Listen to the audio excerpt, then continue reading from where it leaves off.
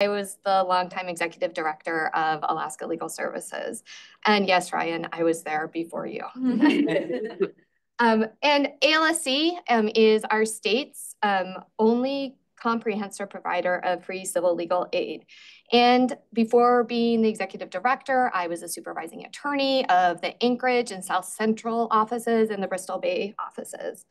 And then before that, I was a staff attorney. I came up to ALSC right out of law school where I met Mara one day and we drove around in a car together, which is fun to think about. I started right out of law school and during my 25 years in the field, I have covered cases across all subject matter areas, um, from domestic violence to adult guardianships, evictions, public benefits, access to healthcare, native allotments, and ICWA. I handled both individual and impact cases, trials, appeals, and transactional work because at legal aid, that's how it works. You do it all. And so it's safe to say that there is really no job or case type that I haven't done during my time um, at legal aid. And in doing this work, I've made lifelong friends who have made my, uh, across the state, who have changed my life for the better. And there are so many of you in this room today. I love how we've kept each other company through the hardest days of this work and weathering one storm after the other and always plotting to try to get to another place and a better and to find a way to meet the overwhelming demand for legal help in our community. And this, I want to be clear that this keeping each other company is no small thing, right? And it is directly and deeply connected to what I want to talk with you about today, which is how we get to a future where justice is a reality for everyone.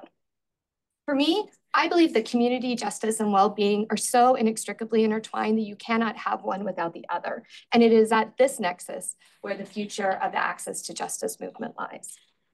But before I get to that, I want to spend a minute on hope, why it matters, and what it can mean to hope in times like these, which are fraught across so many fronts that it can seem like despair is the only realistic option. One of my favorite writers, Rebecca Solnit, says this about hope. Hope is not a lottery ticket you can sit on the sofa and clutch feeling lucky. It's an axe you break down doors with because it will take everything you have to steer the future away from endless war, from the annihilation of the earth's treasures, and the grinding down of the poor and the marginal. Hope is to give yourself to the future. And that commitment to the future is what makes the present inhabitable. And I'll admit that finding your way to hope in times like these can seem impossible, futile, and even maybe a bit naive in light of what the evidence tells us about the state of things.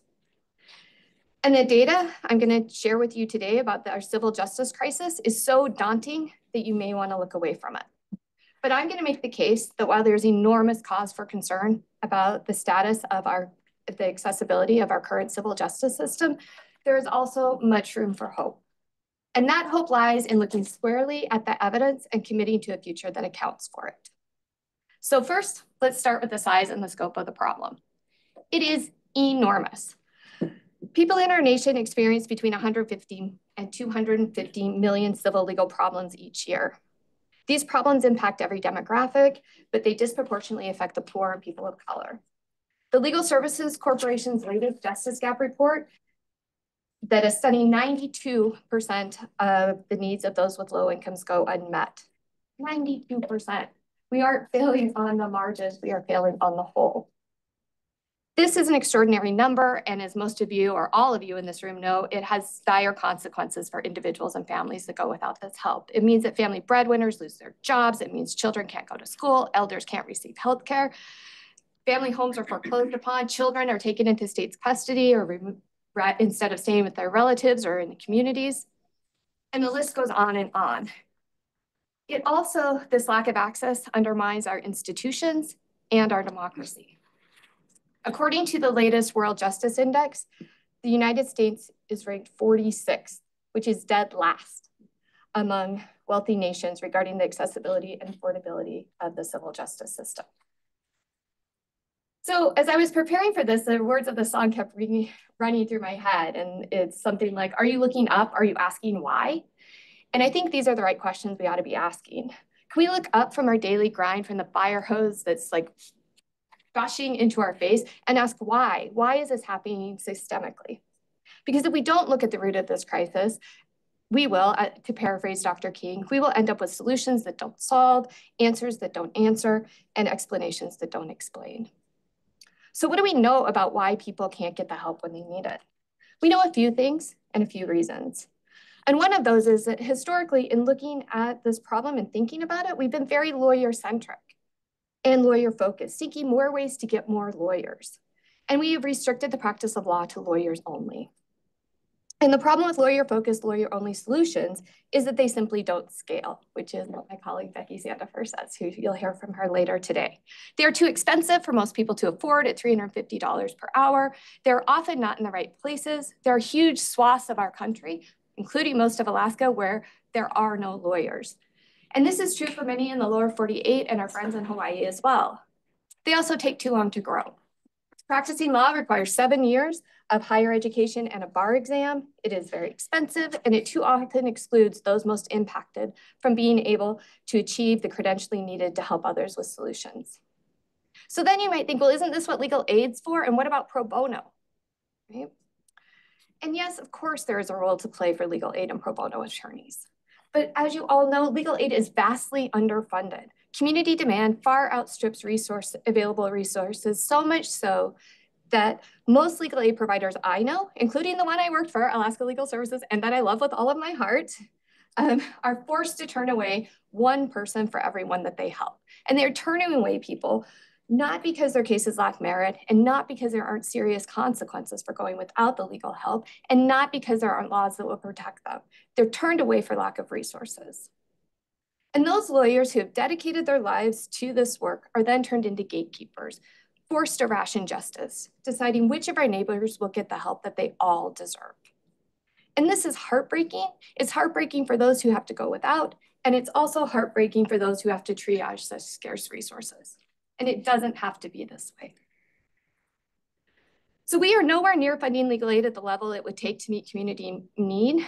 Nationally, it would take an estimated $37 billion to do so. And current funding from all sources for legal aid is just a drop in the bucket at 1.4 billion. So what about pro bono? Here, again, the math just doesn't work out. To get just one hour of legal help for everyone who needs it, it would require 100% of lawyers, all of them, to dedicate 150 hours per year. And again, we're nowhere near that, and it simply just isn't gonna happen. But even if we were to conjure up enough money and enough lawyers to address the vast unmet legal needs that exist in our nation, we will not have solved this crisis because the evidence tells us this isn't even the biggest problem that people face in this area. It turns out the biggest problem we face is that most people don't understand the needs that they are facing to be legal in the first place. Research shows that lawyers, legal aid, and judges are seeing only the tip of the iceberg. Judges and lawyers, including legal aid providers, are only seeing the things that lay people identify as legal problems, and that's less than 20% of them. We are missing the enormous massive problems that lie beneath that iceberg, and people don't see these as legal problems. They see them as simply life problems. And it makes sense that people are not gonna seek out lawyers to help with problems they don't understand to be legal in the first place. So if we hope to reach those folks, we need to get outside of our current legal silos or infrastructures and meet people where they are through the people they trust to help them with their life problems. But right now, our civil justice system is mostly lawyer focused, designed by and for lawyers to meet the demands, to meet the needs of lawyers, and it can be very siloed. So a few years ago, I asked my colleague, Liz Medicine Crow, the legendary past president of uh, the First Alaskans Institute, what do we miss when we center lawyers instead of those most impacted in the design of our justice systems? And her answer was simple and it floored me. She said, we miss justice itself. We aren't slightly off target. We have entirely missed the boat and the whole point of the exercise. And when you look to the evidence, I think she's right. But if we choose up, to look up, if we choose to ask why, if we choose to go wide, to expand our scope, we might find that the solutions that our way to solutions that not only have the capacity to match the magnitude of the crisis, but that also might be better on the whole at achieving something that feels like justice to those on the receiving end of it. Once we understand the cause, we can understand again that it doesn't have to be this way and that better justice is possible. We can start imagine to, we can start to imagine less narrow possibilities, ones that can scale and also bridge the divide between our legal system and people's life problems, which I think is the real goal here. So we started to do that in this state. Our community, with many of those in this room here today, came together under the leadership of our Supreme Court with support from the Bar Association and in partnership with legal aid and so many other community-based organizations like the Alaska Native Tribal Health Consortium, Alaska Pacific University, AVCP, and CANA, and so many others to face these startling facts and head on and shifted thinking, are thinking about how we might tackle this problem in a new way. We accepted that our civil justice crisis required us to move beyond lawyer-only solutions, that we could not do it alone. And that allowed us to craft solutions that took into account the complexities of our state, which as everyone in this room knows, is bigger than the next three states combined with a very small population of only 750,000 of us scattered across this vast expanse. We looked to craft a solution that could work in the road-connected communities like Anchorage, as well as hub communities and villages. We looked at the systemic drivers and took stock of local assets and resources. Our court system conducted an asset mapping, a community asset mapping and social networking analysis that unsurprisingly showed that the lawyers in the court system are mostly located along the, the road system. But we didn't stop there. We wanted to understand in those communities where there weren't access to the legal system, what already existed, what other infrastructure existed. And we learned that the privately operated healthcare system had a far greater reach than the legal system has across our state, that there is an outpost of this healthcare system in almost every single community. And so the legal aid organization, ALSC, started a conversation with healthcare leaders to see if we could embed legal aid lawyers within the healthcare systems, to borrow some of their infrastructure and expand our reach. And this partnership proved to be transformative because we learned that the tribally operated healthcare system had been for 40 years. They were ahead of us in trying to address the same problems that we were now solving for as lawyers. And it helped us think about how we might reimagine our legal aid delivery system into one that might better meet community demand. We learned that our healthcare partners have built out a full range of healthcare practitioners, all trained to perform various procedures. We learned about community health aides and dental health therapists and behavioral health aides. And we wondered if we could build out the justice analog of the community health aid program. And that's where the Alaska Community Justice Worker model was born.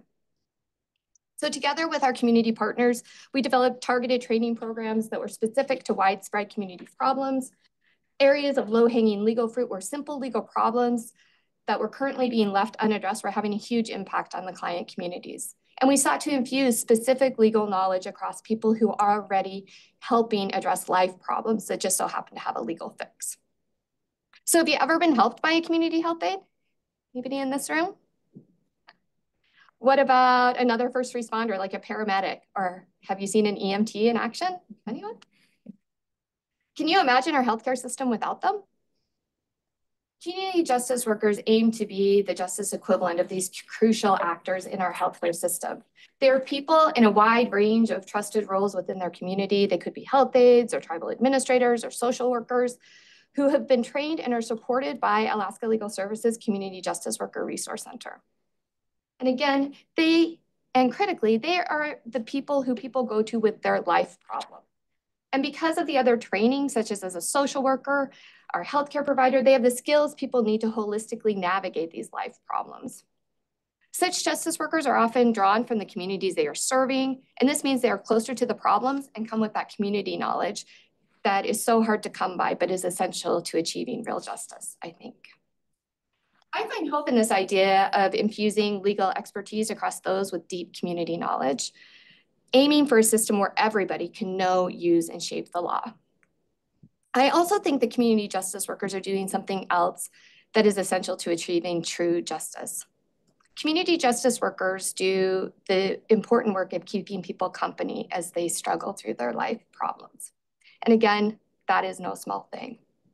When we keep each other company through the hard times, we begin to negotiate these distances between ourselves and others, and we weave each other into the tapestry of a shared life.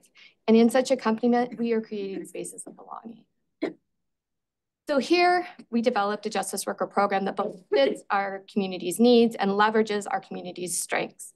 We chose this route because we saw strong evidence that it could be success, it could be effective and sustainable. And we and could scale up to meet the needs of our state's people. Experience and solid empirical research show that safety, effectiveness, and positive impact of justice workers in other contexts. So Alaska's community justice worker uh, model is showing promising results, which you're going to hear about later today. To date, hundreds of community justice workers have been recruited and either trained or in the process of being trained, and they are supervised by the uh, legal aid organization in and in partnership with uh, other community-based organizations. They're in 40 plus different communities, Alaska communities, most of which are off the road system and are much more reflective of the client communities they serve than legal aid staff. So in 2022, uh, Alaska Supreme Court with support from the Bar Association approved the first of its kind in the nation broad-based waiver that provides authorization for community justice workers to take on increasingly more complex matters. This model is being exported in the lower 48, and there are as many as 20 other states, including Texas, California, Washington, DC, and Hawaii, considering adopting a variation on this model.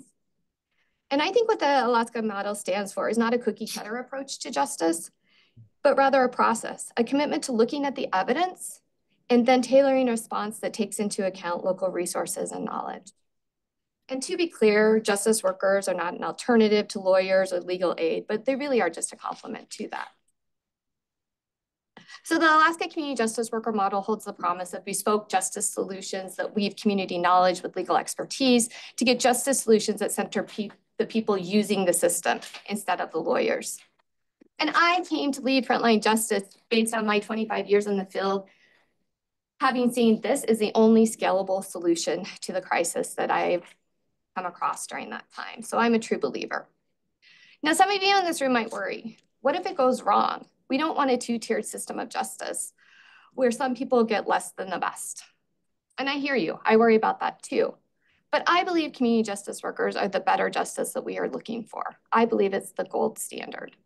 I think everyone in our country should have access to right size, on demand, effective legal help from a trusted community source at the time that they need it. And I am definitely not afraid of trying something new because the evidence shows us that our current system is not serving our communities well at all. The weight of injustice is crushing us, and my shirt is wearing thin on this issue. And can you imagine if it worked? If everyone was empowered to know and use the law? Can you imagine the power in that? I can.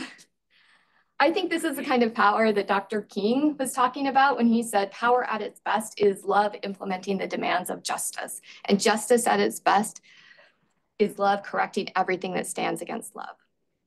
And that's what I'm dreaming about the kind of power that doesn't just balance the scales, but rearranges them entirely. So my hope is for a future when justice permeates the atmosphere like the air we breathe, universally and equally available to all. I think our communities, our neighbors, and our nation deserve this better justice. And I believe the only way we're going to get there is to include closest to the problems in the solutions. And I invite you to commit to this future. And I'm hoping that you will keep me company as we head in that direction. Will you join me? yes.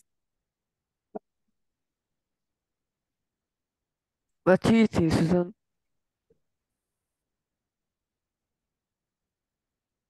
Thank you so much, uh, Nikole, for that great keynote to kick us off. Uh, we can have our uh, first panelist start to make your way to the front. Um, like Professor Fortson mentioned, my name is Allison Barkley. I'm the current editor-in-chief at the Alaska Law Review.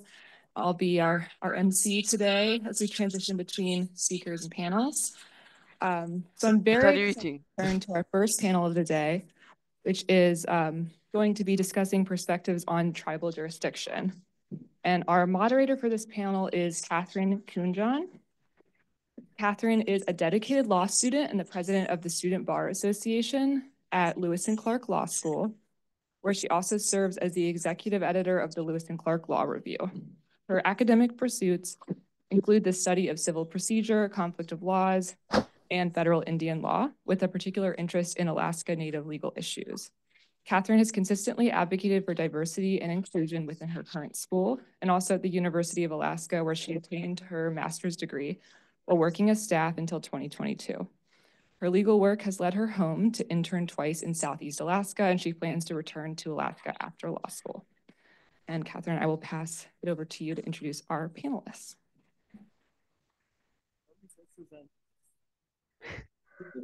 I think just for the Zoom folks. Susan, you black bitch. Can you guys hear me okay? All right.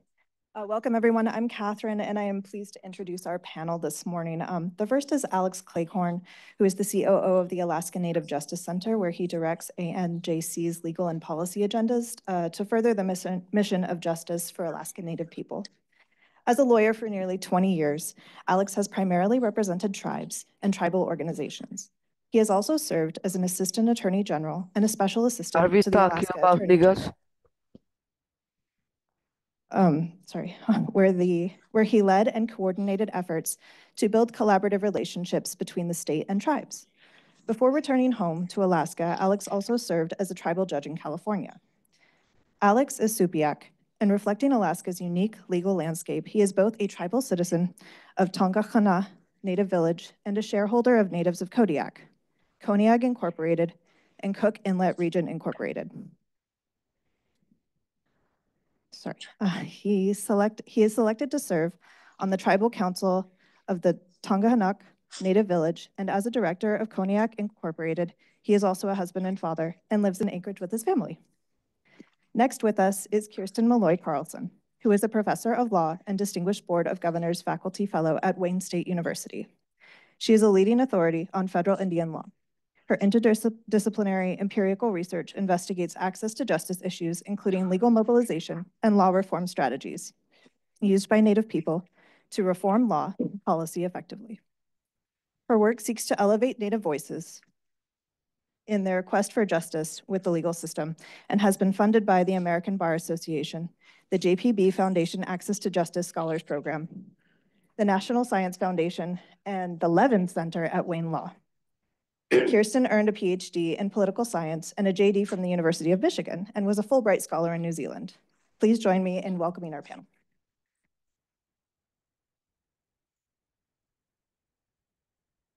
Okay, so to start, our panelists will now each introduce their authored pieces and we'll start with Alex. Sure. I want to make sure that folks online can hear me. Um, so uh, I'm going to go over the main points of what I'm trying to convey in the piece. Um, and then I really look forward to discussion and questions. So starting from the premise that Alaska tribes um, are sovereign governments, uh, like tribes in the lower 48, those inherent rights um, uh, predate the United States and the state of Alaska. And this sovereignty includes the power to make and enforce our own laws. Um, now, that's not to say that there haven't been limits on that sovereignty. Um, certainly, um, that sovereignty can't be diminished by the state, but some federal laws, particularly the Major Crimes Act, have impacted um, tribal jurisdiction uh, and injected federal jurisdiction into Indian country. And I'm going to get to a discussion about Indian country and how Alaska is different, but I don't think it's that different. But it does require us to shift our lens when we talk about Alaska. But shifting our lens shouldn't mean and does not mean that Alaska is less than the lower 48 and that somehow Indian country is the standard we should be reaching for. Um, and also in the discussion of limits upon, federal limits placed upon tribal jurisdiction, I talk quite a bit about Public Law 280. I think the impact of Public Law 280 is greatly overstated in Alaska. One, Public Law 280 injected state jurisdiction into Indian country. Well, we don't have a lot of Indian country in Alaska. We've got Metlakatla, and we've got about a million acres of Alaska Native lands. And with the solicitor's most recent opinion last winter, we now have the rebuttable presumption that Alaska tribes do have governmental authority over that Indian country. And so it'll be interesting to see what the next 20 years bring in the discussion, hopefully not the litigation over tribal jurisdiction related to those allotments. But again, that's not where most Alaska Native people live on those allotments. And when we talk about public safety and justice and the impact of Public Law 280, the state has jurisdiction throughout Alaska uh, in places where Alaska Native people live uh, in a way that we don't experience uh, outside of Alaska. So the state has concurrent jurisdiction. The lasting impact of Public Law 280 and the most damaging impact of Public Law 280 is that when the federal government took a step back and said to the state, you're now primarily responsible for public safety and justice in Alaska, those federal funds went elsewhere. Right? So tribes in Alaska uh, and other PL 280 states do not have access to those federal funds to take over and self-determine them. Nikole introduced the idea of the tribal health system. And for folks who live outside of Alaska or who don't participate in the tribal health system, I think it's hard to understand the scope and reach of what self-determination and uh, has built. Uh, the tribal health system is first a, a tribal system, and two, that federal money that was needed to kick the engine of the tribal health system. One, it was absolutely necessary to get the system started, but now it is the vast minority of the funding that runs that system. And tribal justice systems haven't even been given that little bit of gas to get the engine started. Right? Tribal justice systems are funding their programs through every year special one-time funding and competitive grants. And we know this well at the Alaska Native Justice Center because we're funded in the same way. Every year, you don't know what you're going to get to run the programs that are needed in the community. And from one year to the next, you may have to shut down a program that's been successful because uh, federal funding priorities have shifted or because uh, the appropriations that were made don't meet the need. So imagine for a minute trying to run your tribal police department. You've hired a couple of people. You have enough funding uh, to have some part-time coverage, but um, I don't know, the government shuts down. And maybe there's no appropriations or the appropriations were less than they were the year before. There are tribes in Alaska that are literally having um, bingo to fund public safety officers on the ground. That is the lasting impact of Public Law 280 in Alaska.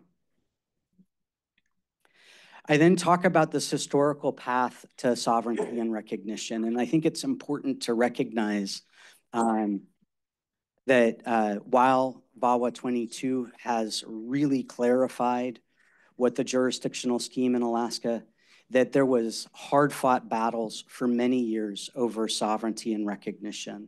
The state initially contested that there were tribes in Alaska and took litigating positions over the years that ANCSA terminated tribes, that somehow Public Law 280 terminated tribes, uh, that Alaska was just so different that we, we didn't have tribes at all. Uh, but in 1999, the Alaska Supreme Court in John V. Baker said, that's got to stop. There are tribes in Alaska Maybe they don't have land, but this idea of non-territorial sovereignty, right? That tribes continue to have jurisdiction over our citizens and activities that impact our citizens outside of Indian country is now bedrock in Alaska. And this idea of non-territorial sovereignty has uh, been embraced in some regions in the state and tribes in the state and tribal courts are functioning uh, outside of what some thought was necessary in Indian country and hearing cases related to child welfare, public safety, um, uh, inheritance, uh, a multitude of issues. And tribal courts are issuing those orders more regularly. And I'm going to pick up this theme later on about this concurrent jurisdiction and tribes in Alaska issuing more and more decisions. And this, um, I guess it's ripe for the uh, interesting balance that must happen in a concurrent jurisdiction environment. The communication between Alaska tribes and our courts and the state court system and their courts um, means that there has to be much more communication between these courts to resolve jurisdictional conflicts. But then I spend a good amount of time talking about VAWA 22 and what it means. Um, and there's two main parts of the Violence Against Women Act of 22. Uh, first, though, we want to recognize the many years of efforts that Alaska tribes, tribal leaders, and advocates put forward into making sure that VAWA 22 became a reality.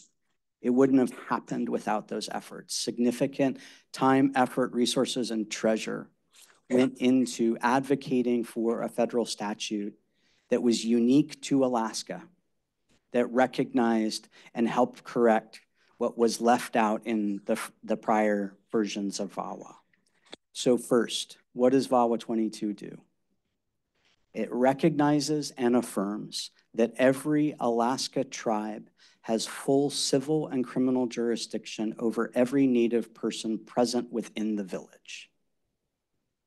That's the same kind of jurisdiction that tribes in the lower 48 have over Native people within quote unquote Indian country. It's not Indian country.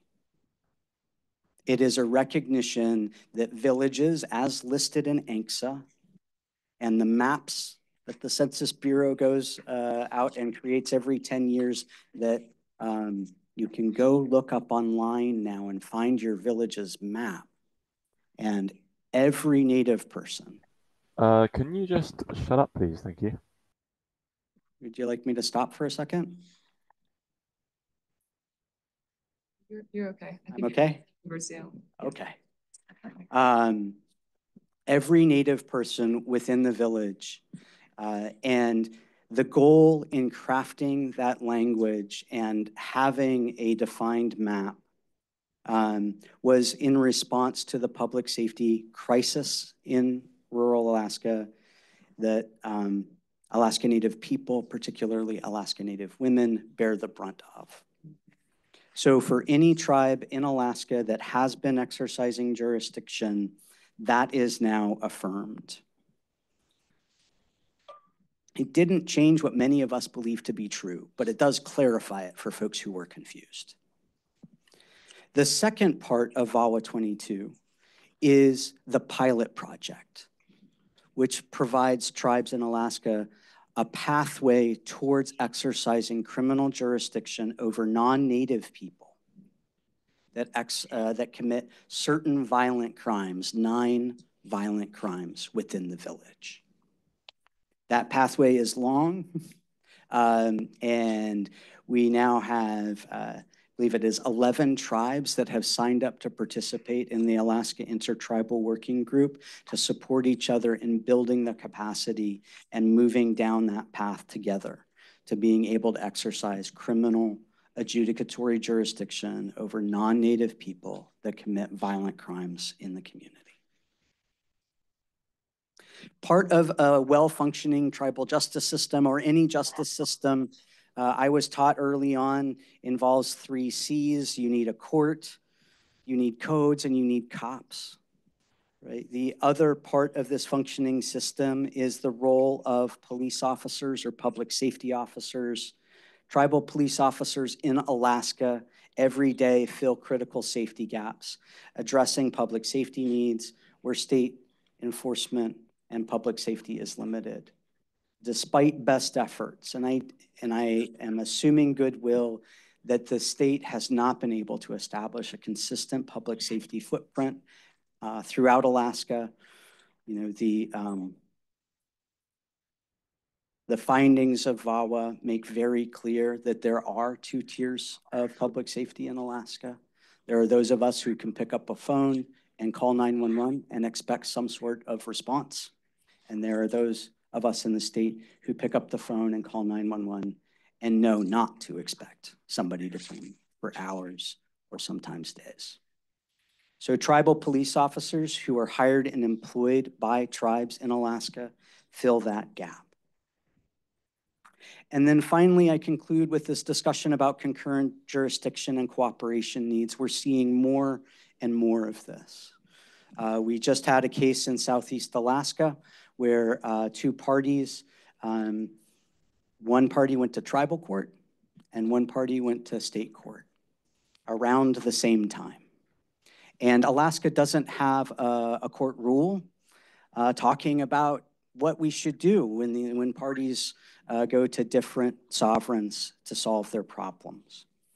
Um, and uh, ANJC represented the tribe in that case uh, in uh, the district level, uh, and last month received um, an order uh, dismissing the case in state court and saying that because it had been filed in tribal court first and adopting the factors that we had put forward from, um, from Wisconsin in evaluating whether or not the tribal court or the state court was the proper jurisdiction to hear the case.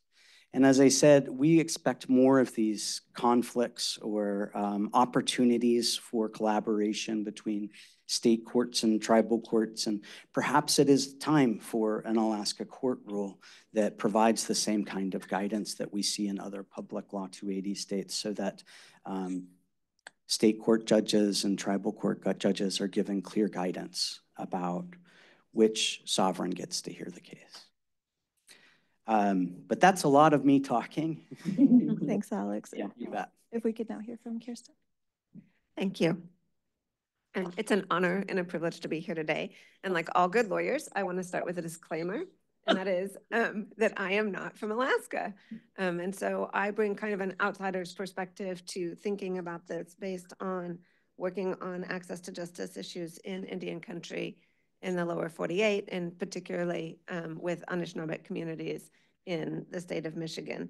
Um, and I want to say that I was really, really pleased that I got to follow Alex because Alex got to put all of the assumptions out and I don't have to reframe them for you because I'm building off the same set of assumptions he has about Alaska Native tribes being sovereigns, similar because there are some differences, but basically on the same, and they should be on the same standing as the tribes in the lower 48. Um, and so what I do is I use access to justice as a framework for understanding and thinking about how we can improve the experiences that people have with justice events, organizations, and institutions. And Nikole did a fantastic job this morning talking about the demonstrated access to justice gap that we have in the United States. And I just want to add that this extends, as she hinted at, to Alaska. Um, and to some extent seems even more dire in some ways, that an individual in Alaska faces 2.1 legal issues every 18 months. And because of the extreme rurality here, the access to what we think of in a lawyer-centric system as justice is much more attenuated. Um, so what I have been thinking about and what my paper really thinks about is how can Alaska Natives develop justice systems that help them find workable solutions to access to justice in their communities. And like Alex, I start from the premise that Alaska Natives have recognized sovereignty and tribal governments. Um, and what my paper does is I argue that Alaska Natives have to exercise jurisdiction on their own terms, consistent with their cultural sovereignty to adequately address the access to justice issues that they're facing. And what I emphasize is the importance of cultural match to exercising jurisdiction and finding solutions to access to justice problems. So by cultural match, what I'm talking about is that Native institutions, including justice systems, have to reflect the prevailing ideas in the community about how authority should be organized and exercised. Um, and so you might be thinking, okay, well, why are you worried about that? Um, and the reason that I'm worried about that, and Alex alluded to this, is that there are parts of the current system of the state and federal governments recognizing Alaska Native jurisdiction only when their justice systems meet certain conditions. And this leads to a potential for cultural mismatch or a disconnect between cultural sovereignty and jurisdiction. And this is something that we face in the lower 48 as well, which is as part why um, it concerns me. It's because I've seen how this plays out um, in other places and think that there are some real opportunities here in Alaska to prevent these situations. Um, but the concern I have has to do with how conditions placed on native jurisdiction complicate Alaska Native government's abilities to address access to justice issues. So I'm concerned more about that second part of VAWA, um, the type of pilot project that's been being organized, both it's been organized in the lower 48, but is also going on here. Um, because what VAWA does is that it enables Alaska Native governments to exercise criminal jurisdiction over non-natives, but only when certain conditions are met. Um, they have to provide adversarial style courts.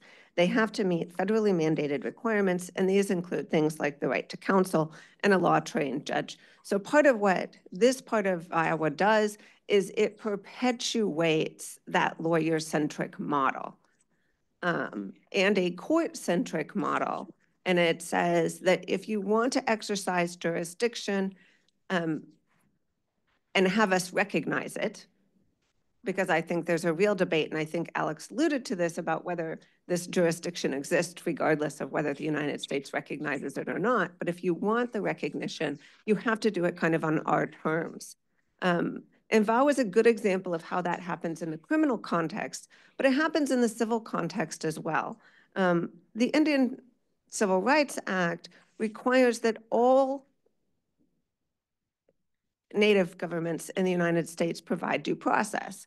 And what can happen is if you don't provide due process that meets the expectations of a federal court, the federal court will not recognize that you have jurisdiction. So while under ICRA, there is a lot of availability for interpretation of what due process means. If we want to have a discussion about um, legal indeterminacy, I think we could spend a lot of time talking about due process. It's very open. Um, but the problem is that you can have your jurisdiction denied if a federal court disagrees with how you interpret it. Um, and this to me presents a problem because it basically says that jurisdiction can only be exercised on the terms of what the federal or state government recognizes. And these conditions or expectations of a justice system do not necessarily match how Alaska Natives or Native people in the lower 48 address and think about criminal and civil legal issues or the realities on the ground in these communities. Um, so for example, um, one of the problems here in Alaska is that as um, Nikole pointed out, the lawyers in Alaska are kind of all concentrated in one place. So it would be great for, I mean, maybe not great, but you can't say you have to have a lawyer in a place where there are no lawyers. it doesn't work. Um, and so one of those problems is that you don't have lawyers. They're not readily accessible. Um, and there's a question about whether you even want them. I mean, I've already told you all I'm a lawyer, and I have to admit, I'm not sure I like the idea of having more lawyers in my community. So it's a, a perspective that's very limited. And there are currently some Alaska Native courts that don't want lawyers. They want to limit the role of lawyers because they want to hear directly from the people.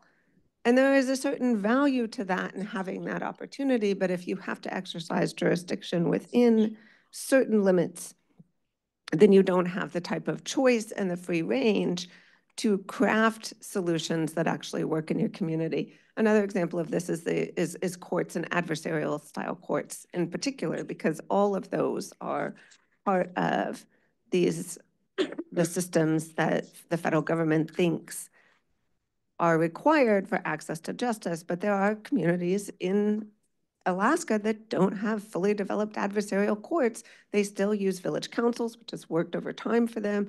Um, and what you end up with if you have to adopt these types of of systems is you have to adapt or change in ways that may or may not work for you.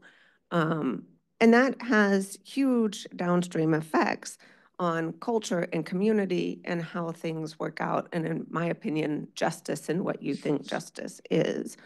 Um, so I suggest that cultural mismatch can be avoided if Alaska Natives are empowered to develop justice systems that reflect their community values. And I think one of the unique things about Alaska is that there's an opportunity to do this, to actually develop justice systems from the ground up and implement cultural sovereignty in their design, rather than being in the situation that most tribes in the lower 48 find themselves in, where they are either trying to um, integrate their traditions into existing court systems because um, the United States imposed adversarial style courts on them at the end of the 1880s and they are still transitioning away from that, um, or because um, they were desperate to exercise jurisdiction and just adopted state law without really thinking through it and are now, um,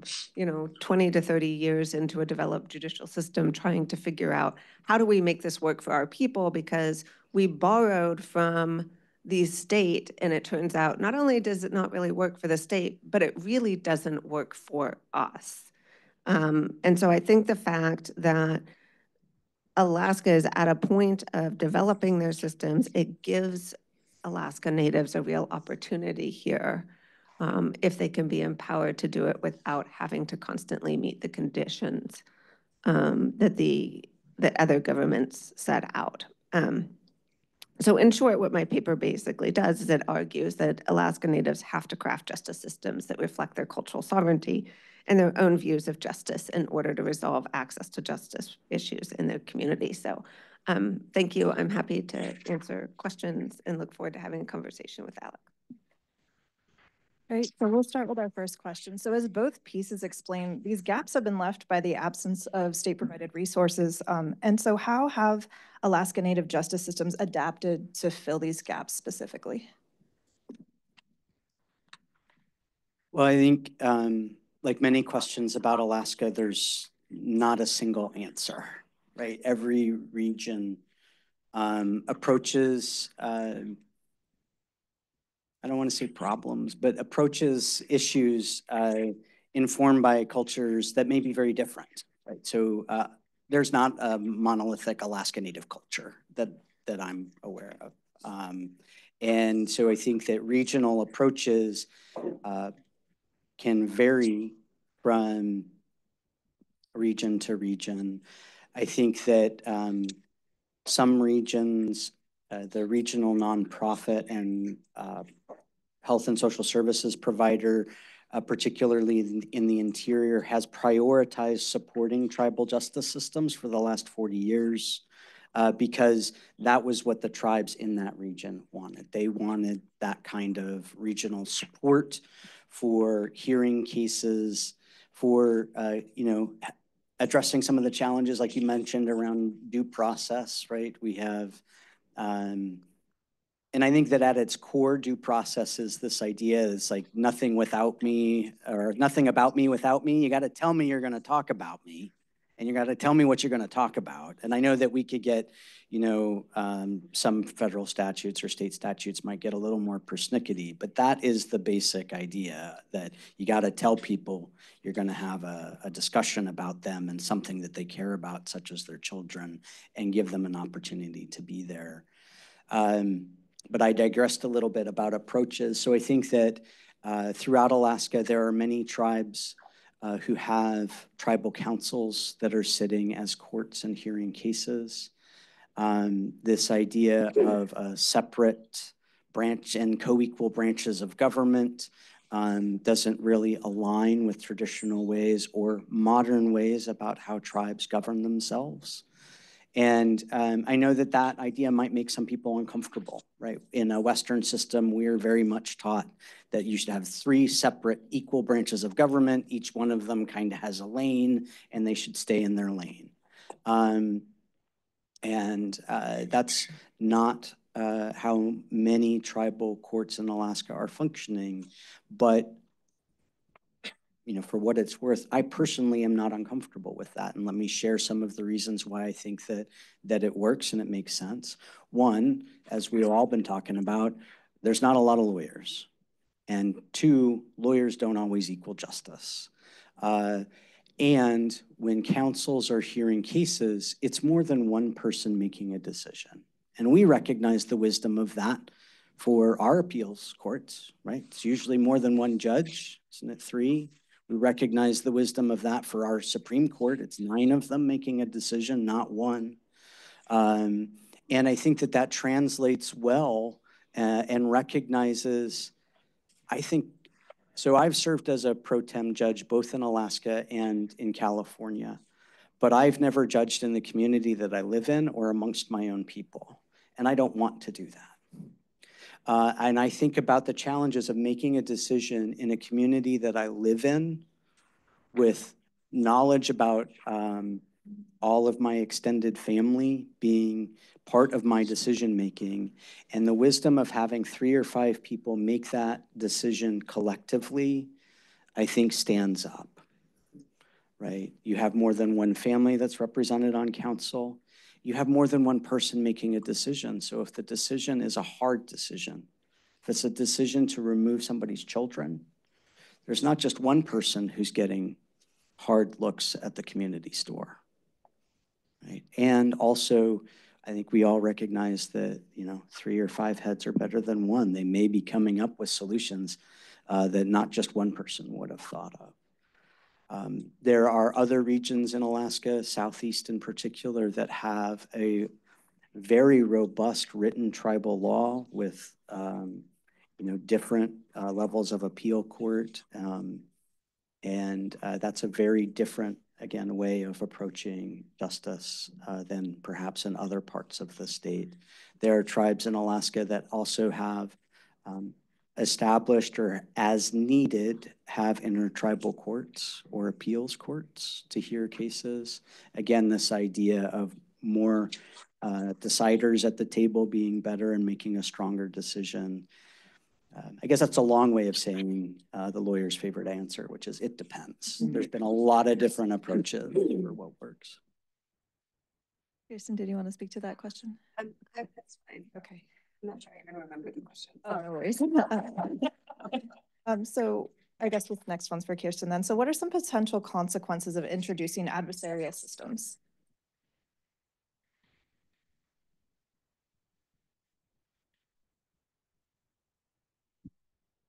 I think one of the things about adversarial systems is that they're constructed on a certain set of assumptions about the relationship between an individual and a state. Um, and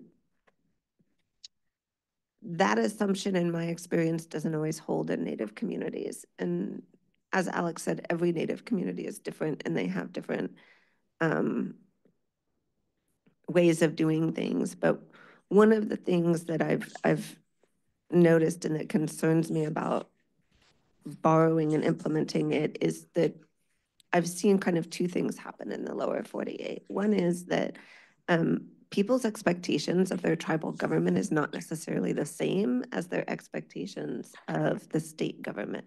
And a lot of that has to do with the fact that they have different relationships within their community. So Alex was talking about how he would never want to sit on the the um the court in his community. And I I absolutely understand and agree. I think it would be very, very difficult, but it's but that's because the relationships are different and how relationships are thought about are different. And when you have an adversarial system, there's not the same understanding of those kinship relations. And when you are trying to impose that in a community and the individuals are still functioning and thinking about this as these are my relatives and I have expectations of them as relatives. Think about that. You don't have the same expectations from the state as you do from your relatives. And I think that leads to a disjuncture, which then makes people in the community much less satisfied with an adversarial style tribal court than even an adversarial style state court. Um, and one of the things that we just don't know enough about is tribal citizens' relationships and expectations of their own government. And I, it's something that I think is, is, you know, broader than the conversation today, but it's part of the concern, right? And I really like Alex's point of like, if you have a number of judges, right, it really changes the dynamic because all of those people have different relationships with the individuals coming in front of them as the judicial, as the decision maker. And so they're going to bring different things to the conversation. I think that's why um, things like political peacemaking sometimes work, is because in peacemaking, there is no decision maker. The idea is to get the community members to come to a solution, but you always have more than one representative from the community facilitating it because that they bring the different relationships and ideas. Thank you. Um, This next question is for Alex. Uh, So when discussing the definition of village in relation to Indian country, how does this tie into the broader conversation about tribal sovereignty and jurisdiction in Alaska and sort of what's its significance? Sure. So as I, I tried to lay out, so in the Violence Against Women Act uh, of 22, uh, the sections that talk about Alaska take into account that there are not reservations here, uh, but there are villages here. So it's actually, it's kind of a two-part determination. Um, The first being, is the tribe federally recognized? So are you on the list of, uh, that's published every year? And um, right now, I believe there's 229 tribes on that list in Alaska. Um, And then second, is the village that the tribe is associated with included in the list of villages that was in ANCSA? There's not a 100% match to that, but it's pretty close, right? And, um, you know, each region kind of has their reasons for that.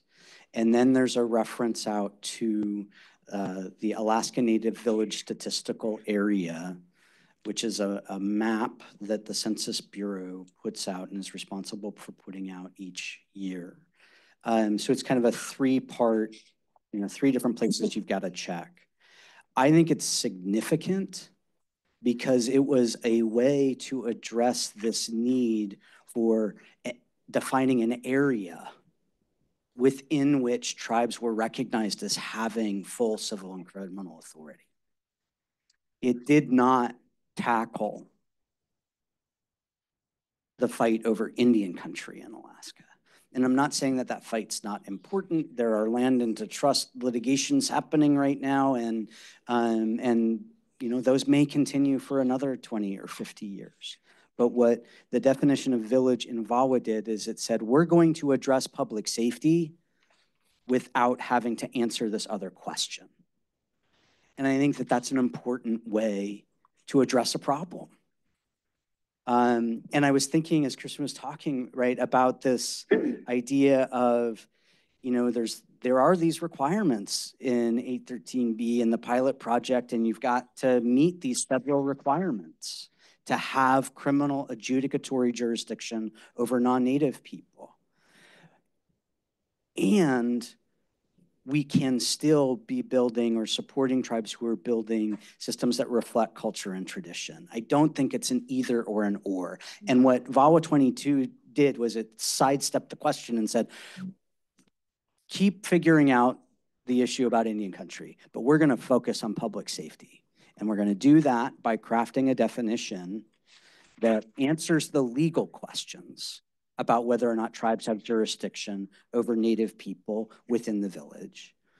Um, and in, in that way, it reminds me of some other uh, civil rights issues I've seen in my lifetime, right? Um, same-sex couples used to not be able to get married, but for many years we had civil unions. And so my sisters had civil unions before they could get married. They didn't say, I'm not going to do a civil union until I can get married. Right. And I think that this is the same kind of um, idea that we can be doing both at the same time. We can accept what we've got and really take advantage of what's on the table right now with the affirmation of tribes jurisdiction in Alaska. And we can also support and continue to try and build systems that are more reflective of of the ideals and the cultures of the communities. Thank you. I'd like to open it up to the room, uh, if anybody has any questions. Virtual questions too. Please go ahead. Um, I'm curious about the issue of adversarial systems. Because my experience is that more often than not, the issues that arise over tribal decisions, tribal court decisions, play out in full faith and credit and comity arguments in the state courts. And in Alaska, those full faith and credit and comity arguments impose a clear adversarial system. And I was wondering uh, what your thoughts on how to, if, if we move away from the adversarial systems in tribal courts, um, how would that interplay and what would be necessary for the state to accommodate that?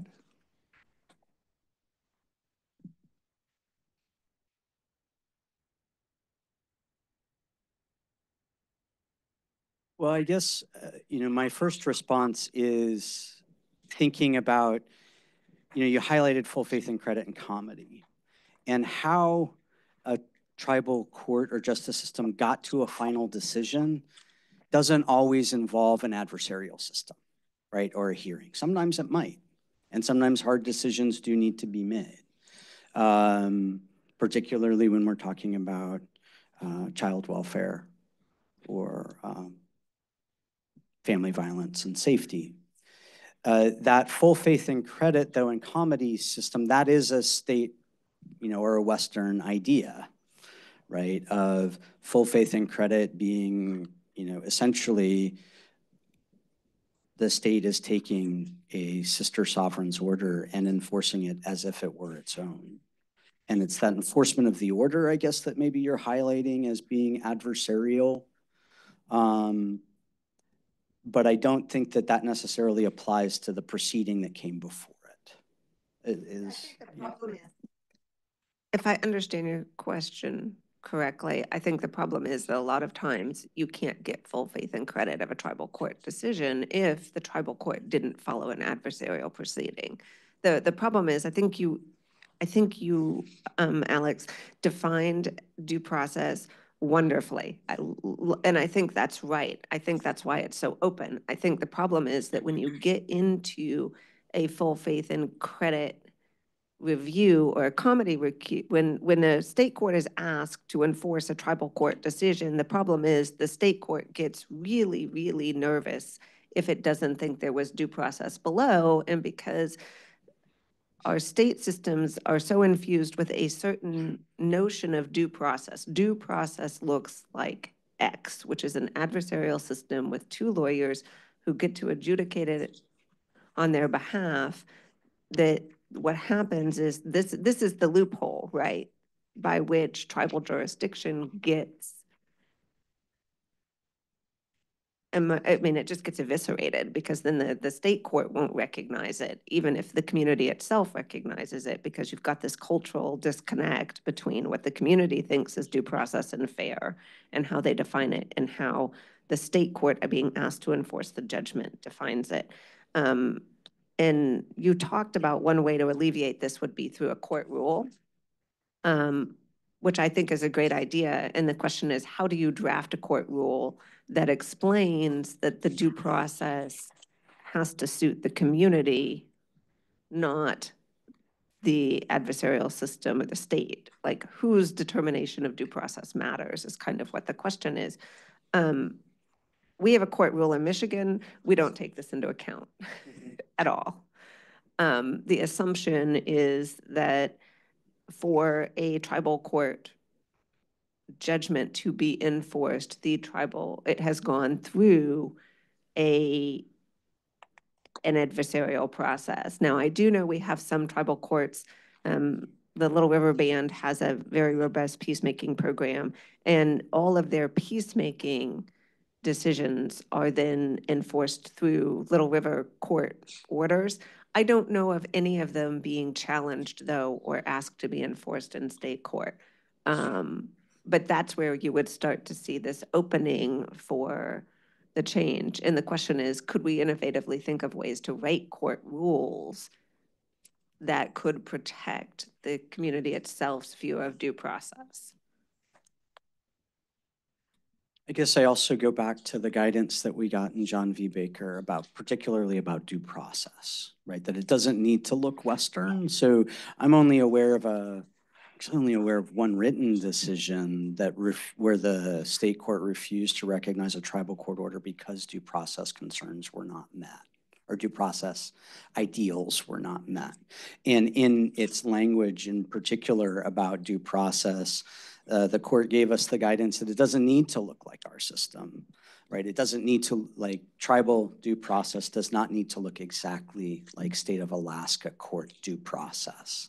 Um, and that they weren't going to tell tribes exactly how they had to give, give notice of hearings. Um, and that the hearings needed to be held in a regular fashion, but they weren't going to get into what the details of that looked like.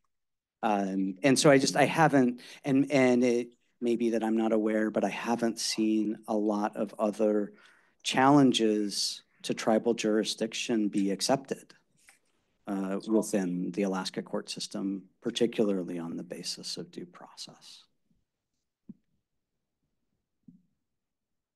That ends our time, yeah.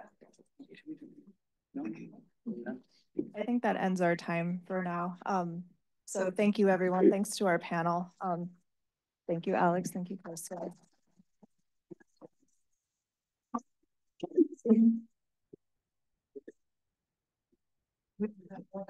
All right, we're gonna switch over to our second panel, so we'll have those panelists come up. Yes. Assumption that also in your question that. How you doing?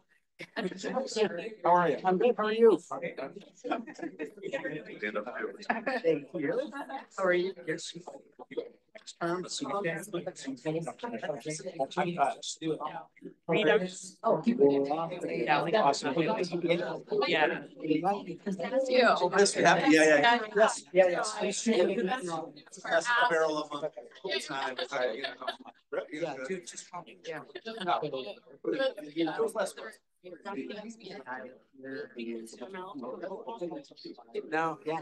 Nice. Okay, let's, let's. Yeah. Now you got like all of it. Yeah. Here. All right, everyone, we could return to our seats while we get some food and coffee.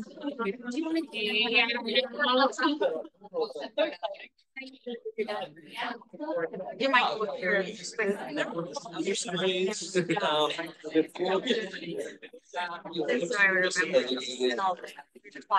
Yes.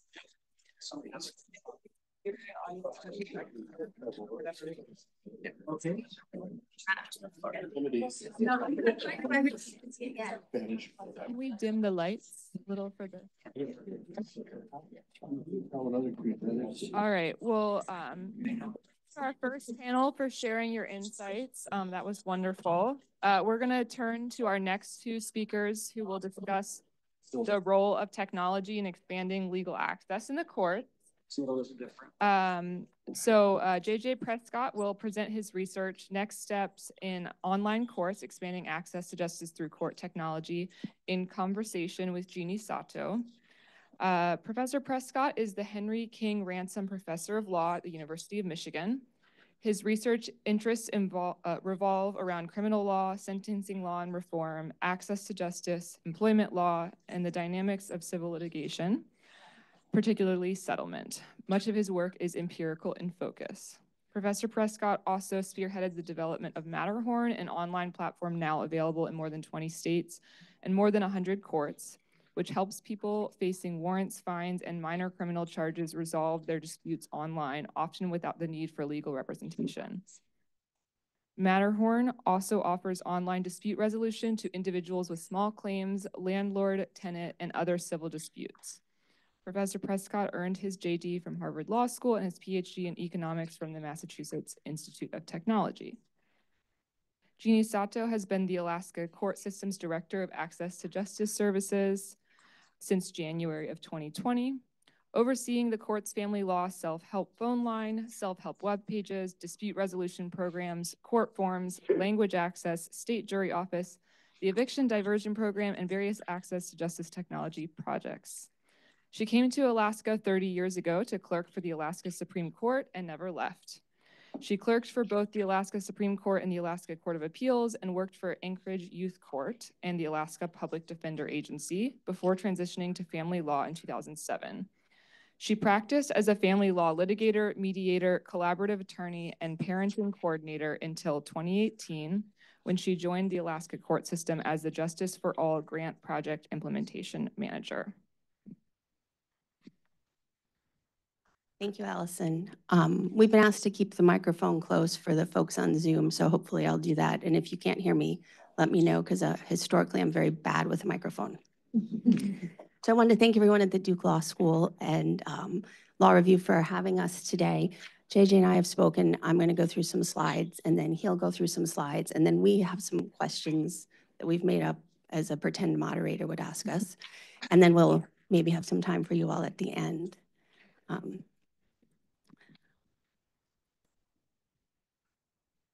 So if this works. It just worked.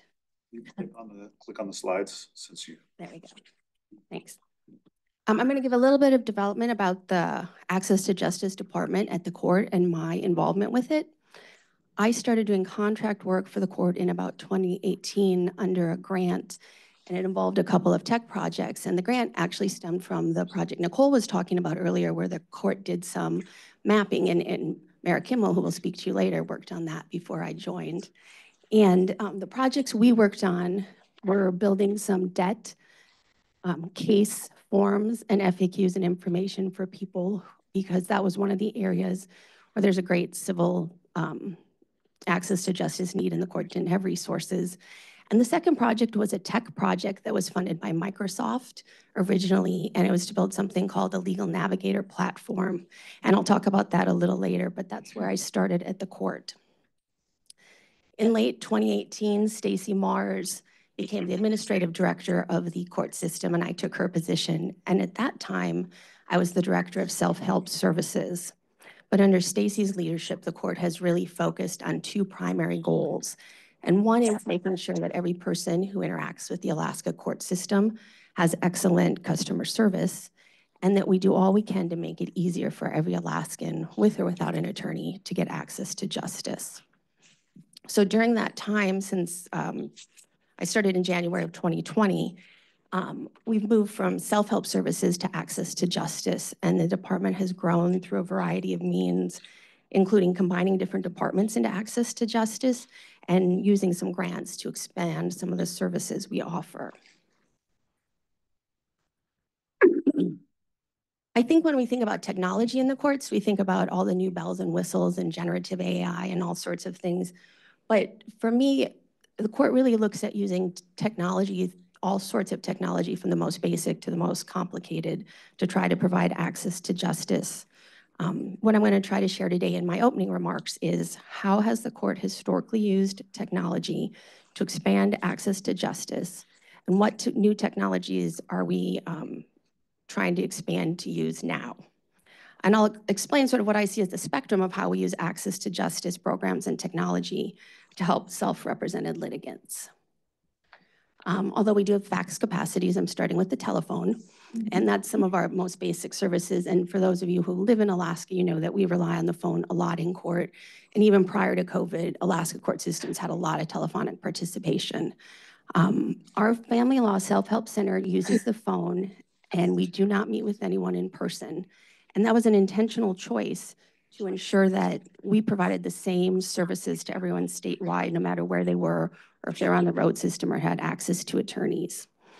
Um, we um, don't with people in the offices. We serve everyone from one location.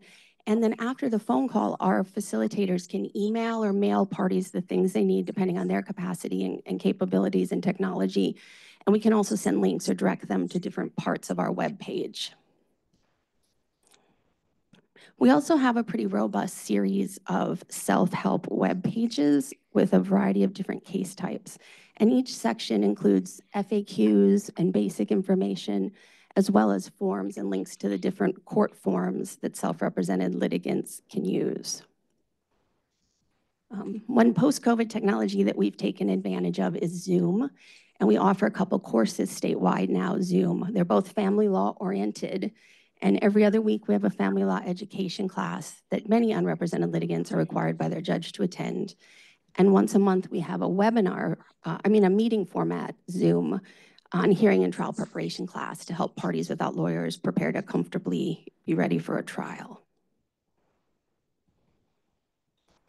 Um, the rest of our programs, or let's see.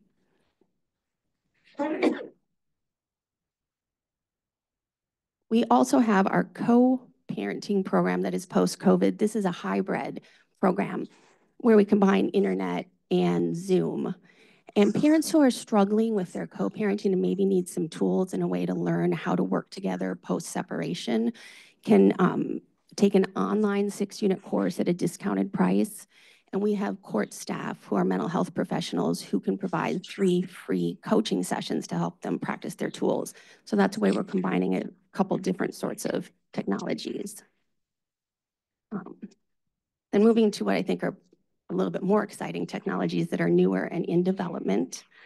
Um, we have started building automated forms and probably like many people, we're trying to recreate that awesome TurboTax experience where people can answer a series of questions and have a form produced at the end that tells them what they need to do. Um, this is in its early stages, and we're hoping that when it's fully developed, we're going to be able to connect it through an IP to our online filing system so that parties could get on, answer their questions, have their form, and um, file it with the court. Right now, they're still having to either download it or email it to themselves. I'm going to talk a little bit more about that um, Legal Navigator Microsoft project I mentioned at the beginning. That was one of the first projects I was brought in on. And it was a grant-funded project um, that Microsoft was sponsoring with a, quite a few national organizations. Hawaii and Alaska were the, the two states that were selected to try it. And we spent a number of years, and um, ultimately, the project didn't turn out the way everyone had hoped. But the part that we were most excited about was an interview option on this platform where parties could go through and the, the goal was sort of to simulate what would happen if you were talking to someone on the phone or in person. So unlike the TurboTax experience where you're giving it all, you know, your real detailed information, you're answering more narrative questions. So if somebody was starting a divorce, they might be asked, do you have children? How long have you been married? Have you separated? Do you have property and debt to divide? So instead of, it, it's more like a, a conversation would be. And at the end, you get a personalized action plan that has steps that can be expanded. And it, it's supposed to direct you as if you clicked through the web page and found everything exactly as you needed. We're bringing you right to that information. And this can be downloaded as a PDF. It can stay on your computer or you can email it to yourself, the action plans.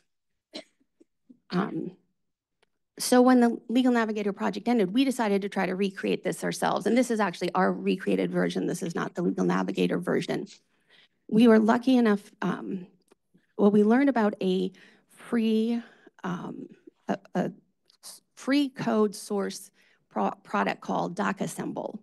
And we were able to find a person to hire who was an expert and had a lot of experience in DocAssemble. So we've been building, rebuilding this interview platform from the back end and coding it. Um, and it, it, we've had a lot of great support from the folks who work with DocAssemble and their document assembly forms but we've been building it in a different way. So we're um, really hopeful that when we're done, a lot of other courts can adopt it since it is an open source free coding. Um, and I, I, did want to mention one other thing. So this is a project we built ourselves, and JJ is going to be talking about online dispute resolution platforms in his experience and the Alaska courts. And that's a program where we have hired a vendor. And it's been very experienced to see, it, interesting to see the difference the pros and cons of hiring a vendor and building your own. And, and JJ built his own ODR platform um, because there, there's a lot of time and expertise needed to build your own, but you have a lot more freedom. And with a vendor, you really have a lot of restrictions, but you don't need to hire a full-time coder to be on your staff. Um, the one thing we've noticed in both directions is that it takes a lot longer than you think. Um, Another project we're pretty excited about is a chatbot. The National Center for State Courts solicited courts who are interested in a generative AI chatbot. So unlike some chatbots you might see with different vendors that have pre-programmed answers, like our interviews have pre-programmed answers, this will be a generative AI chatbot. And the National Center for State Courts selected us. It should launch by the end of the year. We looked at our Google Analytics and we chose probate estate case types to do because that was one of our highest sought out web pages and we don't have any online resources or, or telephone resources for that. So that's one thing we're excited about that should be launching soon. Um, oh, and I don't have a slide for this, but we also are working on um, a civil case hearing text notification system. We do have a vendor who helped with a statutorily required criminal case text notification, but we've been building in-house with our IT team um, our own backend for civil case reminders. And so we're hoping that's coming. There are some challenges with all the restrictions of making sure people opt in and how do you get people to be aware of that and opt in. Um, and then this is a little outside of tech, but uh, it's a shameless plug because we are currently um, I'll, I'll probably talk a little later with the questions about some um, traveling we're going to be doing, statewide outreach we're going to be trying to do about all these resources. And we are working with an outside vendor right now to do some branding and testing of all these products to try to put them together into a suite and maybe have a name or idea or a mascot or a theme. So we will be looking for testers. If you have anyone who would like to hear about it or see them or provide feedback, please let me know. I have cards. So that's my shameless plug. And then I think I will turn it over to JJ, and then when he's done, we'll answer some questions. Great, thank you very much. Um, uh, oh, okay, That happened to me right before I started. Um, thank you, everybody. Uh, sorry. Um, I'll just uh, start off by uh, thanking the Alaska Law Review for uh, not only inviting me, but then dealing with my very slow uh, pro uh, progress on, on the paper. Um, I am also not from Alaska. I'm bringing an outsider's perspective like Kirsten, and I'll add that um, I've never been, I have been here for the last, uh, you know, 12 hours, and um, I have always been fascinated by places that are farther north. I grew up in Southern California and I've just moved to colder and more northern places over and over. I've only gotten to Michigan so far, um, but, uh, but it's really a pleasure to be here. So I'm going to talk um, about my experience with ODR and what Alaska is doing and bring and try to bring my outside perspective um, on what they've accomplished and hopefully um, offer a few observations and questions for thinking about it in the future. I, I need to, um, in addition to thanking everybody, let you all know that I, I, I did, I did build my own ODR system years ago, more than 10 years ago now.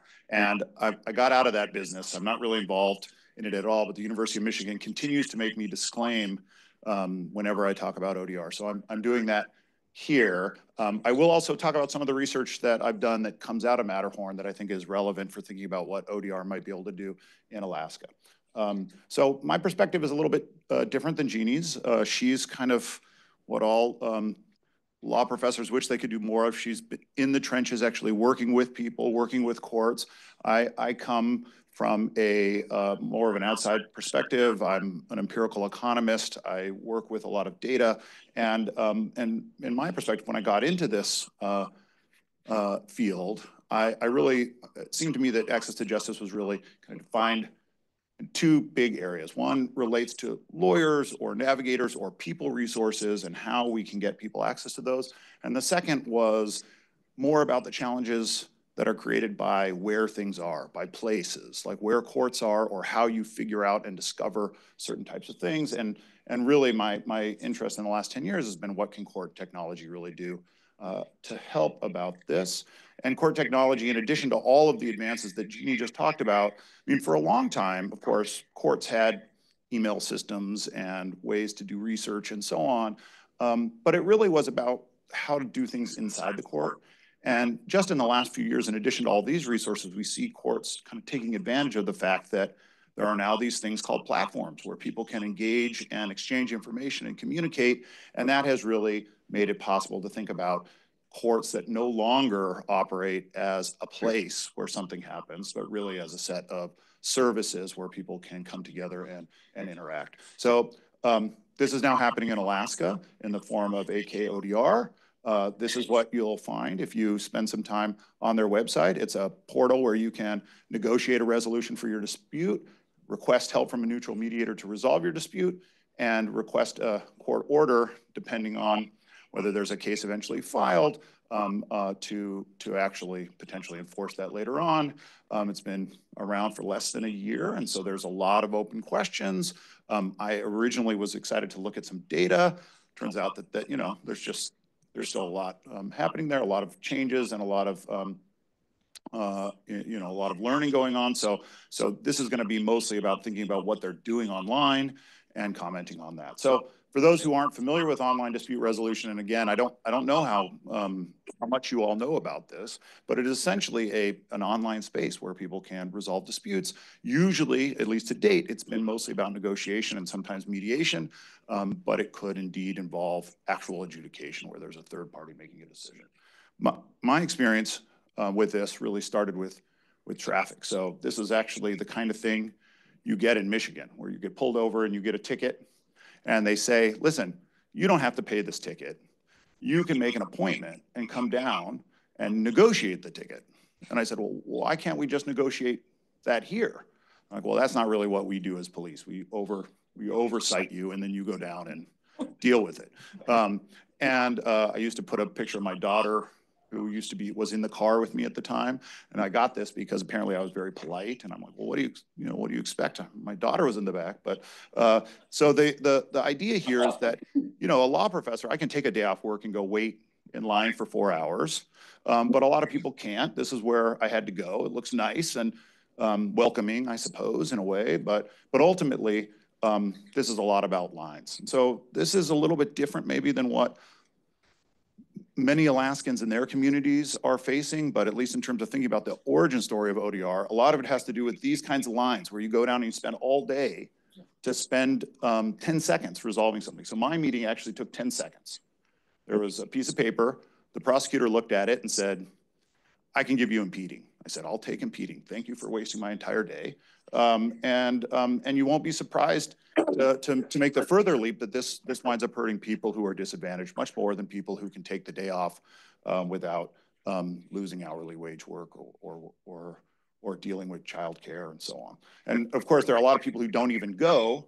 They just pay the ticket because they can't afford to actually challenge uh, the ticket. So this is, this is one of the starting points. For me, I became interested in the space because of um, outstanding warrants for failure to pay fines and fees. Um, I do a lot of criminal justice related work. Turns out millions and millions and millions of people in the US have outstanding warrants because they don't have enough money to pay tickets, uh, which then turn into fines. And they are scared to go to court. They don't know how to resolve the issue because they're too poor. And so they exist in a world where they have outstanding warrants, which of course deny, means you have no Fourth Amendment rights and you, you don't vote, you don't call the police. There are all sorts of problems that come with that. But I thought, well, why do you actually need to go to court to resolve this if it's mostly about just getting on a payment plan? And that, starting to talk to courts, led to um, an interest in courts with traffic uh, and even some minor misdemeanors. So that was the start. Um, but that made me realize that actually there are a bunch of challenges to using courts as a place. So not only are there the economic and physical costs that come with taking time off to go to work, transportation, childcare, um, pressure from your boss not to go, consequences for going, lost wages. Of course, there are psychological. I'm, I'm a lawyer and a law professor. I still find courts super weird and intimidating. Um, I, I, I, I gotta believe that if you're not a lawyer, it's more intimidating. And if you are from a, a community where the people working there don't really look like you and don't speak like you, it's even more intimidating. Um, you're expected to walk in and talk in public in front of a bunch of people about your issue. A lot of times that's explaining that you're too poor to deal with the issue. Um, so, so there are lots of reasons why people just wind up opting out. Of course, there's systemic talks as well. So there are disparities that result from in-person interactions in these systems. Um, having bunches of people all assembling in a single space is also not always great. Um, during COVID, we came to realize that having ODR software in courts made a big difference. Um, there are legitimacy concerns when you walk out of a hearing and you don't even know what just happened because you were so anxious the entire time that you, you couldn't even pay attention. Um, so, so as a result, we have a lot of people who feel left out in the cold. Um, courts are not there. Even if they know what the law is, actually physically going there is a problem. So the idea behind all this technology is just to, just to do it online. And then it becomes a design problem. How do we make it easy to access? How do we make it easy to use? Um, this is an example of a, a, simple private party ODR workflow. Um, it actually lines up uh, pretty uh, great with what uh, Alaska is doing now, but you have, these are pretty small, small um, uh, font sizes, but not surprisingly, you, you kind of do what you would do if you were in a normal uh, dispute resolution stance. You just kind of do it online where you have um, some back and forth going on. Um, we set this up in Michigan. Um, it started being adopted by lots and lots of different courts. And now you have ODR in the US that is all over uh, the, the, the place, multiple states, multiple companies now that serve this. Almost every company that sells case management software is also doing it. Um, so lots of different case types. And the focus of first gen ODR, and I can talk to you about what I think S, uh, second gen ODR will be like if you're interested, but it's really just replicating what's going on in courts to the extent possible without all the costs and confusion um, that, um, that we normally find there. Okay, so what are the impacts? And this is really just to, to kind of highlight what we might expect to happen in Alaska as ODR expands. Um, you get a lot of people who really love this. Does everybody love it? No, of course not. But of course, the courts are still there for people who want to go in person. And there are a lot of people who find this way of interacting to be much more pleasant. Um, you, can, you can look at a bunch of different metrics.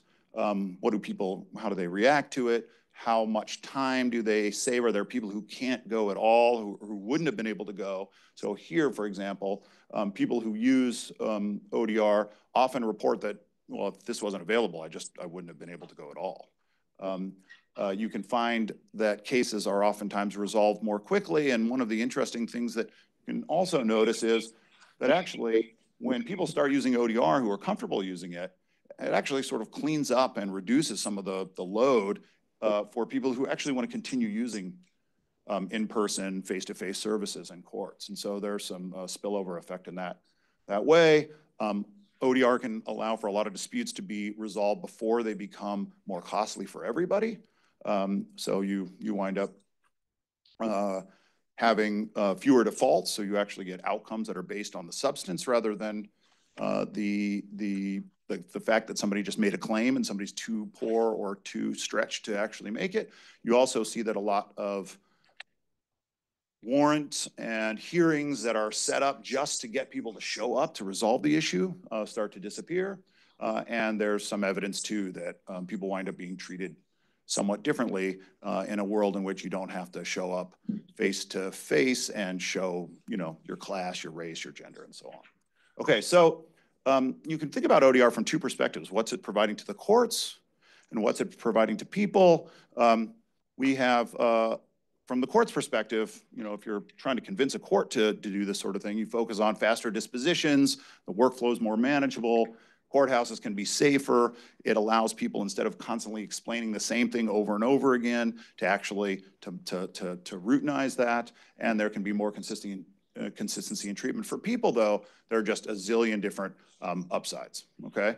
Um, again, not for everybody, but sort of by and large, it seems like for those who are using it, um, it's a real um, added advantage. Okay, so what is going on in Alaska now? Well, we have new um, ODR here in Alaska where Alaska is offering uh, ODR for small claims and debt collection cases uh, between private parties, all right? And uh, and in the article, I, I kind of in, interrogate, I explain and describe some of the some of these choices and some of their pros and, and cons. I welcome any feedback you all have um, after uh, taking a look at it if you do. Um, But the focus is, for now, on disputes between private parties.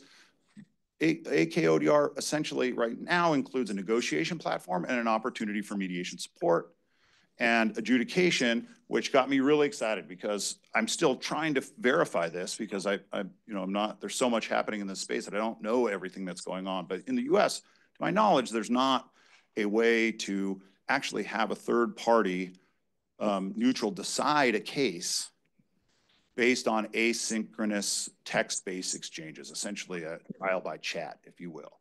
And, um, and Alaska is at least um, uh, exploring this option, and it's a really exciting one, I think, especially for people who have difficulty accessing uh, the courts. Okay, so what's the the path? Why is Alaska um, headed in this direction? Well, of course, you know, as as Jeannie made clear, Alaska has many of the same access to justice problems that I just described earlier. Uh, but on top of that, um, there are distinct challenges in Alaska related to its low population density and very spread out communities. Um, all of you know this more than uh, I do, uh, but the, the main takeaway is that actually getting to a court to take care of things, to access that sort of service is just really difficult. And it's difficult not in a you know random way, but in, in a way that affects certain communities in a much more serious uh, sort of way. So, so how is this um, going to work? Well, um, I actually spent some time exploring it, and I just I want to say it's as it's designed, it's really easy to get started. And in my own work, I found that, you know, if you, if you ask too many questions at the beginning, it's just a turnoff. And I don't think you'll be surprised to learn that you all sign up for things all the time online. And um, really all you need is a name and an email address and you're ready to go. You can, you can add in a postal address as well, um, uh, but it takes very little time. You can be up and running on the system in less than five minutes. So um, once you sign up, it's possible for you to, to, to take advantage of existing court databases by identifying a case that you have filed. If you're a plaintiff or a claimant, um, I want to I want to negotiate with somebody about that case, or I want to mediate that case. But if um, you don't have an actual case, you can create a new one. So one of the things I really love about this um, system is it's set up to help people negotiate before they get to court. There doesn't need to be a case filed. It is here and available for Alaskans to actually make progress on a dispute. Um, one of the comments I'll, I'll, I'll, I'll, I'll make later is that I, I wonder why it's not available for all types of disputes. Why limit it to small claims or uh, debt collection? If um, somebody's tree falls on my fence and I want to use this system to negotiate it, um, it's kind of a burden for me to think about whether that's a small claims case or what kind of case is that. Um, you know, Alaskans could use this potentially without, um, without even having to put a name on what it is that they're arguing about. Okay, this is what you have to do in terms of um, filling it out. So you have a thousand characters to summarize your dispute. That goes to the other side. So here I, I, I, I, hired, I claimed I hired myself to do some work and I never showed up. Uh, and, um, and so you can see that that uses roughly 20% of the space. Easy to do, easy to um, to think about. Then you make a choice about whether you want to go into a negotiation space or a mediation space. You can always escalate later into a mediation if you want. Um, one question is whether or not we should, in thinking about designing the system, start with negotiation all the time and expect people to try that.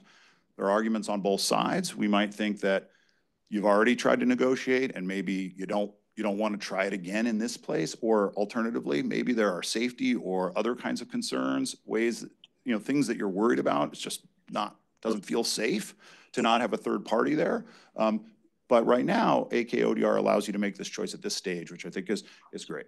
Um, the descriptions are really intuitive and helpful, and it, I think they're designed for, um, for people who are trying to solve their problems.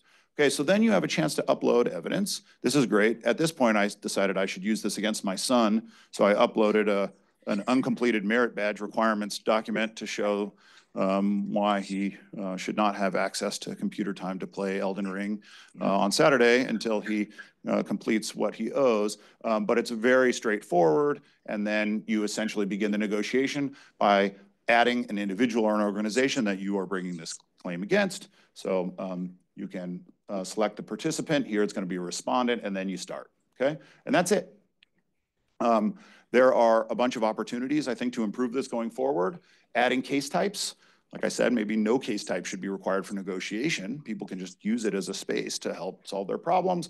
Um, but family disputes and minor disputes with the government are an obvious place to go next. There's a ton of existing um, work in that space, and it was it's likely to make uh, a big difference for people who can't otherwise get to courts. What about um, a few of the other limits on the system? So one of the things that AKODR stresses is that it's entirely voluntary. Okay, it's entirely voluntary. You don't have to use it. But I want to I want to suggest that when it's entirely voluntary in a private dispute, what that means is the other party always gets to veto using the software. If you want to try to negotiate, they don't have to. It's not available to you. And so thinking about ways to maybe subsidize or encourage, or maybe even start it as the default is a way to potentially go. Um, at this stage too, only claimants or plaintiffs can initiate ODR. This is not true in other places. So if you're sued in small claims court in the US, for example, in, in Ohio, where I have some uh, experience, um, you get an invitation essentially to start negotiating online if you want with the person who just sued you. And um, they don't, that, that comes automatically. They can refuse if they don't want to, but you at least can uh, try.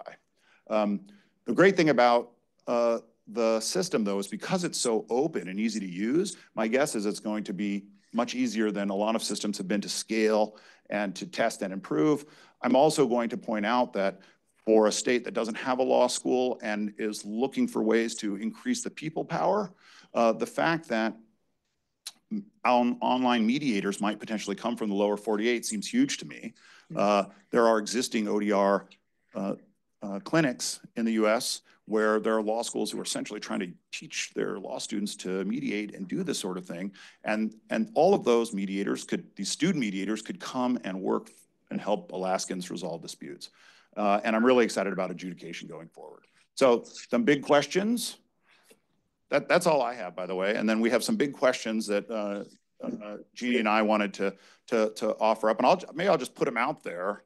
Um, and we really wanted to focus mostly on the on the first one. Like, and I think it's a huge issue both in ODR and with all these other resources. People think about going to court as a thing you do, and you would not even necessarily know that you could negotiate with somebody online through this system. Um, it wouldn't occur to you. So how do we get Alaskans and people more generally to become aware of these kinds of tools and to start uh, start using them? I want to address that, but before I do, I want to um, thank JJ for all his help on ODR. And we were, you all witnessed this sort of um, interesting dynamic where the Duke Law Review found an expert to tell ODR that, you know, what the, he, an expert thought about our ODR platform, but it's all public. So here you all are seeing is we're getting our feedback and two of our ODR platform people are here today and, and it's been great working with Jay. I'm really appreciative for all his feedback and his thoughts on this. And some of the things, you know, I think it's because we're working with a vendor. We don't have all the freedom, but it's we've been really um, appreciative that this turned out. We got a lot of expert information about this platform as we. And, and thank you for being so open to working with me. Always, I mean, it's been it's been amazing. And it, it side note, it worked out perfectly because my son just transferred to University of Michigan. So we got to meet in person. person and everything. We met in person. He toured the campus with me. I, I moved my son in, so it's been great. Still first time in Alaska, though. We were meeting about Alaskan ODR in Michigan. So Yeah. was- Um, but so this is my second shameless plug. Uh, as Mayor Kimmel will talk, I don't know if he'll touch on this later, but she worked with the court. Nikole mentioned our justice system mapping, and I talked about that first Justice for All grant we had. And part of that was really working on a justice ecosystem and how we leverage all the other service providers in the state to help us get the word out about what the court can do to help people receive access to justice. And the community justice workers came out of that initial research.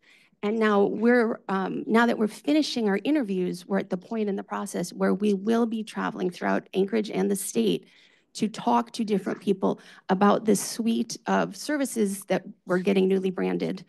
And um, so if you are aware of people in Alaska, um, social workers, police officers, librarians, schools, churches, anywhere in the state that you think might want someone from the court to come and do a presentation on these services, please also let me know that because that's the next phase of our access to justice work that we're really excited about and, and we're just right on the cusp of that. So for me, how we're trying to get the word out is by um, tapping into the whole ecosystem of other providers, informational providers, um, such as librarians, people at schools, people at churches, uh, law enforcement, the village uh, safety, village VPSO, Village Protective Safety. Medical, medical care providers seem like a place you should also consider. Yep, and that was part of how we got working with ALSC and the community justice workers. And the, um, so it's informational, uh, education, or informational law enforcement and the medical. Those are the three groups of providers we're looking to try to work with and build relationships to get the word out because it, um, it takes a village, it takes a justice ecosystem to get more people aware. Maybe, maybe when a case is filed with the court, the court could automatically just send an informational sheet to the parties. So We do have, right now it's on our small claims summons, and we're testing with small claims and um, district court debt, and hoping to learn kind of a lot of those tips and tricks, um, and, and test how it goes before we expand. We do want to expand to a lot of other areas. Yeah, one, one challenge I ran into is um, dealing with old warrants, people who, you know, have, who've had failure to pay fines or fees for more than three years. Um, courts don't have any information about that. They can't find those people. And, um, and it's really hard when you have a new service or a new opportunity to find people to let them know, at least for some certain types of case types, right? And then on, the- on the digital divide, it is definitely an issue everywhere. So changing space and place, uh, for using technology. Not everybody's comfortable with technology. Not everybody has access to the internet. I did just learn, and I just added it to the paper, that now um, iPhones can now text through satellite without access to the cellular system. Uh, also, Google Pixel phones can as well, um, which makes me realize like there are going to be continue to be technology changes here, and we might be thinking about SMS adjudication and negotiation uh, going, I mean, I suppose most people right now negotiate by text anyways for almost all their daily activities. Um, uh, But if it's really the case that in the next year or two, if you have an iPhone and then soon maybe Android devices as well, you can, without a cellular uh, network, communicate with the court uh, using uh, text-based, uh, text-based communication. It seems like a game changer too. Hmm. Thank you. Uh, I apologize. I came in late. However, uh, how are you getting this information out to rural Alaska residents? It's good to hear that, um, you know, you're looking into SMS because most of the, uh, my relatives in northwestern Alaska do not have uh, internet access or computers. All they have is, they don't have landlines anymore because to cut back on um, uh, bills, they only have cell phones and most of them are basic. Have you gone to regional hubs, Nome, Bethel, um, Dillingham, Fairbanks, and regional hubs? Um, That's the travel we hope to start in 2025, that we have um, grant funds to go to those locations. And so what we need to do between now and early next year is find people in those villages or those locations who would be helpful in uh, helping um, host us to talk about these and have an afternoon or a couple hours. So if you know of folks in different villages who might be interested, I'd love to get some of that information from you or your contact information. Do you have time for a question from the chat? We have one minute. Okay, real quick. Is there a way that the system verifies that claims being brought through the ODR system are not part of a system to defraud people through fear tactics or other frivolous claims? Um, so that was one of our concerns, and that's part of the optional um, platform. But it's interesting because when we toured and uh, showed the platform throughout the court system before we launched, that was one of the things the Supreme Court was very, felt very, very strongly about. And so we worked um, very carefully to try to make sure if, if somebody starts a case, an email goes to the other party. And we have tried to put it very clear, bold letters. This is optional. This, you do not have to do this. Um, to, that's been our best bet to date on how to, or our best bet to date on how to address that concern is trying to be ensure anything that comes from the platform is very clear in articulating you do not have to do this. And um, to date, you know, the cases have slowly been trickling in, and we are also right now um, monitoring. Uh, y- Yeah, I mean, I, I, I think the, there, there, there are gonna be potential, I mean, it's, the problem is that it has the imprimatur of the, the courts on it. At the same time, um, you know, uh, in other ODR circumstances, there's a lot of questions about, uh, just falsification, right? Like, you know, or identity verification. This is an issue that's come up. Identity verification's turned out to be much less of an issue in courts than I would have expected. Um, but people do think that it's easier to lie by text than it would be if you're standing in a courtroom. I don't know whether that's true or not. However, some systems actually make clear that if you make statements through a system like this, uh, then um, there can be consequences to lies. You're essentially lying uh, to the court. And um, I could imagine that uh, there are some, uh, you know, these aren't going to work really well, but they're, they're, they're- they're, they're at least the starting point. And it's a little bit different than getting a random email. Um, uh, uh, This would have uh, at least some, some backbone behind it if people misused it. I think we're out of time. We're both having to answer questions. Yep, I'll be here all day. Thank you very much, everybody.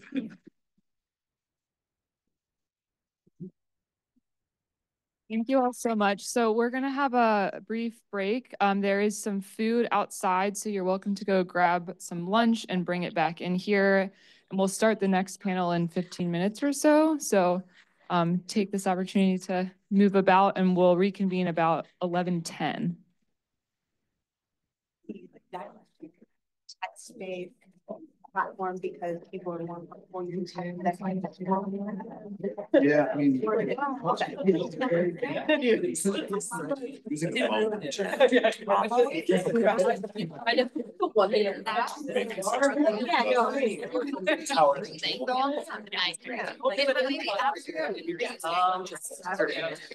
Back in my office by two thirty. No, I'm out tomorrow, I mean, New York City. Yeah.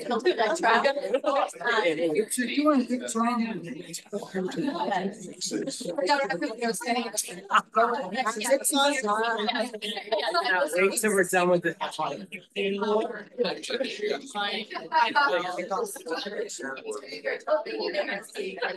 If I go to court, I gotta bring someone with me. Yeah, yeah, yeah. I know, yeah. I think- I really like Love it. I know, I know, yeah. No longer trying to get judges to engage.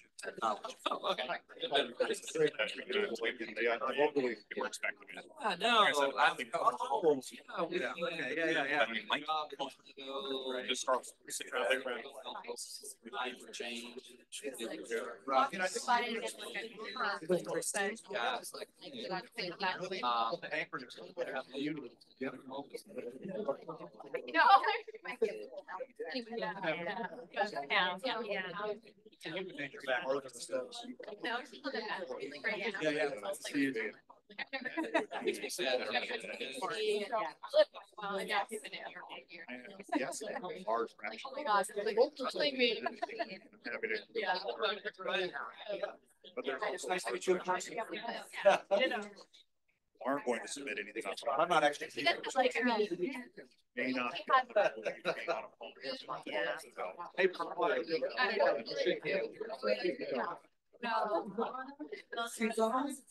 Yeah.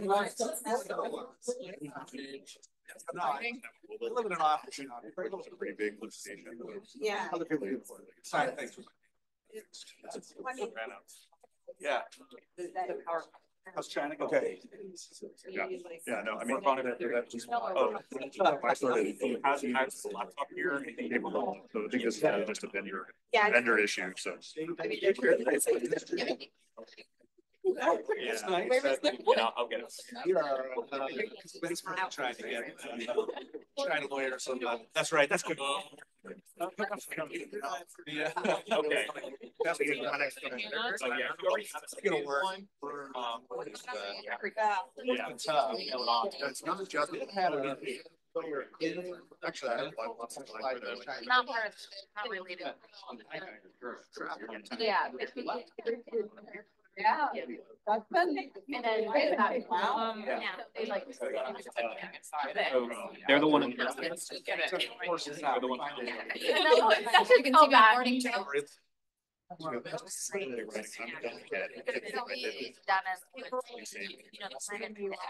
And, and, and like the, the, uh, the- it's hard to explain.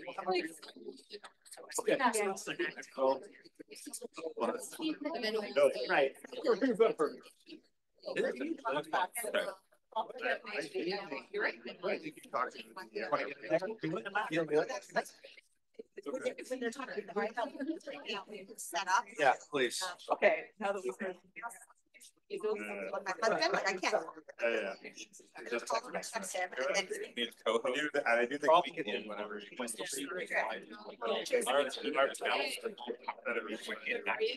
Yeah. Without clicking off it. No, I think. Real time here.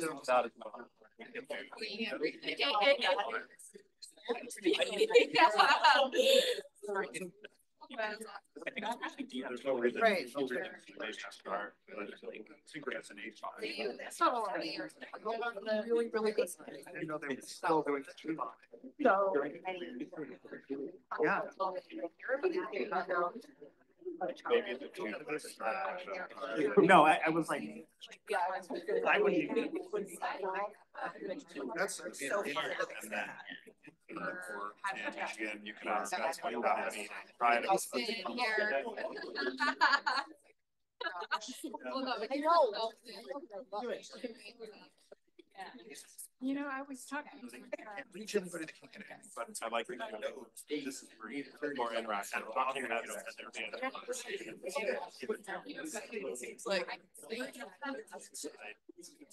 conversations, I like people give them.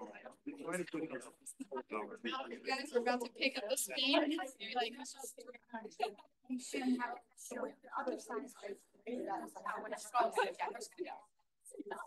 Oh, I'm gonna wait up.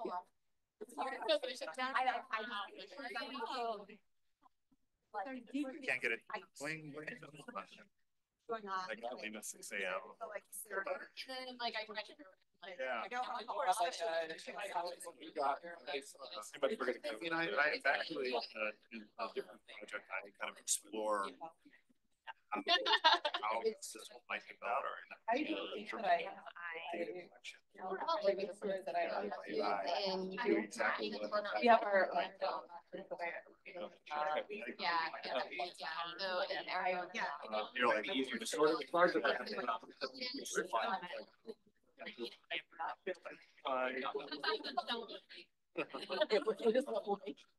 and everyone. Uh, You're like easier to sort of. larger than- And like. Always like sending Alaska news.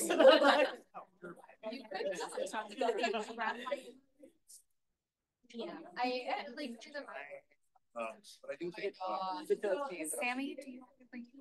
I'd be fine. Right now, like, when I used to work at University of Michigan for the classroom, like, you- where you get your notifications every once a day, all at once, it's certain intervals, But it's, but not once a you know, year, eighty-five all of people our staff. respond, I'm just getting. an update. Um, Yeah, so. Uh, Nice to, nice to meet you. It's gonna be. I've been never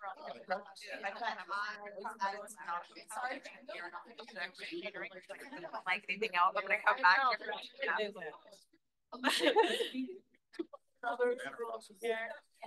You'd be doing it a couple of years ago. and now it's- Yeah. Bingo. Thank you so much.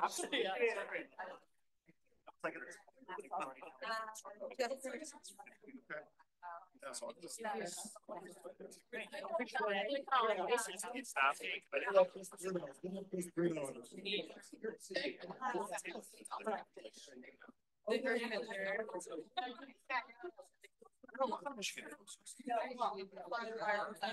Poor case, like, it was like, yes, so we can stop. Yeah, yeah, yeah. Yeah, no, well, I mean. That's two weeks then, so. My third week, yeah. Say that somebody who has had a plan or sight unseen. Moderators and other student actually. It's different at the scale. They have the ability to set up from you all. and then I locked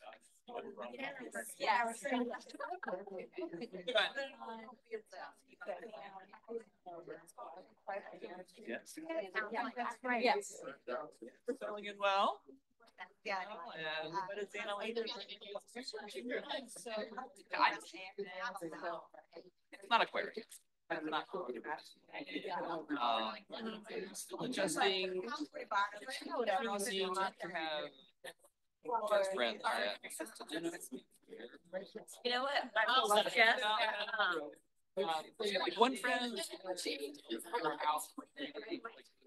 oh, yeah, no. Having out and then. No, oh I mean, I. Something like. Basketball start. It's so cool.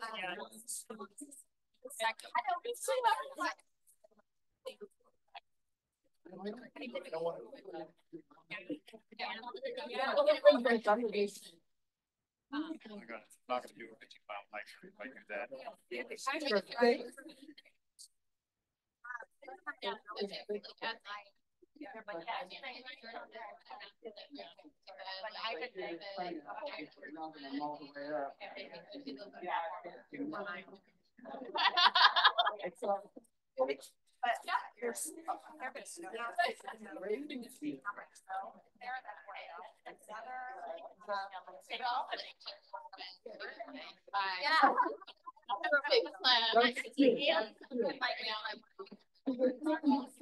Um.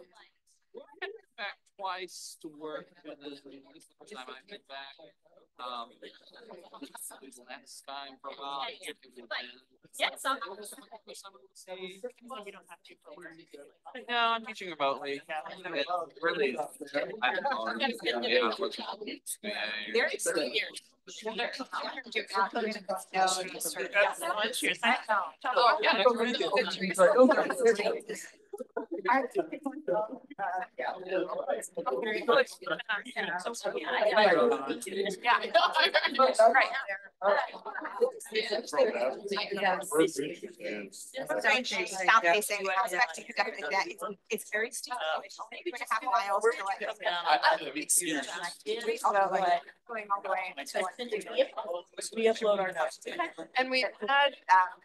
but it's. So we uh, were meetings of the same group.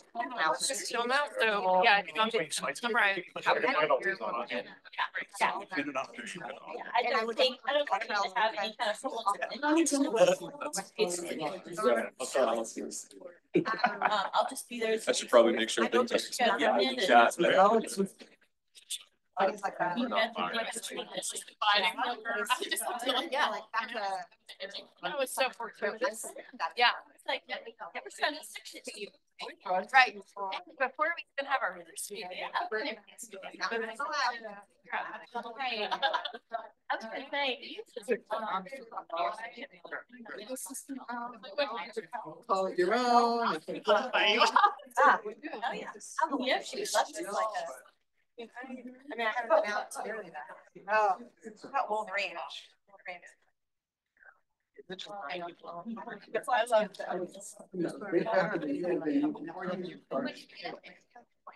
Oh, yeah. So O'Malley. Yeah. And now that they have that. That trail. Yeah. So we can. When you wrong. One more. I mean, that's, I feel like I. You came out and, uh, one hundred.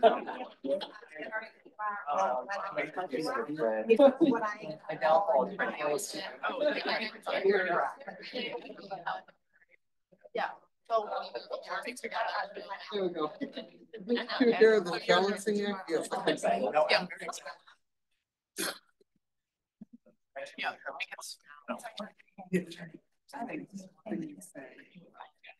But they. Oh. Well. Down there, actually. And then. I you're all. They've all tried to do that. I'm sorry, I'm trying to move out here. Go or? You and Jen. Go with the corporate council section. Yeah. Yeah.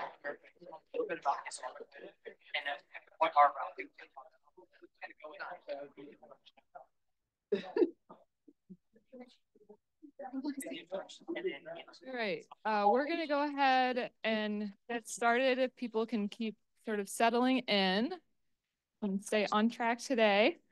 Um, our next panel is going to talk about accessing environmental justice. And moderating this panel is Charisse Arce. Charisse joined the Earthjustice Alaska Regional Office in January 2023. Prior to that, she served as an assistant U.S. attorney in both the districts of Arizona and Alaska. In 2015, Charisse was selected as the first ever Gaye L. Tenoso Indian Country Legal Fellow, part of the Attorney General's Honors Attorney Program. She worked in the Tucson U.S. Attorney's Office and the Pascua Yaqui Prosecutor's Office, where she was assigned to the Indian Country Violent Crime Section. In 2018, Charisse transferred to the Anchorage U.S. Attorney's Office, where she served as the tribal liaison and prosecuted white-collar, environmental, and wildlife trafficking cases. She received her law degree from Seattle University School of Law. And I'll turn it over to Charisse to introduce the panelists. Hello, good morning. I think it's still morning. Um, my name is Charisse Arce, and I am from the village of Iliamna. Um, so I'm an enrolled tribal member, so I'd like to start with that. I'm also a mother. Um, so it's interesting when we make these introductions, it's often titles and things like that, but where what's important to me is where I come from and um, my family. And I'm very, very honored to moderate this panel. It's 40 minutes long, which I don't think is nearly enough time to um, give due diligence to the esteemed panel I have here today. So here to my left, um, I have Vi Waghiyi. Vi, and she's um, from the native village of Savoonga. She's a tribal citizen. She's also a mother and a grandmother. And since 2002, she served as she has served as the Environmental Health and Justice Director. And in her role, among many things, she coordinates environmental health research projects in the Norton Sound region of Alaska and supervises the work of community researchers on her island. She was appointed by President Biden in 2021 to the White House Environmental Justice Advisory Council. I will talk more about that later and ask some questions about her role there. Um, she also serves as a leader on the Global Indigenous Peoples Caucus that advises the United Nations international delegates for treaties concerning persistent organic pollutants and now on the current plastics treaty. She has, I'm not, can't even encapsulate all the different awards she's won, but just a snippet is that she's been awarded by the Alaska Native Tri Tribal Health Consortium um, on environmental achievement. And she's also been awarded by the Rachel's Network Catalyst Award for Women and Environmental Leaders of Color. Um, tonight, she is being inducted into the Alaska Women's Hall of Fame um, for her lifelong devotion and um, to hold polluters accountable and for the well-being of her community. So it's really an esteemed honor to have.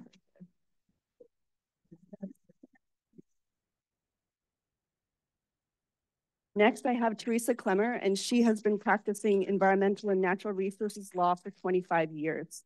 She's currently serving as the legal director at Trustees for Alaska, which is a public interest environmental law firm that works to protect Alaska's wild spaces and address climate change for future generations.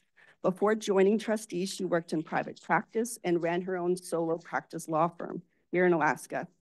She also spent four years at Vermont Law School teaching environmental law courses, publishing in academic papers, and directing the Environmental and Natural Resources Law Clinic. She graduated with a bachelor's degree in political science from Princeton University and received her law degree from Georgetown University. And so we're so excited to have Teresa here too. Next, we have Carole Holley, and she is the managing attorney of Earthjustice's Alaska Regional Office, which is based here in Anchorage. She has been working on environmental issues throughout her career, which included service as an assistant U.S. attorney, a special assistant U.S. attorney for environmental crimes, the environmental crimes prosecutor for the state of Alaska, and co-director for Pacific Environment's Alaska program. She was also a litigation associate at a national law firm devoted to representing Native American interests. She also served as an adjunct professor um, at the University of Alaska Anchorage here, teaching environmental science. And she also received her bachelor's in international studies from the School for International Training and a master's degree in environmental studies from Evergreen State College. And her law degree from UW, University of Law School, um, University of Washington Law School. So there we have it. That took up about five minutes. So now we need to just go right through. So kind of how this is gonna work, we're gonna start out with an, um, Carole, who's gonna give a brief overview on what the legal framework or what environmental justice is. So Carole, I'm gonna hand it over to you. Thank you. Thanks, Charisse. Uh, and I asked her to cut down. Oh, it's off. On. Try again. Closer. Uh, okay, thank you. I appreciate it. Well, I have the unenviable task of defining and summarizing the history of environmental justice in about 10 minutes. So uh, we'll do that. Um, environmental justice has been around for decades. The concept of it has been around for decades, but it didn't really rise into national consciousness until the late 1970s, early 1980s, when in uh, Warren County, North Carolina, a environment or a hazardous waste landfill was planned uh, to be constructed in this small town of Afton, North Carolina. Community members weren't consulted, they didn't know about it. They found out about it and found out about the 6,000 trucks that were to be laden with soil that were, was um, contaminated with PCBs and raised some issues. They had concerns that uh, the PCBs could leach out of the soil, could contaminate their groundwater and their drinking water. And so they raised this to agencies, they raised this uh, concern to state and local governments, and they were ignored. And so they took those, the, the lessons learned from the civil rights movement, connected with others in the civil rights movement, and planned protests and civil disobedience um, actions around the opening of that hazardous waste landfill. As the trucks were driving down the road, community members, these are just like everyday folks who go to work every day, just want to put like food on the table and get their kids to school, laid down on the road and blockaded those trucks. You can imagine the picture. Imagine the picture in the newspaper, in the news stories of these just just regular folks laying down to protest this contamination of this pollution going into their communities. There was a lot of litigation, there was a lot of administrative uh, uh, actions to try to stop this. Unfortunately, the community, community members of Afton, North Carolina lost, and that hazardous waste landfill was uh, opened, the contamination was placed there, but on a larger note, they started a national discussion about what is environmental justice. And communities across the nation saw a pattern erupting. They saw that there were these inequities, these disparate impacts that were being placed in communities of color, communities that were socioeconomically depressed, and reports were made. Uh, the General Accounting Office, which is now the Government Accountability Office, put out a report that demonstrated that eight southeastern states uh, of the United States had an overwhelming number of hazardous waste sites that were placed in communities of color and socio socioeconomically depressed communities. This uh, rising or raising of national awareness and consciousness led to an executive order in 1994 then President Bill Clinton signed Executive Order 12898, what called the Federal Actions to Address Environmental Justice in Minority Populations and Low-Income Populations, which provided a definition for environmental justice and created and made it uh, a directive or a mission of federal agencies to actually come up with a strategic plan for how to address environmental justice in regard to the obligations that they have within their agencies. So first, just a little bit uh, about the actual defini definition. Environmental justice in the, the executive order, there are different um, definitions that have been put out over the years. But in the executive order means, quote, the fair treatment and meaningful involvement of all people regardless of race, color, national origin, or income with respect to the development, implementation, and enforcement of environmental laws, regulations, and policies. Now, there are two pieces of that definition that are really important. Uh, the first is fair treatment. And what does fair treatment mean? fair treatment means that no group of people should bear a disproportionate share of the negative environmental consequences resulting from industrial or government or commercial activities. So that fair treatment piece is important, as well as the part about meaningful involvement. Like those are the two really cornerstones of environmental justice. And meaningful involvement just isn't that traditional like one way public relations that you hear from government or industry. It means that government agencies actually have to go out and seek the populations that may be affected by an action and talk to them. And not just talk to them, but hear about their concerns, consider their concerns. And those concerns could actually make a change, could change the direction of that uh, government uh, decision. We don't necessarily see that, but it, they are directed to do that. So that's the, the first place that you really see um, environmental justice encapsulated in uh, federal directives or guidance. EPA, and as I said, this is, wasn't just for EPA. The EPA Environmental Protection Agency is in charge of our environmental statutes, um, policies, regulations, but it also applied to, for example, the Army Corps of Engineers. They have to incorporate environmental justice into any decision affecting navigable water bodies. The BLM, the Bureau of Land Management, has to consider environmental justice when it's determining whether oil and gas activities should be allowed on federal lands. So it's really, this directive is extremely important. Um, the EPA, as you can expect, has actually done more with this directive than other agencies. Uh, not to call out NOAA, but NOAA just finalized their strategy last year, and that's nearly 30 years after this executive order came out. But EPA has a number of really good um, resources for people to look to. They have the EJ screen, which is a GIS mapping app um, application. And I think uh, Vi knows a bit about that. And it's uh, it helps agencies and industry identify if there's a community that might um, have a, there might experience a disparate impact from an activity. They also have guidance on environmental justice in Indian country. They have implementation plans, and you can find that all on the EPA's website. Um, it's a really helpful tool. In addition, following Executive Order uh, 12898, uh, environmental justice. Carole, can I inter interrupt you? You've mentioned the term disparate impacts, and I'm hoping that you can kind of bring to light what disparate impacts mean yeah. in, in the context of here, possibly in Alaska. And I know Vi can probably talk about that as well. Absolutely, Charisse, thank you. Yeah, so disparate impacts, for example, you know, if we go back to the example in North Carolina of the hazardous waste site being placed, um, that happened, for instance, in a community, and I did forget this, thank you, a, a community that was primarily low income and black. That was the community.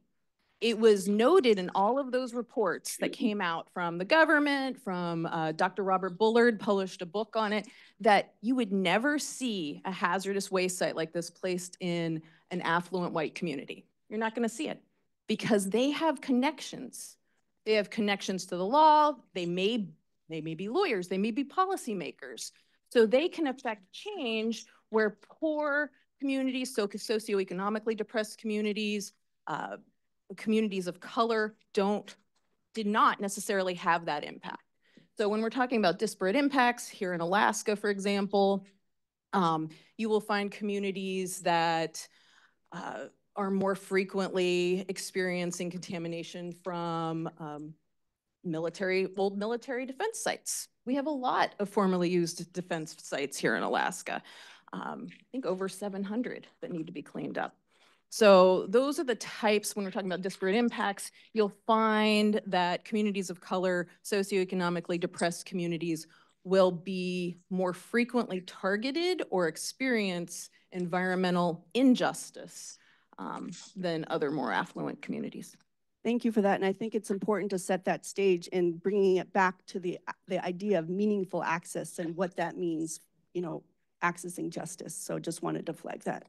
Really, thank you, Charisse. I appreciate that.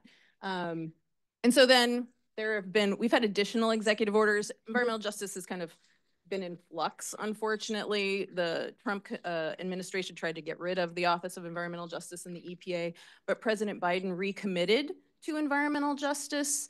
Uh, he issued uh, a couple of executive orders, 14096, uh, just issued last year, which is in particular revitalizing our nation's commitment to environmental justice for all.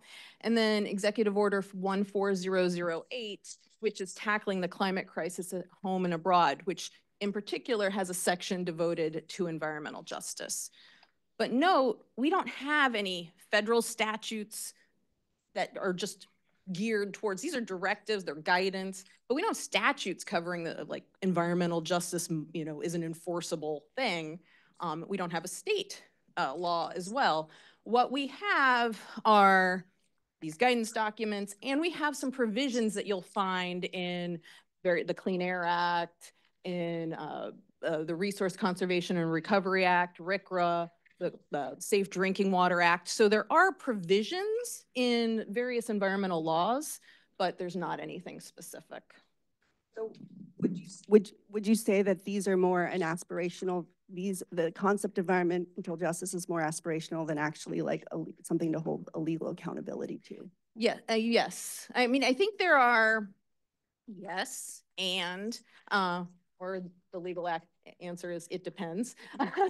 Each of the executive orders have a specific clause that say this is not legally enforceable, right? But there are some cases, um, specifically like with the environmental um, uh, administrative board or the administrative uh, appeals board for administrative actions that has said, well, you are supposed to take in account environmental justice.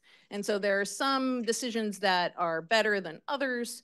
Um, but there, you can see it. There's also other types of cases, like there's tort cases, there's civil rights cases under Title VI that also could take into a uh, um, take into account disparate, disparate impacts. But and in the context of Alaska, so Alaska is warming faster than any other state in the United States. It's causing, you know, detrimental impacts to the ecosystem at large, leading to the increase in wildfires, flooding, coastal erosion, um, which impact a multitude of things, including subsistence practices. So considering these changes, like why do you think environmental justice is important or how could we be using these um, the guidance, the executive orders in, in the context of the of how Alaska is today? Well, uh, so I'll give a, a short answer and pass it down. Uh, so I think environmental justice is extremely important. You'll see, you, you look at, um, for example, the EPA's uh, environmental, um, the, the mapping software, and you look at a map of Alaska, and too often it's, we don't know, we don't have enough information. And um, and we know that there are people who are affected, there are communities who are affected uh, by these disparate impacts across Alaska. And we need to do more to uplift those issues and because people are suffering. Um, and so let me pass it down to Vi. Um, Thank you.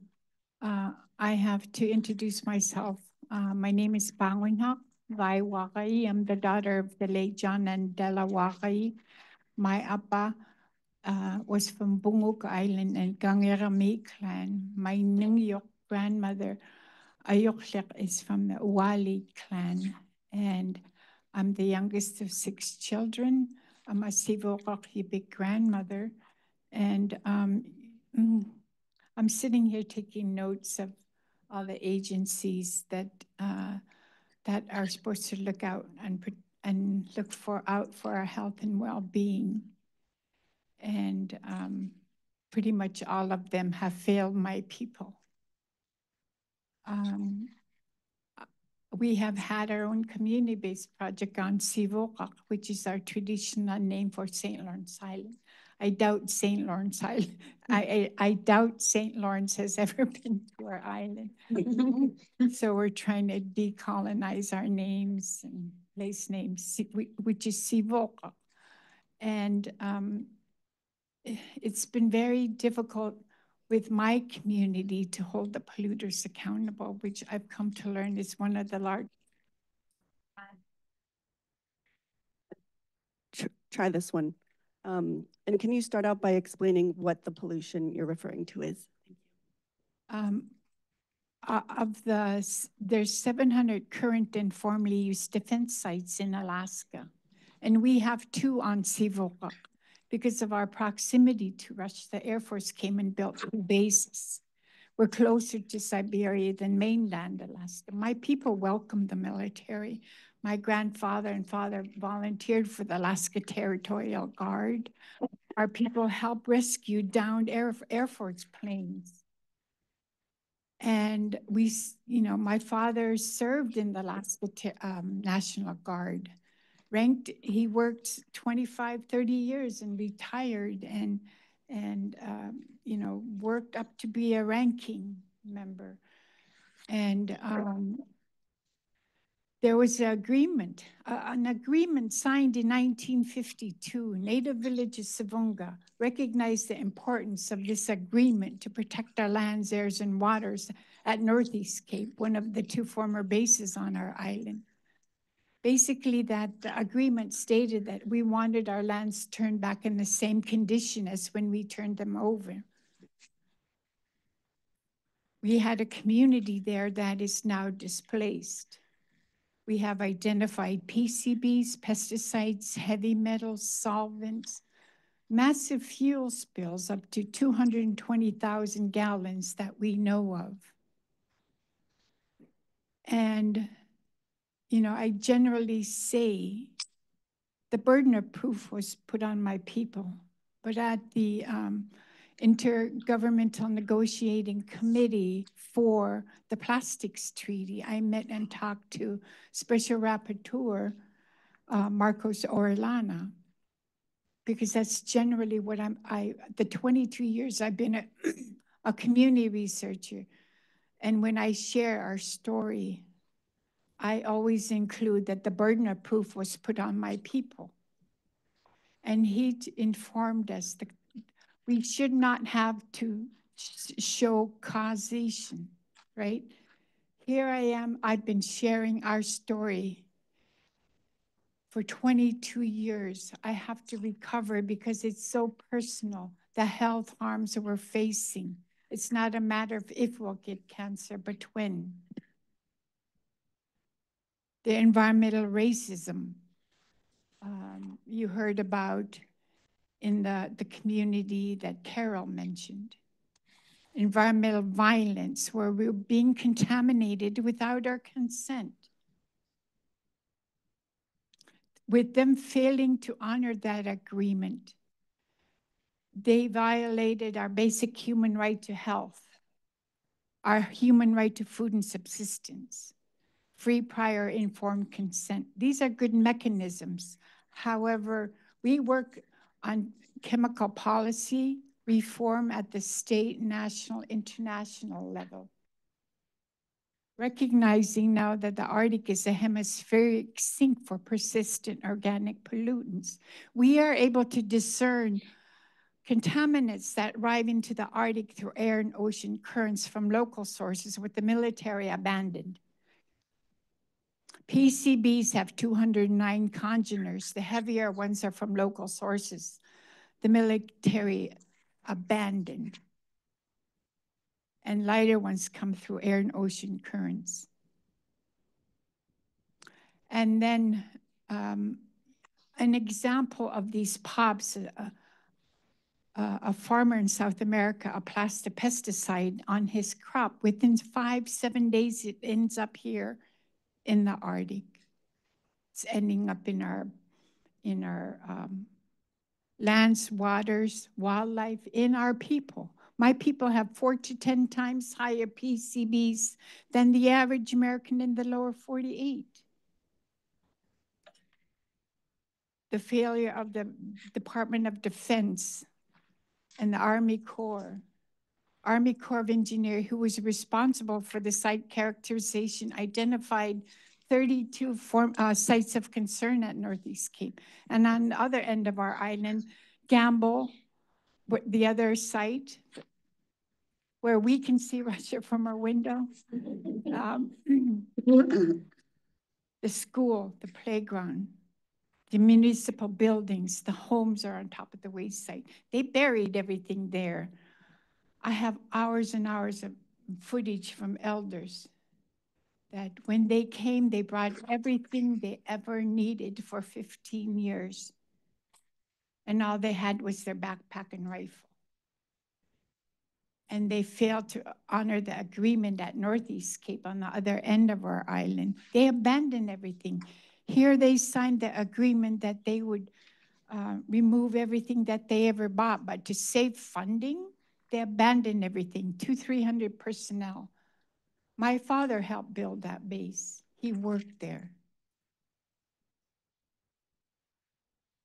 He had to pay his own way from Nome because we had moved to Nome when there was no high school on Sivuqaq. The hospital in Nome kept sending him home. He died from cancer. He had to pay his own way. By the time we found out he had cancer, it was too late. My mother had a stillborn child after me, heart disease, strokes, diabetes, and cancer, and mental health harms. We buried my brother to cancer two years ago. I'm a cancer survivor. I've had three miscarriages because my mother and siblings, we spent every summer for five years at Northeast Cape. These are all health harms we linked to PCBs all the health harms we're seeing, heart disease, strokes, diabetes, thyroid disease, um, on and on and on are all linked to PCBs. That's one chemical. But we, as I mentioned, PCBs, pesticides, heavy metals, solvents, and what comes here through air and ocean currents. It's not a matter of if we'll get cancer, but when. Alaska has two times more birth defects than the lower 48. Our Alaska Native infants have even two times more than birth defects. And now microplastics. We, we, we produced this report to inform the delegates at the Intergovernmental Negotiating Committee at Committee 4 in Ottawa. Industry outnumbered the delegates and NGOs. State Department, United States Department and EPA sent 40 staff. Career staff I've seen in Geneva, Switzerland five times, working diligently to oppose the listing of toxic chemicals to be banned globally at the Stockholm Convention. We're at the Plastics Treaty to weaken the language of the, the Plastics Treaty. We have history of petrochemical. Uh, we're heavy, we're a state heavy dependent on the petrochemical industry. We give subsidies to these industries. There's a long history of historic mining, petrochemical industry, uh, 700 current and formerly used defense site, proposed new most people think Alaska is the last frontier and pristine. Most people have no idea we're hemispheric sink for pops. We're hemispheric sink for pops. And now the Arctic Ocean has the most microplastics of all the oceans. We need a change from the markets. There needs to be a market shift. You can tell I'm very passionate. But, um, you know, it's, it, you can see this report. I brought some copies, but you know, I, I'm all about educating, especially this the people here, because this is I'm the face of injustice. Chinanbai, you're not, I'm not done with you, but in the context of what, how do you obviously you are a part of, you know, the, the Biden, um, the WEJAC. Can you talk about how you, you know, access environmental justice and meaningful engagement, which is part of these executive orders? How do you do, see that happening um, for your community? And for people that may not have the opportunity for these platforms to be on, for example, commissions or have the direct connection with agencies, how is environment, what does env accessing environmental justice look like for them? Um, I'm serving my second term. I'm the only Alaska Alaska and Arctic voice on the White House Environmental Justice Advisory Council. And um, it's an opportunity, uh, President Biden uh, passed an executive order, just uh, Justice 40 initiative, to ensure that 40% of all federal resources go to disadvantaged communities, recognizing the in, uh, injustices we're facing in um, this nation. So uh, it was established to um, to ensure that we. It was um, it as I mentioned, there's long-standing history of environmental in, injustice in the, in the nation. And um, Carole, um, I'm sorry. Yeah, Carole had a great uh, terminology for um, EJ communities who have been overburdened. And um, as far as uh, the WEJAC, I've served on the climate and economic economic justice screen um, to, I'm sorry, yeah, I served on the Climate and Economic Justice Screen Tool to help identify disadvantaged communities. Also on the climate planning, I, I was opposed to the title they gave it, Climate Adaptation and Resilience. We should not be adapting, right? Our elders recognize 50s and 60s, the pending climate crisis we're facing now and resilience. Every, you, when I hear that, I'm tired of being resilient, right? it doesn't address the root cause that we've been facing. So also I serve on the Indigenous People and Tribal Nations Work Group to, uh, to um, work to ensure the priorities across Indian country. Some of the most disadvantaged communities facing environmental health injustice environmental violence, environmental racism. And I'm also pushing for a um, military toxics work group because it's the feel, first time I've ever feel that I'm being heard. The 22 years I've been doing these, I have been co-leading a community-based participatory research project. I learned early on that I needed to be at the top of my game. We're against the largest polluters on the planet multinational corporations driven by greed and profit.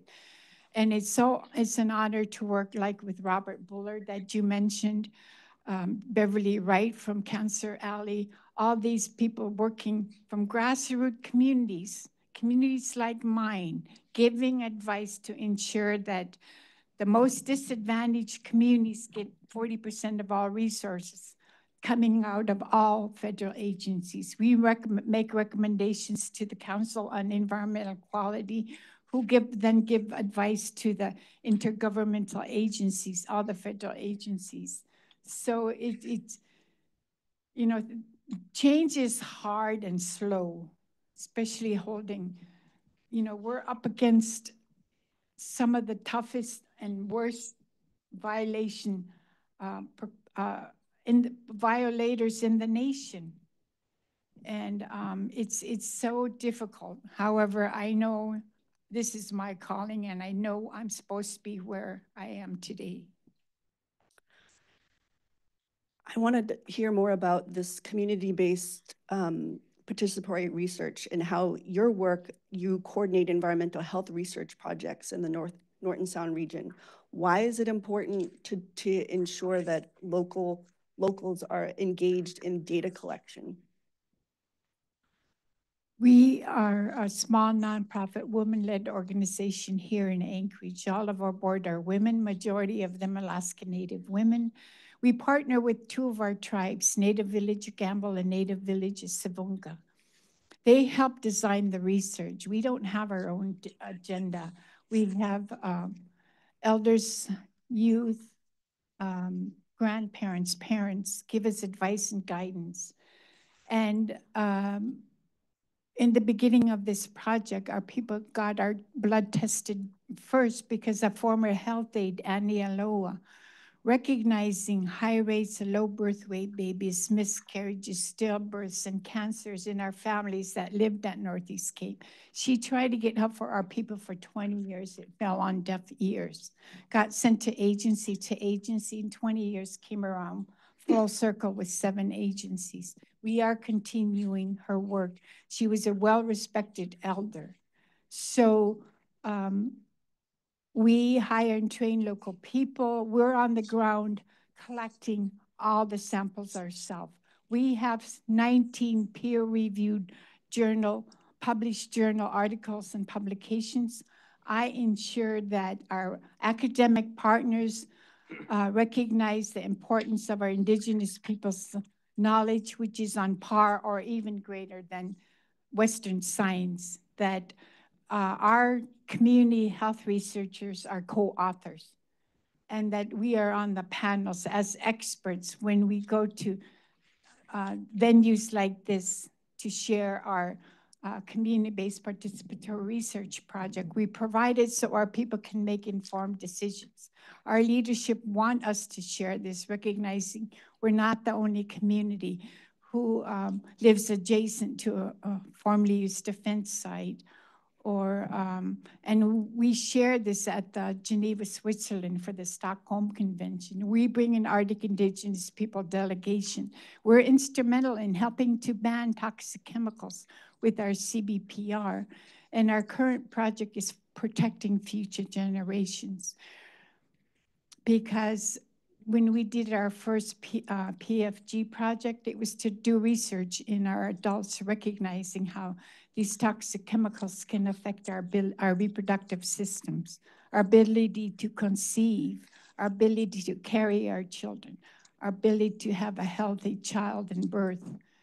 And when we went home to report those findings, we heard concerns of our children having the lowest test scores in our, the Bering Strait School District. That was very alarming because our people have relied on indigenous people's knowledge for millennia all science-based, how to predict the weather, the migration patterns of the wildlife my people have relied on. We have 90 words for ice. So it was alarming. How can we pass on our languages, our creation story, our songs and dances, our culture and traditions, and continue life of Sivuqaq people if our children are being, they're endocrine be the threats to all of these I mentioned from endocrine disrupting chemicals. Chinon Vai, and I just hate to interrupt you because I could listen to you um, on and on. Um, and this is, it's so important for us to have Vi here because it brings into context how environmental environmental injustice and how there's been a struggle for in accessing environmental justice.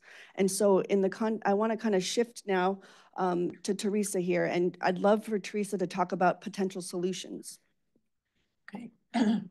Thanks. I'm looking at the clock. I see there's only a few minutes left, so I will try to be quick. Um, but I, I think Vi gave us a great segue because um, one of the themes that you talked about was how the burden is on you and how you've done all this work for 22 years with no, um, you know, with not enough response anyway.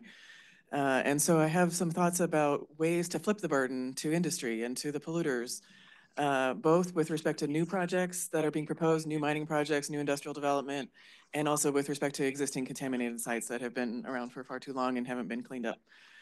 Um, with new projects, uh, free, prior, and informed consent is a principle that has been established by the United Nations and the Declaration on the Rights of Indigenous Peoples, known as UNDRIP. Uh, the United States has not adopted this principle or, or implemented it in any meaningful way, but Canada has. Uh, so to, you know, if you speak to an audience of Americans, they say, oh, that's just aspirational, that's not really being implemented, but it is in Canada. Uh, they have domestic implementing legislation and most of the provinces have provincial legislation implementing it. And what that means is that mining companies, when they want to develop a project, they have to go get free prior informed consent from communities before they start polluting communities. They, that, the community has to say, well, what's in it for us? Uh, so if you, there, there's a great map um, on uh, the Canadian government's website that shows across Canada, there's uh, about 200 impact uh, agreements with communities that would be affected by the mining that is being proposed in their communities. And um, one that I happen to be familiar with is in the Nunavut territory. Uh, the Qikiqtani Inuit Association uh, is a group of 13 indigenous governments, kind of analogous to Tanana Chiefs Conference or, or one of the ANCSA set up nonprofits. Um, and they've negotiated with Baffinland Mining Company a very um, beneficial agreement uh, relating to the Mary River Iron Mine uh, gives Inuit authority over environmental impacts through an Inuit committee, an Inuit steward program, stewardship program. Uh, they they implement an adaptive environmental management plan informed by traditional knowledge. The Inuit QIA people carry out monitoring of the land and water with funding from Baffinland, but they are in charge of it. Uh, in, includes on-site monitors, baseline food studies, um, and all kinds of things. And they're they're well funded and um, they have a real leadership role. They also do social monitoring. They get paid millions of dollars for interruptions to harvesting. Um, they uh, get uh, funding for gasoline to enable um, harvesting for communities that are engaged in it. Um, they also have a share of the actual profits. They get royalties uh, starting at 1.2% and then increasing to 3.3% over, you know, as the mine is being expanded. Uh, it's been estimated that the value of this is 1.2, uh, excuse me, billion dollars uh, in royalties for the community. Imagine what these small communities can do with that money in terms of their public health and addressing the negative impacts from mining. Uh, there's research and training and daycare and like so many other things under this agreement. It's really like they threw in the kitchen sink. Um, that's, that just shows what happens when you have some actual negotiating power because the burden is on industry to, to convince you to let the, this come to their community. With respect to existing contamination, um, it's uh, very challenging. We have, uh, as, as has been mentioned, 700 or so um, military sites, but there's also hundreds of oil and gas related sites and mining sites throughout the state. Um, and the tools have been just uh, completely ineffective. We have statutes like CERCLA and RCRA that are supposed to respond to um, environmental contamination and facilitate cleanup. There's only about five or six sites that are on the national priorities list and are getting the full-blown CERCLA treatment for cleanup. There are a couple dozen sites where there's private cleanups, um, you know, facilitated by the law, but there's dozens or hundreds that have not even been investigated yet. Um, both statutes have citizen suit provisions, and RCRA uh, and both statutes have imminent hazard or imminent and substantial endangerment provisions. RCRAs can be initiated by citizens, but the problem there, like toxic tort liability, is causation. You still have to show under the imminent and substantial endangerment provision all the steps in the chain from the pollution to your disease or to the public health threat. Um, but I think one encouraging avenue that could be used to address this are there's examples of legislation in recent years where Congress is finally figuring out you just can't get meaningful response to toxic contamination without dealing with the causation problem. We've seen this in the PACT Act, which uh, relates to veterans who've been exposed to contamination overseas and at military bases in the United States. Um, basically, these statutes are, it's starting to become more routine that you get a list of conditions where the harm to you is presumed. If you have conditions on the list, if you lived in an area or served overseas during a particular time period in a particular location, the burden then shifts to the government to say that you were not, your disease is not caused by the contamination.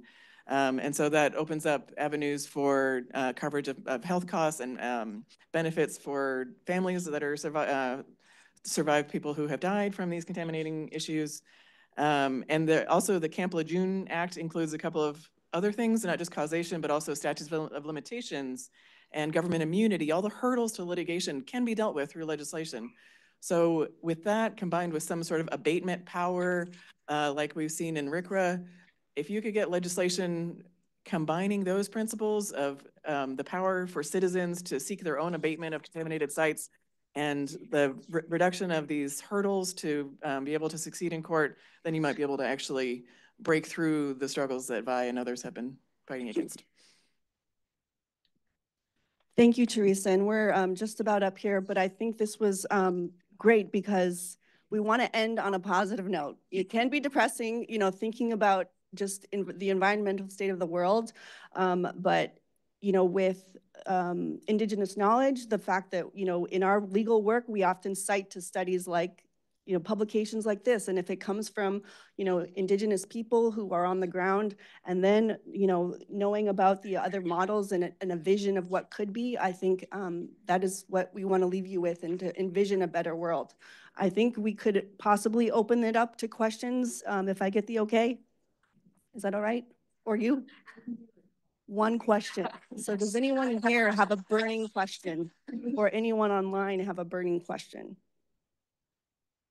Got one question here online that I can try to summarize really quickly. Um, says, I wonder what you think about the long-term environmental justice aspect of the federal allowance for the state of Alaska to apply a flexibility act that removes standard landfill regulations like liners, leachate collection, and monitoring. This law and regulation is in existence today in the laws regarding the environmentally threatened landfills like Shishimarefs that is eroding into the Chukchi Sea. I'm sorry about this pronunciation, by the way. Shishmaref and the Chukchi Yes.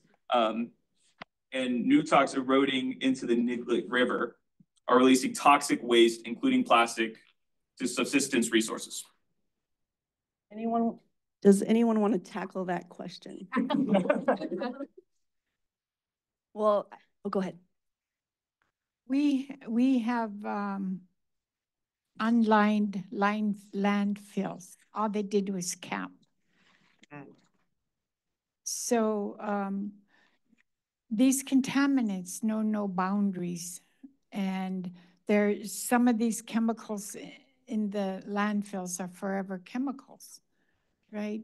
So as indigenous people in the state who rely on our wildlife, intricately tied with our wildlife, it's, it's, it's unfathomable, unfathomable, I'm sorry, to, to uh, understand how these, like the military or industry can do these practices that are not protective of our health and well-being. They don't live by these contaminated sites. And um, so these toxic chemicals can leach into the groundwater, into soil, into plants and berries, um, but also the wildlife that rely on, um, um, like um, uh, the, the our tundra that rely on tundra. You know, it's it's it's a crisis we're living in already. Uh, we're seeing species die off uh, in our fish, bird, plants, and seal. My people rely on the ocean. Our elders call it our farm, but it's it's just I can't imagine a, a, a multi-billion-dollar corporation not take measures. They know that the, uh, that these chemicals are toxic, but they don't make put measures in uh, place to protect our health and well-being. I'm so sorry, but we're up against time, but um, Vi has left some great brochures that are available over here, and then we are available for questions, but we're gonna have to move to the next panel. Thank you guys so much.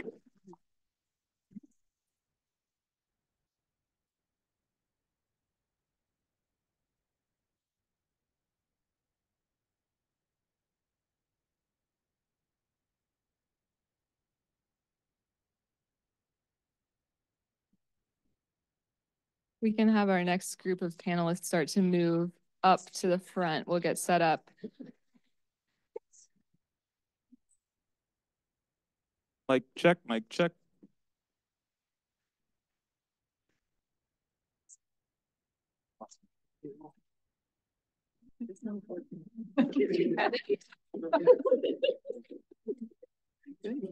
Yes. mom's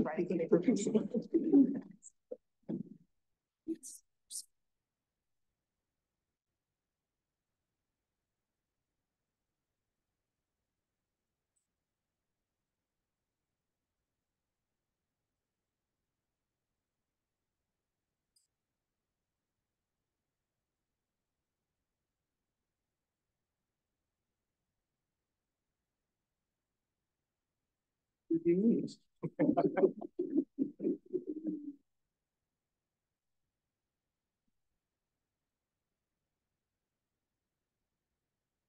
Thank you to our environmental justice panel. That was wonderful.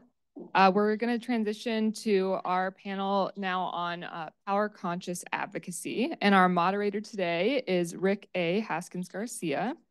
Rick serves as the Director of Law and Policy for the Alaska Native Women's Resource Center.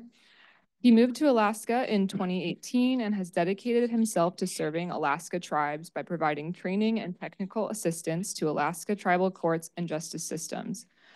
Prior to joining the Alaska Native Women's Resource Center, Rick served as a tribal justice facilitator with the Alaska Native Justice Center and the Tribal Justice Director and Associate General Counsel for the Association of Village Council Presidents in Bethel, Alaska.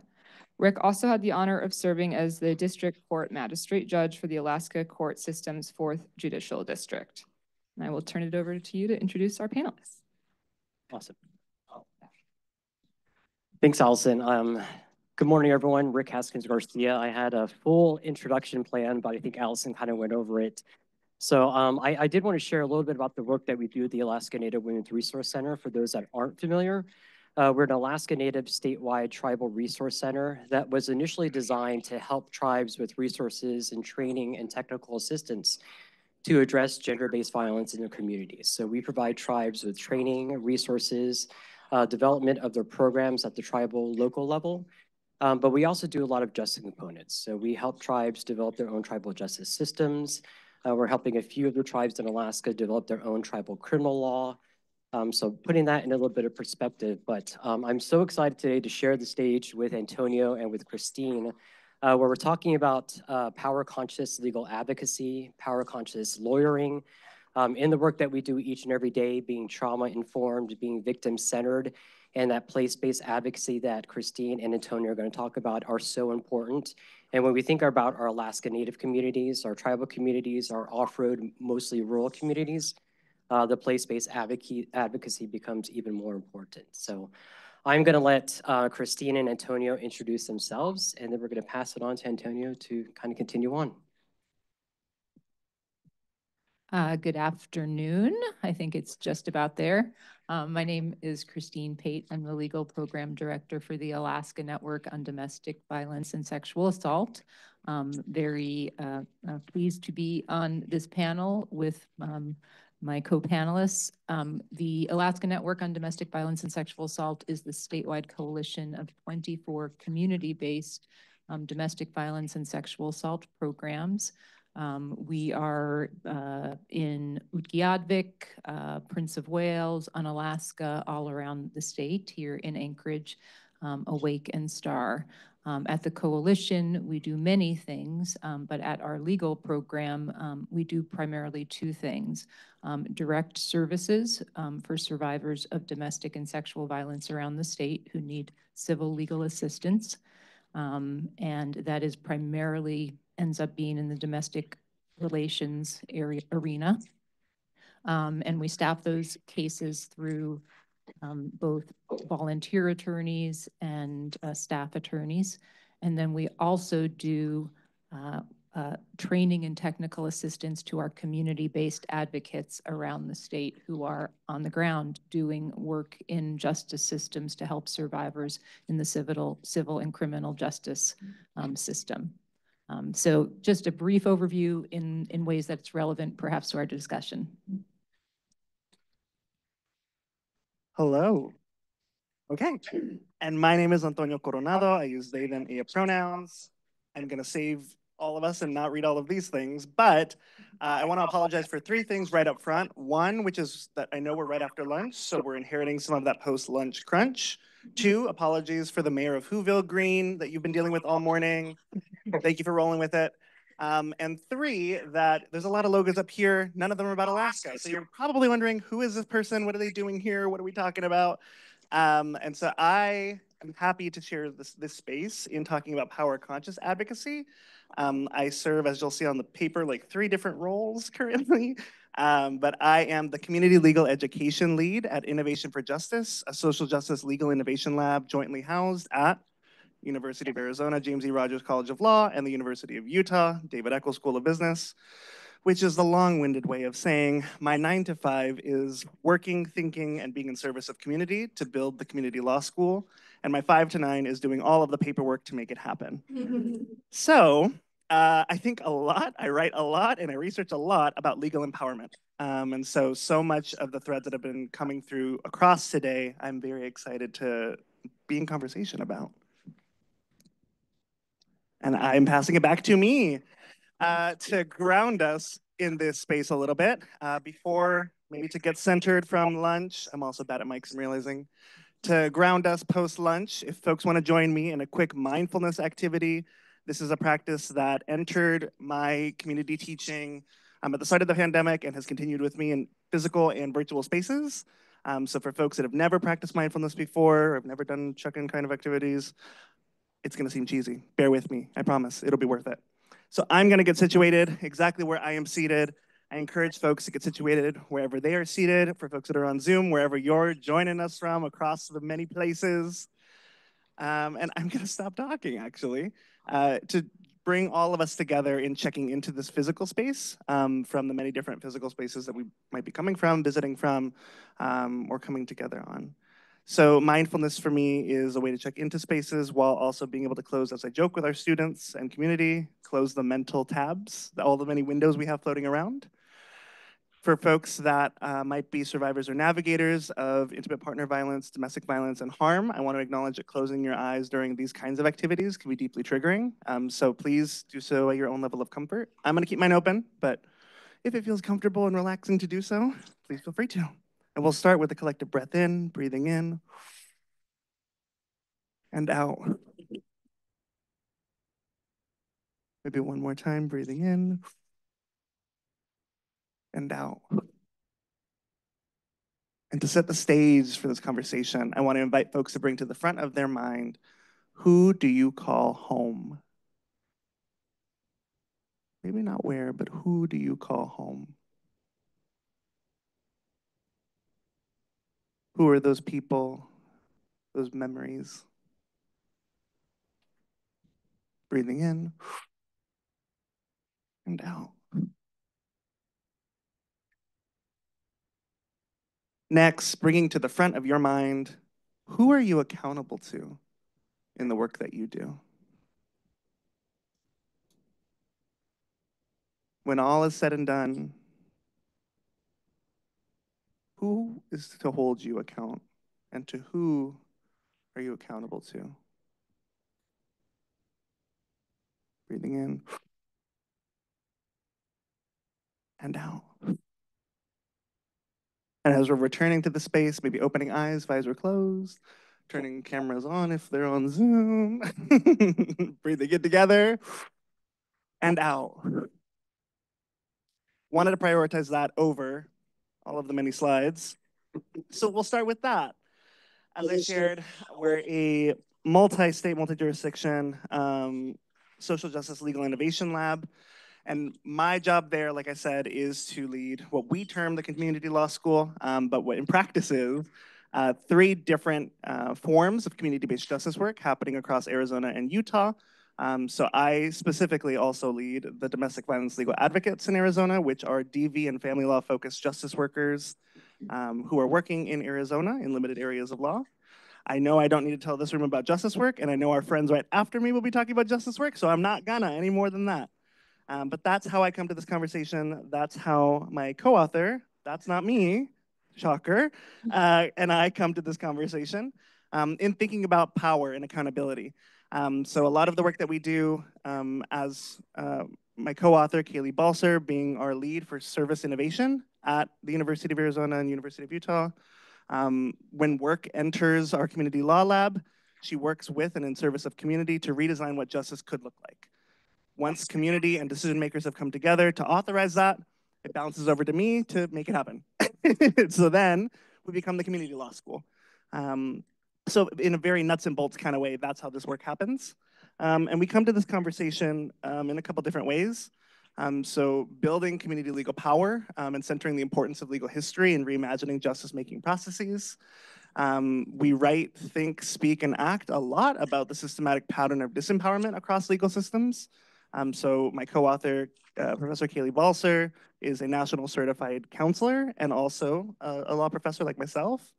And so because I lead our DV training, because her training is in repair and care, something we're thinking a lot about is the ways that uh, the unauthorized practice of law in this country mirrors and is in fact the exact same form of disempowerment um, that we see in forms of intimate partner and domestic violence, right?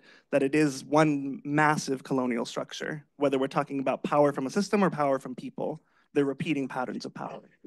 Um, and so a little bit more of the why. Uh, so I, like uh, Black and Native movement leaders, have insisted for time immemorial, believe in linked fate. Um, so it was very important for me to be in this conversation and to be in Alaska, as someone not from Alaska, because I know what happens in Alaska is linked to what happens everywhere and vice versa. What happens in everywhere else affects all of us, as we heard very powerfully earlier, right? Um, so both of us are committed to repair. Um, and so something that we center in the piece um, is traditional ways by which US legal education and our services are not and will never be enough. Um, so as Nikole reminded us earlier, right at the outset, um, that we have to dream. So our piece is a broader invite for US settler law to rethink how justice happens and where justice happens. I've already covered this a lot on purpose so that I could skim very quickly, which is that we know that 82.7% of the US and folks in the US have experienced at least one traumatic event in their life. Uh, we know that uh, the trauma-informed principles of SAMHSA, the Substance Abuse and Mental Health Services Administration, um, kind of give us a framework, right, for understanding how we might support folks through traumatic life events or through uh, traumatic instances in life. But we know that the legal profession, unlike many uh, nonprofit and or social sectors, has not, it has not caught on as quickly as maybe we would want or hope. Um, and then we know that cultural consciousness um, is merely one way of talking about honoring harm, right? Honoring harm, honoring power, and honoring uh, the systems and stories that bring us here. Um, so when we say culturally conscious, culturally responsive, all of these different lenses, what we're talking about is history. What we're talking about is trauma. We're talking about systems. We're talking about identity um, and the things that do give us power. Well, as uh, my co-author was kind of talking through all of these things, to me it was very clear, well, that's actually the same conversation, right, that we're having about community accountability. And that we're, we're looking for home, right, in justice making. That's the project. Uh, we know that from the UN Commission on Legal Empowerment of the Poor, over, this was as of 2008, I want to say was that last report, uh, four, over 4 billion people are locked out of justice-making systems. In the US in particular, that means a monopolization of legal power, which um, Nikole prefaced, y'all will talk, I'm sure, a lot more about in the panel right after this. Um, and so we're really focusing on place-based advocacy as a form of critical legal empowerment. Now, tangibly, what could that look like, right? So uh, we want to honor the work of Megan Rides at the Door and Ashley, Trout, Ashley Troutman um, in their kind of discussion of what, what are different domains, right, in which we might kind of decolonize or rethink how we provide forms of service and care. Um, and so for us, this manifests as governance and leadership, policy, physical environment, engagement involvement, cross-sector collaboration, screening, assessment and services, training and workforce development, progress monitoring and quality assurance, financing and evaluation, um, in terms of legal services, right? So kind of extending this framework about uh, the delivery of social services to say, this is the same problem we're grappling with, right?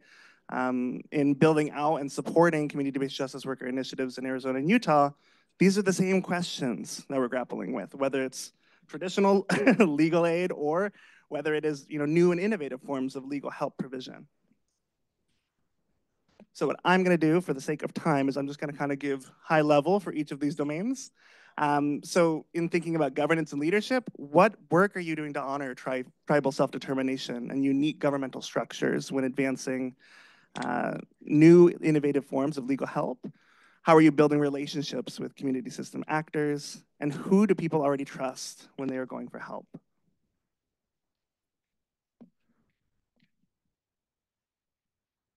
PowerPoint's more excited than I am, apparently. Policy. How are you ensuring that your policies align with trauma-informed principles um, and the use of tr traditional practices of healing and justice making, right? That can be very easy to assume that lawyers will always have the answer when we know that's not true. Again, I know I'm preaching to the choir, especially in this room. Uh, but decentering what, what it means to have a legal mind in justice making. Uh, how might we resituate legal educator, educators everywhere as healers of past legal harms, right? That I think has continued to be a gap is that when we talk about innovation, when we talk about the future of justice making, the teachers and the actual lessons are often removed from that conversation, right?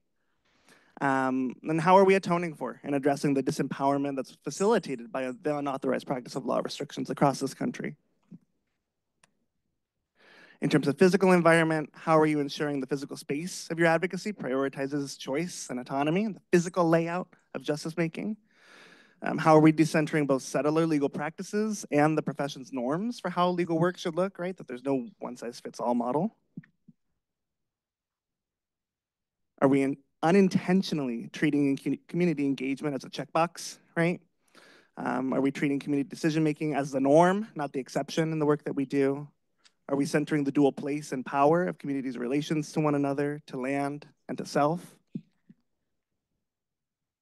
Are we prioritizing a continuum of care, warm handoffs, um, and insisting on the indispensability of those who we serve? We'll unpack that one in the, when we get to questions, I promise. Are we using person first language? Do our intake and data collection practices have clear and actionable purposes, right? Instead of assuming why we're doing what we're doing?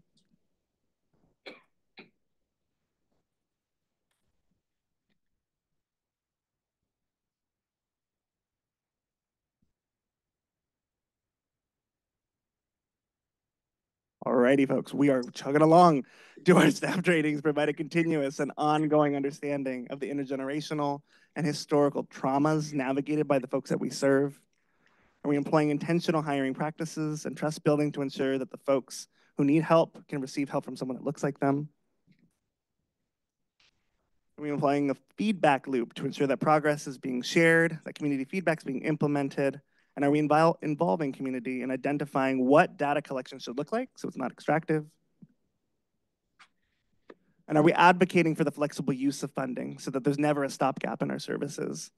Um, that our structures don't create a culture of crisis by way of innovation. And last, but certainly not least, are we mindful of the ways that data has historically been used against Black, Indigenous, and people of color?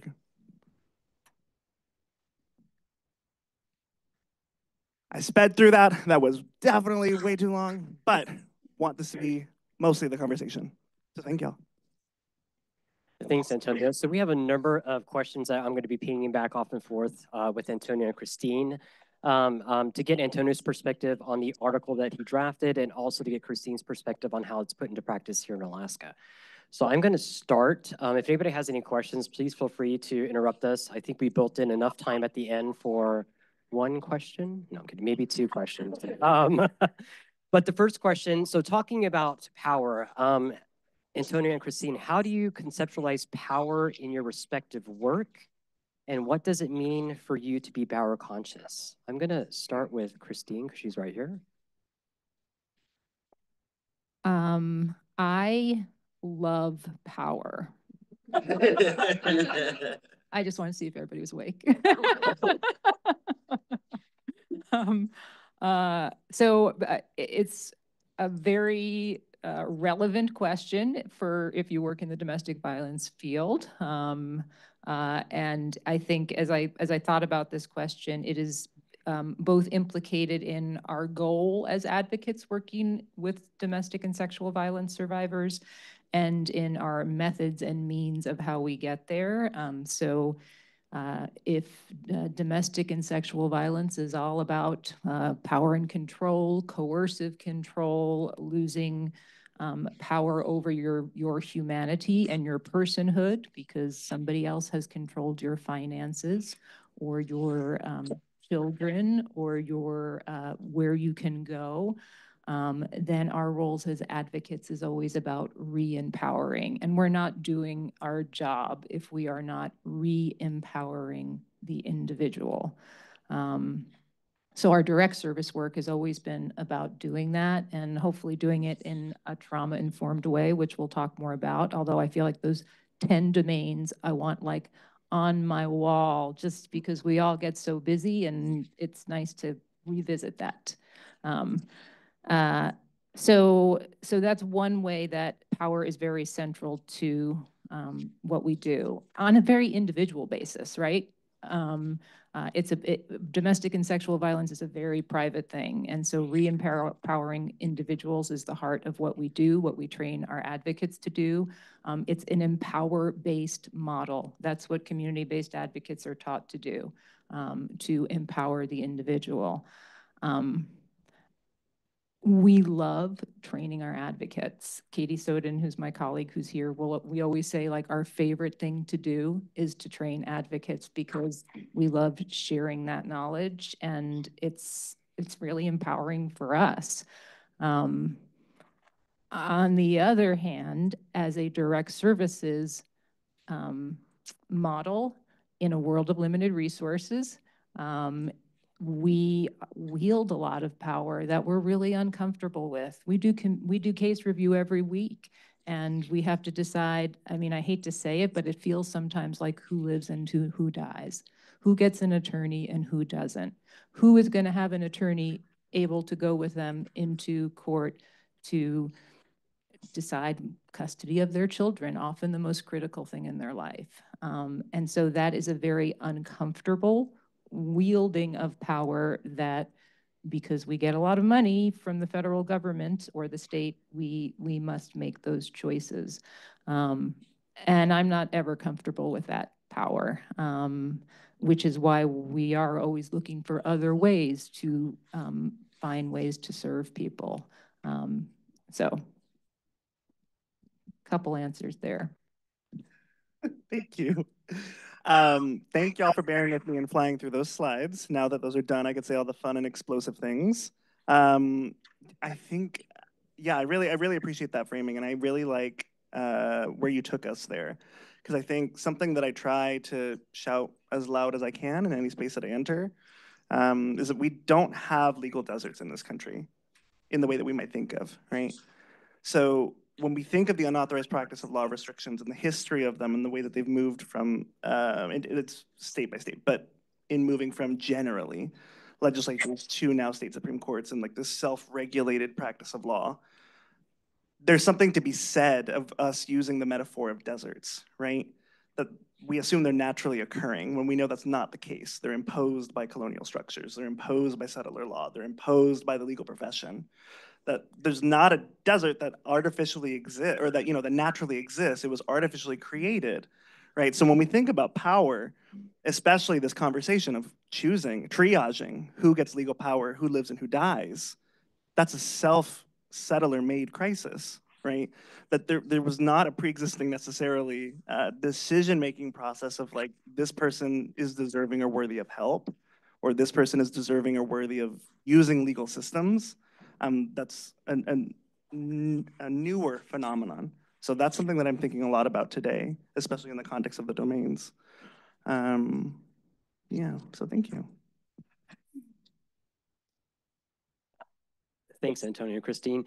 Um, so one of the things that I, I, wanted to uplift from Antonio's article is, is really what you say in your conclusion, Antonio, and I'm going to kind of start with you here. Um, in the work that we do alongside Alaska Native tribes, um, you know, somebody this morning said that our communities are not monolithic, right? Um, and so we always take a step back and we learn the values of the community. We learn what the tribe is looking for. We speak with council, we speak with community members so that we're drafting and doing the work that really is reflective of that community. Um, I know when we're working with victim survivors that oftentimes our first priority is to find the needs of the survivors, find them safety, find them protection. But up and above that, it is incorporating the values of that community, that tribe, thinking about what is going to work for them um, that may be different from their neighboring tribe. Um, and so when I was reading through the article, the the question of who am I accountable? Um, of course, you know, there's different layers of accountability. Again, victim survivor first, tribe and community second, how it integrates with the state system is probably third. Um, but Antonio, based on your work, what do you see as the connections between being trauma informed and community accountable work? Thank you. Yeah, I think uh, the first thing that comes to mind is the power to disrupt, right? That it, we're all kind of inheritors as some as and anyone wanting to engage in settler legal systems, we are inheritors either to lineages of violence or lineages of opportunity, right? That it is either the opportunity to disrupt what has been and continues to be a history of violence, um, or one to atone, to facilitate re repair, truth, and reconciliation, right? So I see those as kind of the same, right? When we talk about being trauma informed or when we talk about being community accountable, both of those are honoring self, both of them are honoring other, and they're honoring place and space. So um, in terms of place-based advocacy, um, being trauma informed requires that we're accountable to community, right? Because we have to know what the dynamics of the community are when we're supporting someone in order to know, hey, if I make this warm handoff or referral, am I referring them to someone who is best friends with their abuser? Am I referring to them, uh, you know, someone or a service that I know will actually be detrimental to them, even though my intake form doesn't say otherwise, right? Um, so understanding the different networks and forms of power, even within the community and, and ecosystem, requires that we are both trauma informed and accountable. Um, yeah, I looked at it a little, this question a little bit differently, but I think we got to the same place. Um, uh, when I thought about this, I thought about the heart of what we do um, with survivors is create options, right? Like we give people options. And I looked at it on a very individual basis in a way, so self. Um, and um, I actually went back to my days as a baby lawyer at Alaska Legal Services, where we were um, arguing for um, uh, acknowledgement of tribal court adoptions and tribal court custody orders. Um, and we argued that public law 280, 280 merely opened up the courthouse doors for, for people, which I thought this is brilliant for survivors. We want options for people. We want them to be able to go to tribal court if that is what is safest for them and best for them and most accessible for them and most trauma informed for them. Um, but we also want there to be a state court option if maybe their abuser is on tribal council. Um, uh, and so um, I think that um, it, something that is um, trauma informed um, is generally community community accountable, but maybe not always, in my mind. Um, uh, even though I think that in terms of our Alaska Native community and survivors in Alaska Native having better, safer options in our rural communities is, is critically important. Thank you, Christine. Um, next question, I'm actually going to start with you. Um, for those that are not familiar with Alaska, that are visiting maybe, um, approximately 80% of our Alaska communities are considered to be rural, um, mainly off-road system, um, with the exception of Fairbanks, um, Anchorage, of course, Juneau. most of our communities are off-road system and considered rural.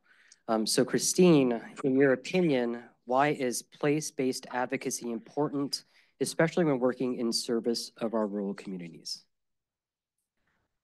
Um, well, I mean, I guess it's, so first of all, I live in Sitka. I've lived in Sitka for 30, for over 30 years. Um, and so I um, have lived in a smaller community. Um, I, I think that for survivors, as someone who's lived in rural Alaska for many, many years, um, there is just the access issue, number one, right? Um, it's going to be for a survivor in uh, or in uh, Huslia, um, getting to the state courthouse is very difficult. And so um, uh, safety and well-being is critical to having something that is very close to you and easily accessible. Um, uh, cultural understanding. Um, uh, state court options are not um, always trauma informed. Surprise! I know I know the state court system is working better at that, but um, state court is scary. It's scary for attorneys. Imagine what it is like for survivors going into state court. Um, so um, often um, tribal court options or local options are um, much safer and much more um, uh, friendly to survivors. Not, not always though, because sometimes tribal courts don't have safety. Um, I, have been in a tribal court where we were in the conference room and perhaps there were, weren't the safety um, safeguards that one needed um, to do a protective order. Whereas if you go to the state court, um, not in Sitka, but in most places, there's a metal detector, which may be important. Again, it's not a cookie cutter thing. options. You need to give people options. And the trauma-informed approach is always, what is safest to you? What does safety mean to you and your family? Um, where, what are you most concerned about? Um, uh, understanding that and hearing that um, is what is going to be best for survivors. And Antonio. Yeah. I was like, I, I, I give. Um, yeah, I mean, I think, so I'll start by sharing uh, part of the rationale for the grounding exercise. So every person that I call home is from one small desert town in southern Arizona. I don't have kin or family anywhere else. They're all in one place. So I think a lot of, and they're in a very rural, small town where the number one employer is the private prisons and the number two is McDonald's. So I have a lot of thoughts about rural advocacy, um, but I'll start by saying I think it's particularly important that we are place-based because I recognize that what's going to work in that town is never going to work in any other place, and vice versa from any place here in Alaska, anywhere else in that way, right? In very specific place-based advocacy. Um, and so I really appreciated everything you were saying about like it is all about choice. It is all about self-determination and autonomy at, at the end of the day.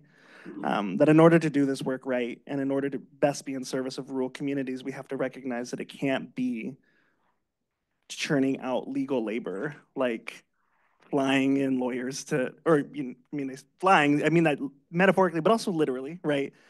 Um, that only the folks that have lived and learned understandings of space and place are going to know what how to how to have a conversation and how to support folks through legal advocacy. Um, so this idea, right, the the normative or the big picture idea um, that lawyers are going to save the day all the time, and all of the best trained lawyers are just going to pop into any place and automatically fix all the problems, I think is really dangerous, right? And I think it it sets us up for a, a not just a disservice, but also a fundamental misunderstanding of what the needs of survivors and also of rural communities are, which is not the savior or a hero or any of the ways that our many law schools and formal legal training come to uh, prepare folks for entering this work, right?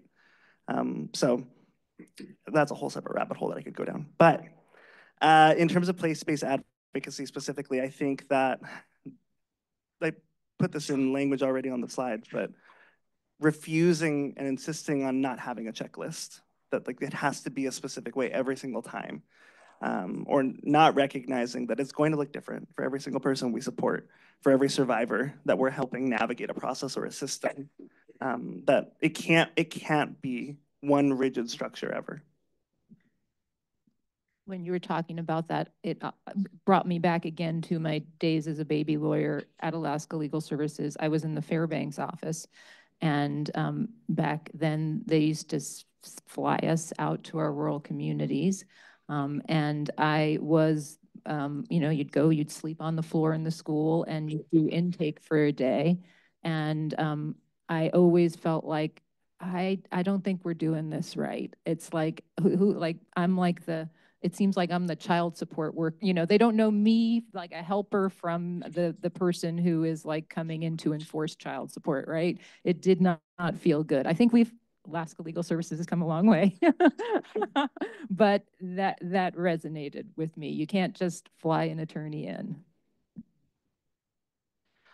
Yeah, lawyers don't have the answers all the time, right? As much as we think that we want to. Um, I, I want to share a story. Recently, I was helping a tribe. They were doing a child protection case.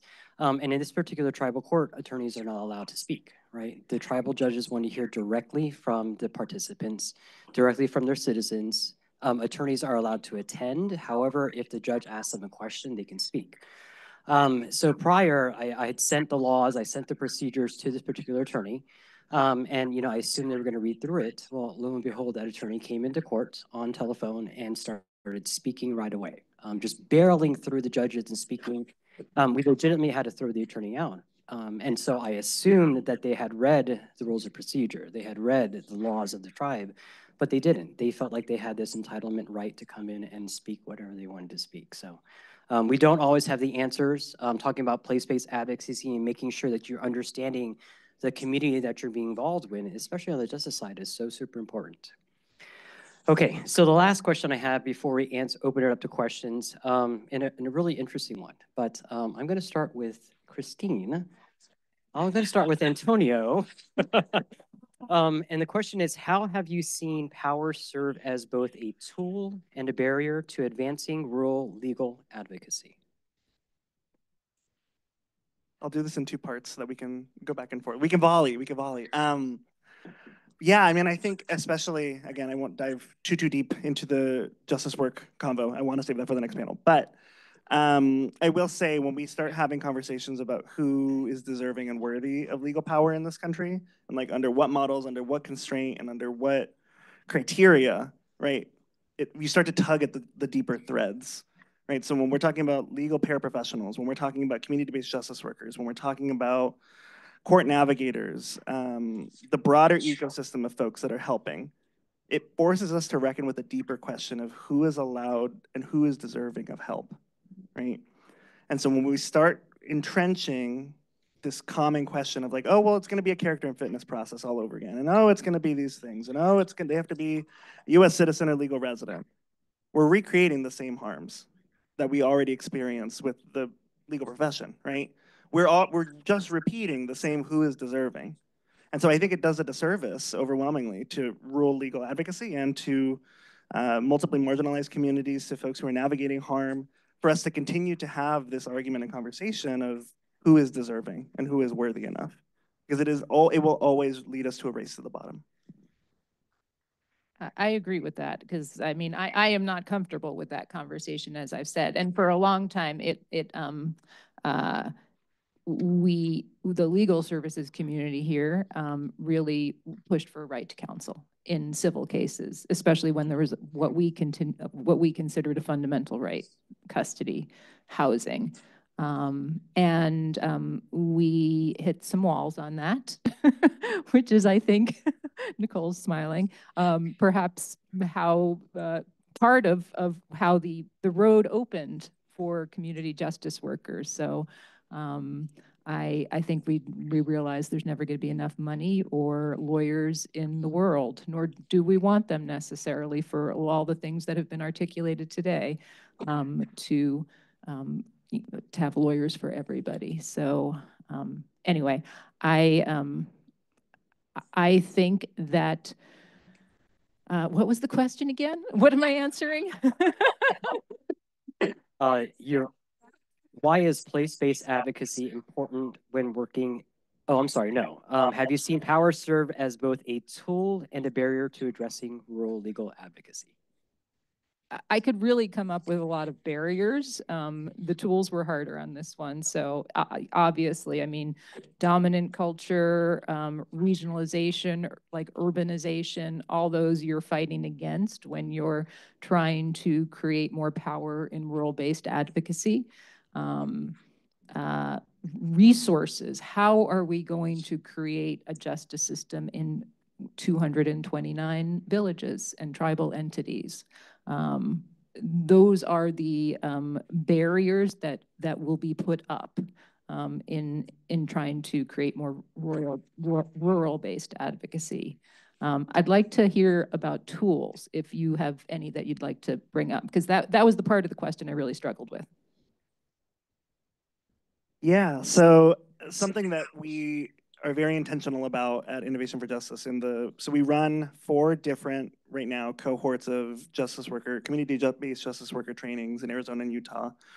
Um, and regardless of whether they're going into DV advocacy, family law, medical debt, housing stability, um, because of the unauthorized practice of law reform that has happened in both states and because of the infrastructure we've built out to train and support folks, every single justice worker starts with a trauma-informed advocacy module, which we know for many is already lived, learned, and embodied in some way, shape, or form because of maybe their own navigation of systems or forms of harm.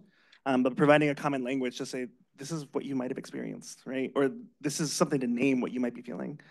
Um, in thinking about rural legal advocacy especially, I think uh, a lot of the work that we do, I mean, all of the work that we do is virtual and, comma, and all of the support systems we provide are both synchronous and virtual and in person um, so that we can meet folks where they are and also connect folks across the state.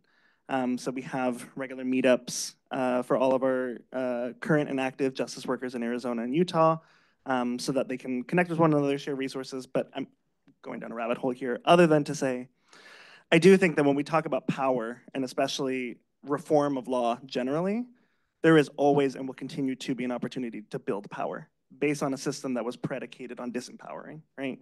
So there's always going to be this huge gap. There's always going to be space for us to build power, but that's exciting, right? That's invigorating for us to say, okay, this is this is a movement to build power. This is an opportunity for us to fill what has been not just a vacuum, right, but a systemic erasure of power. So. Yeah, that, that is helpful um, because I, I'm thinking of our community-based advocates who have gone to court for many years, whether it's uh, tribal or um, mostly state court, and not been able to speak. They can sit there with a survivor and write notes to them, um, but they can't actually speak in court. Um, and so it is very empowering to them at the thought that they might be able, as a community justice worker, to speak. I should say most of them, because I think some of them will be a little terrified by it, actually. but I think also the idea of um, community-based advocates, um, there is power in taking hold of your community and your justice issues that many will, will find add one last thing? Yes, please. Okay. Uh, that was actually, you reminded me of a story that we'll, we'll, I will share with the world and people soon, I promise, but a story from one of our justice workers in Arizona um, who talks a lot about how going to law school and becoming a formally trained lawyer was never an option for her and how healing it was to become a community-based justice worker because of the structural barriers to going to the law. And so she lays it out in this very beautiful um, testimony of self. But it, it, was a reminder, right? That like this isn't just in theory. It's not just in like in words or uh, in, in academic speak, but this is actually healing for us to replace where justice is happening. So food for thought as we continue dreaming and reforming, folks. Well, everyone, I think I lied. I don't think we have time for a question, but I know that Antonio, Christine, and myself are going to be here throughout the rest of the day. So if anybody has any questions, please feel free to reach out to us. But let's please give Antonio and Christine a round of applause for the contribution.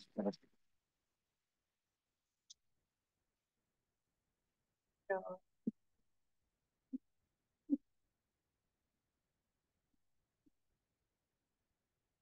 we get our, our last group of panelists up to the front, please? Glad you made it. For helping me make my way. warm.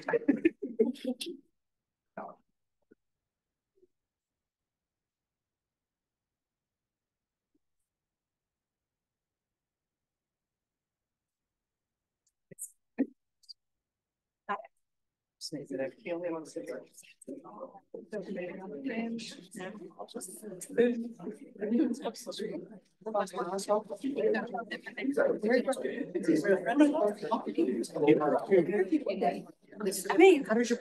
This is like we already. How does this? Yeah.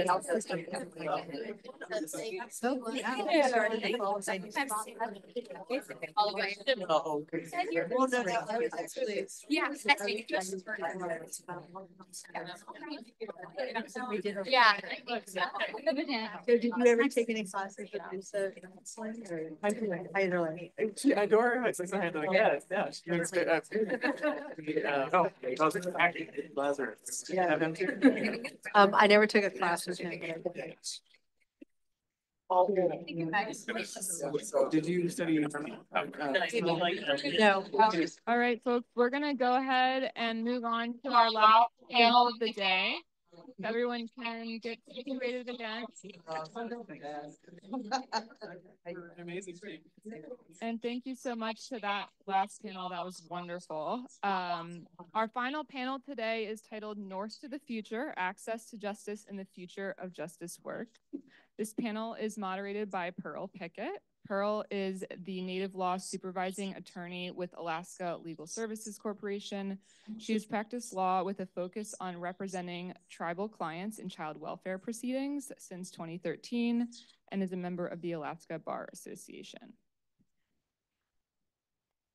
Hi, um, we're joined here today um, by But I'm hoping will actually be a legitimate discussion with pe- questions from people other than me um, by um, Rebecca Sandefur. Um, she is the director of the Sanford School of Social and Family Dynamics at Arizona State University, um, where her research centers on access to justice approach from a myriad of angles. Um, she is a faculty fellow um, at the American Bar Foundation, um, where she founded and leads the Access to Justice Research Initiative. Um, in 2018, she was named a MacArthur Fellow for her work in, on inequality and access to justice, and she is co-founder, along with Matthew Burnett, for of Frontline Justice. Um, Matthew is the senior senior program officer for Access to Justice Research Initiative at the American Bar Foundation, visiting scholar for Justice Futures at Arizona State University, adjunct law professor at Georgetown University Law Center, um, and previously served as senior policy officer um, at Open Society Foundations, um, focusing on, on access to justice on an international level, um, as well as um, domestically. Um, he is co-founder um, and previously led the Immigration Advocates Network and served as a law clerk to Justice um, of the Constitutional Court of South, South Africa. Um, he currently serves, serves as an advisor to the National Center for Access to Justice and is co-founder, again, um, with, um, with Ms. Sandefur of, um, the, of Frontline Justice. Um, Mara Kimmel is executive director of the ACLU as of um, 2022, um, but has served in a variety of capacities advocating for justice, responding to various community needs arising within Alaska, addressing subsistence issues, immigration issues, um, serving as a regional on the regional advisory board for the Anti-Defamation League, um, serving on the national board of directors for Welcoming America, um, and is has a PhD from Central European University, a JD from Minnesota University of Minnesota Law School, um, and a master's degree from UAF and a bachelor's degree from University of California, Berkeley. And finally, we have Joy Anderson, who is co-director of the Community Justice Worker Resource Center, um, initiative within the within Alaska Legal Services Corporation. She was previously general counsel at the Association of Village Council Presidents, which is a regional nonprofit um, serving 56 federally recognized tribes in Western Alaska. Um, she has experience representing and supporting tribes and tribal organizations um, in the areas of corporate governance, Indian child welfare, and rural public safety. Um, she is a graduate of Oakwood University and Vanderbilt, Vanderbilt University Law School, um, and while originally from Alabama, um, she's lived in Bethel for the past 10 years. Um, and to start us off, um, we're going to hear from Joy for information and updates on how Alaska's Community Justice Workers program is being implemented. Thanks, Pearl. And thanks, Allison, and all the editors and members of the Alaska Law Review staff. Thank you for the invitation to come on the panel and also for the invitation to write the article for the upcoming issue, community justice workers, part of the solution to Alaska's legal deserts, artificially created, as Antonio just reminded us. And I'd also like to acknowledge uh, my co-author, Sarah Carver, uh, co-director for the Community Justice Worker Resource Center, and also Dr. Robert Anders, the medical director for Maniilaq Health Center. The Spring 2024 Todd Communications Directory, if you have it and like to read it, or if you're just familiar with these communities, we'll let you know that there are four private attorneys and one civil legal aid attorney in Bethel, which is the hub community that serves a region of 27,000.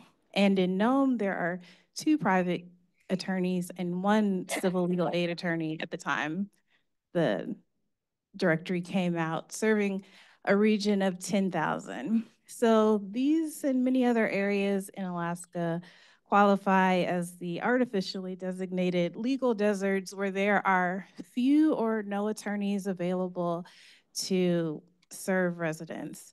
And residents either have to travel or we're lucky in Alaska that everything can happen over the phone with our court system. But even with that, some people just really want to look the person helping them in the eye.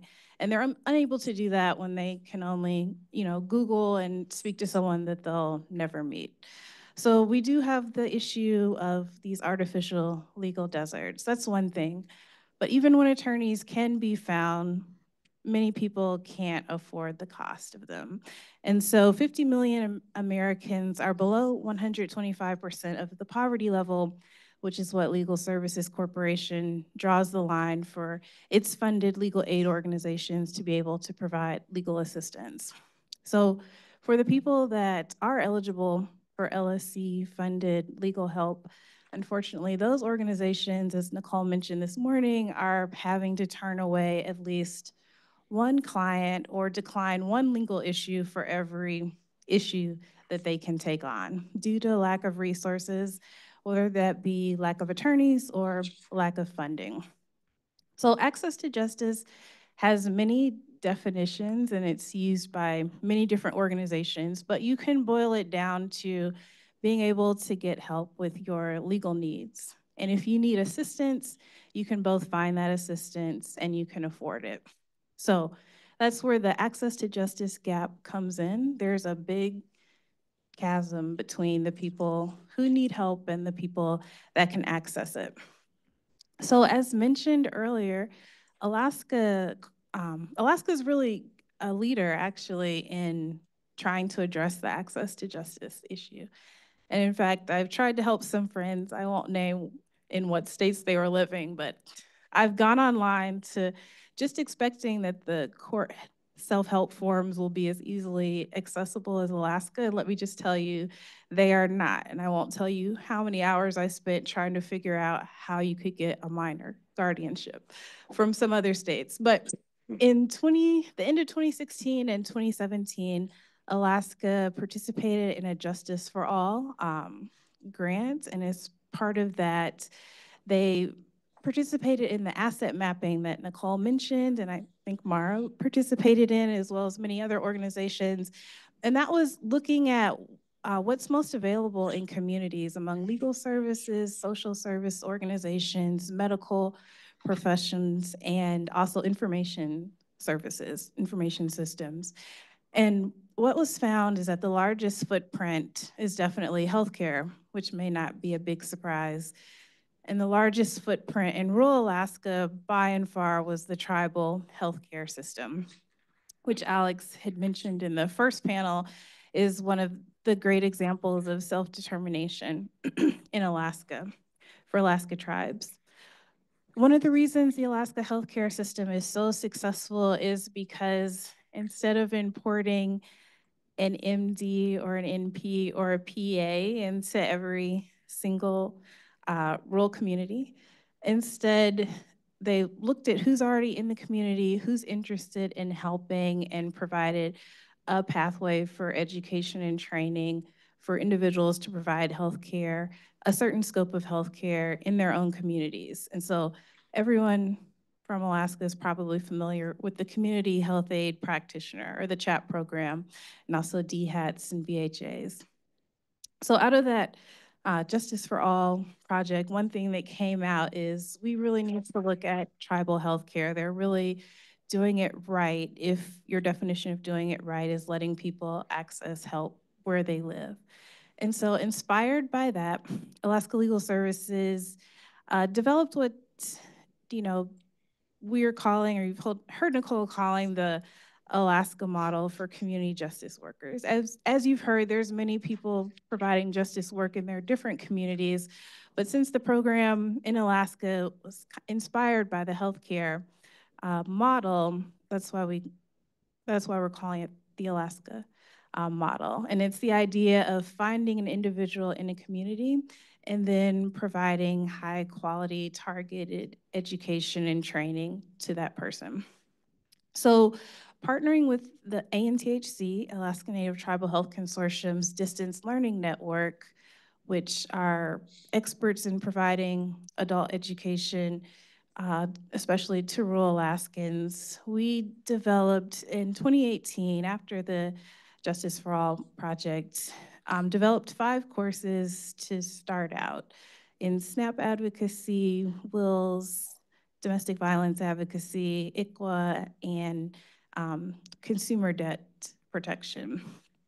The idea for starting in these courses came from what communities were saying the biggest needs were. So the biggest needs for education, um, for direct assistance, uh, for supporting people that were already doing this work but maybe wanted more knowledge were in these five areas.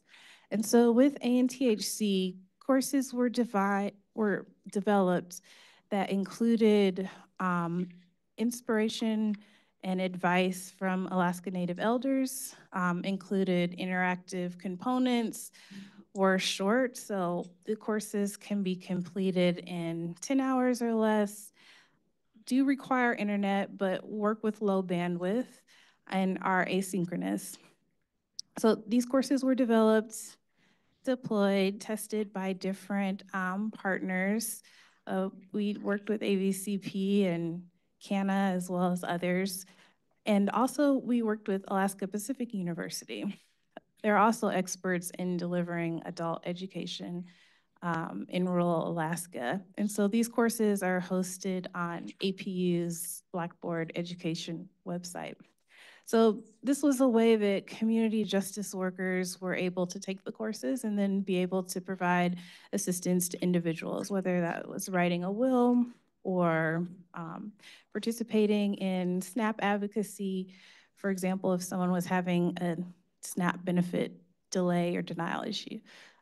Which brings me to talking about SNAP, which everyone has heard a lot about in the last um, few years. So in fall of 2022, that was, I believe, the start of kind of the big SNAP blow up, or a technical term, that um, we experienced here in Alaska. And Alaska Legal Services um, cases, intakes, clients calling for help with a SNAP delay or denial issue increased 2,000% in 2023. Um, we went from 125 cases of that type in 2022 to over 3,000 in 2023. So it was a huge, um, a huge lift for ALSC. And like you heard earlier, you know, legal aid organizations often have to turn away one person for every one person we can help. And that just wasn't an option when the SNAP cases were coming in to turn people away for lack of resources.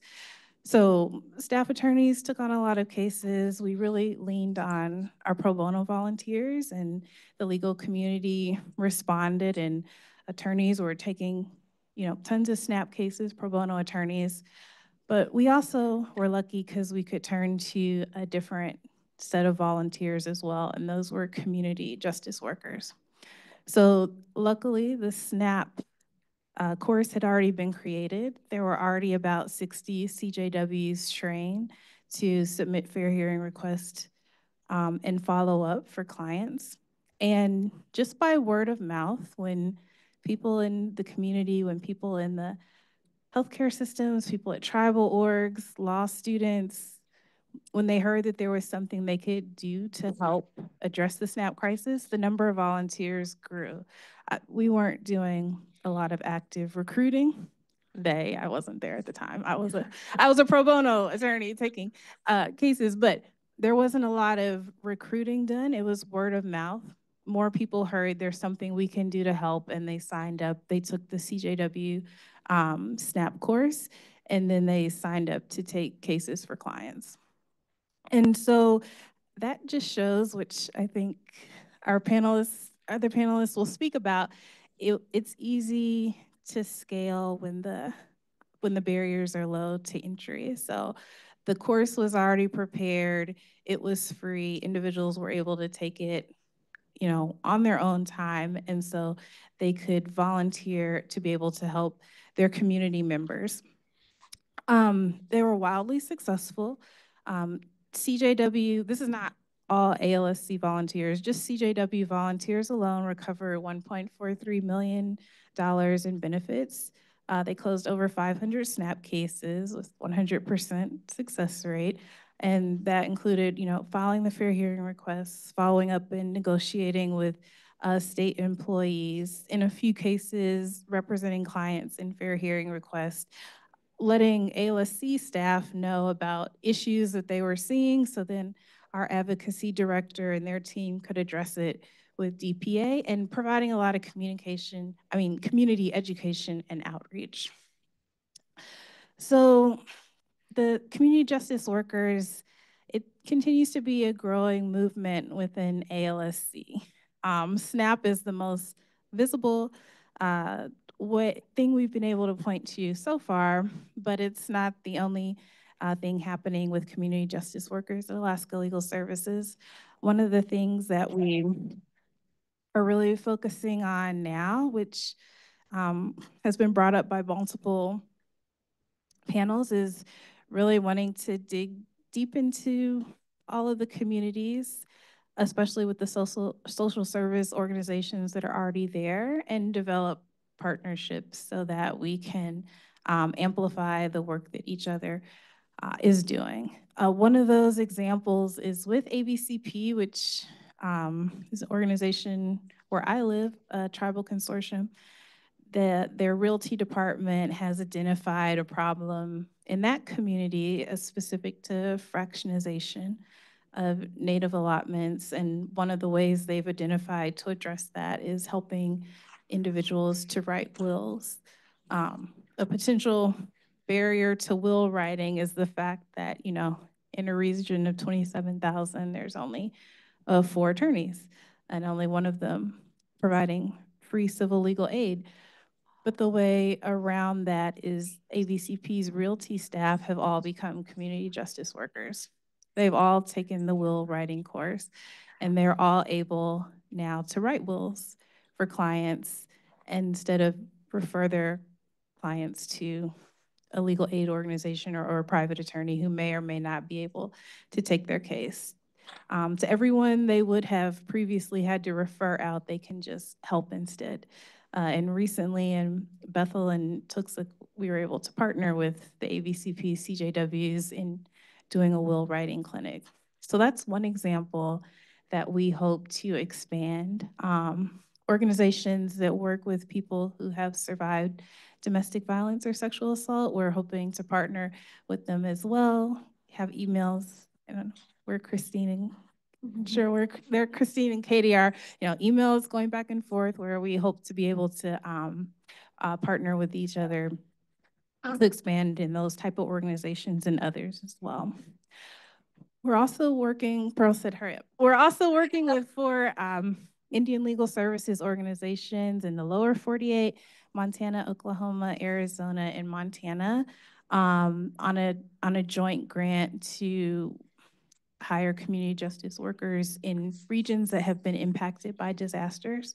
So in Alaska, we have hired full-time CJWs in uh, five locations, I believe, in Bethel, Fairbanks, Nome, uh, Kenai, and uh, Palmer and Rylan Obeso is our CJW in Palmer, uh, born and raised in Alaska. So that is another um, way the program is expanding. Also, the head of our public defender agency is here, who's also from Bethel. And we're very um, proud of our holistic defense partnership mm -hmm. with the public defender agency. And one of the positions previously um, filled by an attorney, sometimes hard to staff, is currently filled by a CJW in the Bethel office, working very well with the um, Bethel PD office and our holistic defense project there. And then lastly, just quickly want to mention, which Nikole mentioned earlier, the Alaska Bar Rule 43.5 waiver to engage in the limited practice of law, which was passed in November uh, 2022. Uh, that's one of the main um, one of the main goals of the Community Justice Worker Resource Center right now is to determine the best way to uh, train and support CJWs to be able to um, practice and represent clients in court. And again, we'd like to engage with and work with partners in doing that as well. Okay, I have to give the mic over, but you can read the article when it comes out. uh, thank you, Joy. Um, and now um, I'd like either Matthew or Rebecca to, I guess, inform us about how Alaska's model fits within the larger sort of uh, non-attorney legal advocacy landscape and what's going on elsewhere in the country. Okay, great. We'll be quick because we do want to get to questions. Um, the, I mean, so there are two kind of things happening on the regulatory reform landscape um, nationally. One is around alternative business structures, is basically who can own uh, law firms, and the other is around UPL reform. That the Access to Justice Action is all under the kind of UPL banner, um, and there are a number of different programs um, that are experimenting with different models of doing this. Um, one is uh, in Utah, there's a sandbox, which most folks might have heard of, or some folks might have heard of. Uh, and the regulatory sandbox basically allows entrants to apply um, and then be supervised um, based on their risk, um, which uh, is really proxy for um, sort of um, how adjacent they are to attorneys. So the more attorney involvement, less risk, less attorney involvement, more risk. Um, other models that have emerged in Delaware, there's a qualified tenant advocate program. Um, in uh, a few states, there are licensed paraprofessional programs. Uh, in South Carolina, there's a Supreme Court carve out um, based on some litigation uh, that was brought there by the NAACP, um, which basically allows for one kind of um, tenant advocate program to emerge. Arizona, as Antonio said, uh, has both domestic violence and uh, housing stability advocates. And then there are these emerging justice worker models. So Alaska was the first out of the gate um, with a waiver, UPL waiver from the Supreme Court, with unanimous support from the state bar. One of the things we talk about in our article is the importance of political support um, by courts, the bar, and uh, and and others. Um, and then there are a couple of states that are further ahead on similar kinds of waivers. So one of those is in Texas, um, where there's a kind of hybrid proposal that's now out for comment. Uh, one of the op, one of the pieces of that is essentially a licensed paraprofessional program. The other is a, a, justice worker program, and then Arizona is also um, in the in the process of proposing a rule around community justice workers. Um, so that's kind of the the national landscape, and I'll turn it over to Becky to add all the things that I've forgotten. He was right about everything. Great. Um, so Alaska Legal Services. I didn't know that it was that funny. Um, so Alaska Legal Services, we've talked about um, as these scopes of work that that we have trained community justice workers both externally and internally on. Um, but we also have gotten into that 125% the federal poverty level. Um, what that means in Alaska as a household of one is $23,000, 500, well, $23,000. Um, so there's another justice gap potentially. It's people who are eligible for our services. We are the only legal aid um, organization in, in the state. If we have a conflict of interest, you don't get our services. If you do not qualify for our services on an economic level, you do not get our services. Um, and so I know that Mara had flagged that there's a, a good potential for, for this to be expanded outside of just legal services grantees to fill in the needs of not just people who absolutely cannot afford an attorney, but people who practically can't afford an attorney as well. Um, because I don't know who has um, a couple thousand dollars making $23,000 a year to pay an attorney for a custody suit. But um, hopefully you can address sort of where you've seen that and especially drawing on your immigration experience, where those non-attorney roles can be really valuable.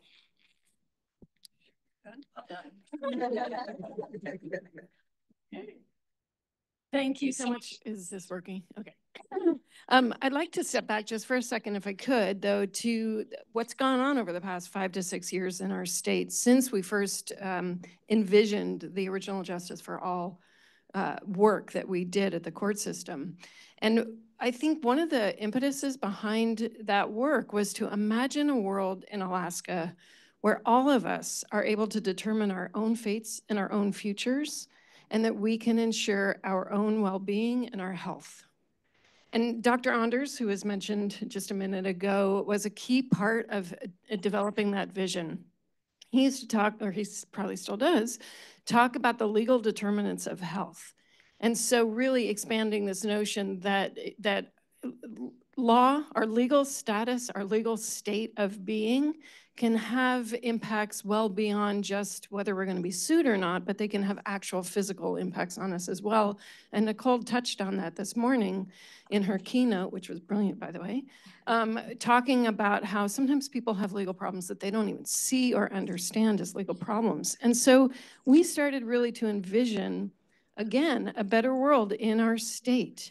And fast forward to now, and today, all of the discussion that we've had, starting with Nikole and up until this panel, describing all of the steps that we've taken in implementing that vision. And we, you know, for example, Jeannie and JJ talked about tech access. That's new, and that is absolutely critical in a state like ours, where sometimes the only way we can connect with each other is over a text because of the miles, because of the geography, because of the physical barriers. Um, and, you know, the development of trauma-informed lawyering and trauma-informed service delivery is starting to take root much, much deeper. And so as we're looking to the future, and I think this is getting to your point, there, I just wanted to raise um, one issue, one sort of caution, which I may be very much alone in this room, and my apologies to Antonio and to Matthew, because I do think that the unauthorized, unauthorized practice of law issue in Alaska is critical and something that actually does need to be considered. So I practiced immigration law for 10 years in our state, and I can't tell you how many clients came to me because of what are called notarios. So people who are out there assisting folks with their immigration papers and have no experience, no skills, no training, no guardrails. And so people get really hurt and people's immigration status and therefore their future is really impacted. And so my, my big question in all of this and my big caution, and I think that it can very easily be addressed um, actually through the community justice worker model, is how are we going to make sure that we are protecting Alaskans uh, we don't have great consumer protection laws in our state either, so that's not really an option. And if you do find yourself scammed, then you're back right in the position of needing to find a lawyer, and we've heard all day about how lawyers are hard to find. So that that's just one big sort of bright and shiny issue that we have been confronting over the years of doing this work in Alaska. But I think um, what, you know, to go back to my original point of imagining a world where we can all ensure our health and our well-being and a future and a fate that meets with our vision for ourselves and our families. This is really hopeful. Nikole mentioned hope a lot this morning, and I would have to agree. This model that we've been able to implement, thanks to the leadership of Alaska Legal Services, offers an opportunity, I think, to really bring to fruition some of that vision that we had so long ago there's an opportunity to scale. So in addition to, uh, to the income barriers that people who make over 125% of income face who can't access Alaska Legal Services, there are also federal restrictions in our state. So Alaska Legal Services can't help people get immigration documents. They can't help people who are in prison. And those happen to be two of the primary populations who I've worked with in, in my career. And so the ability to start to think about how this model could be deployed with these consumer protections, because again, I think if we can expand, for example, the community justice worker model in the immigration context to an organization called the Alaska Institute for Justice, who's the state's only nonprofit immigration service provider, uh, to, to ensure that immigrants can get access to services. Um, to, if we can expand the criminal justice, uh, I'm sorry, the community justice worker model to the criminal justice arena or criminal legal structure, where we at the Alaska um, ACLU operate a prison project, and we can help to train people who are either inside in carceral, uh, carceral facilities or families or friends or people who are concerned about the fact that Alaska actually has one of the highest levels of incarceration in our state. One in every seven Alaskans is either has either been incarcerated or has a family uh, or, or friend who has been incarcerated.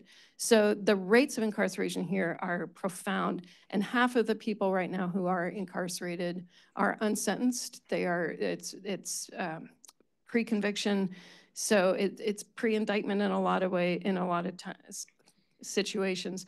So there's a real serious need for legal help. And so this model, I think, more than any other model that we've been exploring in the state, has hope and has the potential, as long as we can scale it and apply it beyond Alaska Legal Services, who does incredible work, and the SNAP example that you provided, that's such a success story.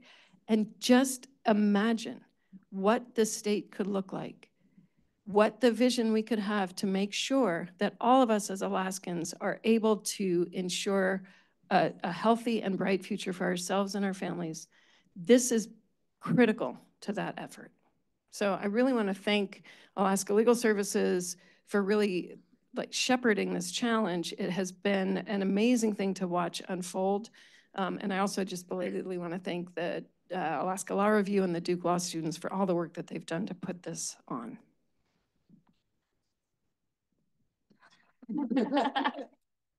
um, Joy, can you? Maybe not. Um, I think I'm loud enough. Does anyone else agree? I think Great.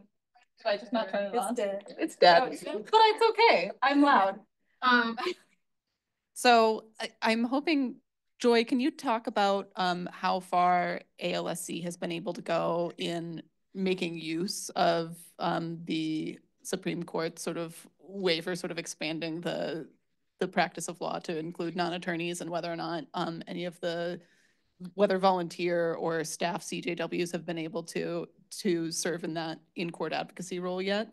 Uh, Sure.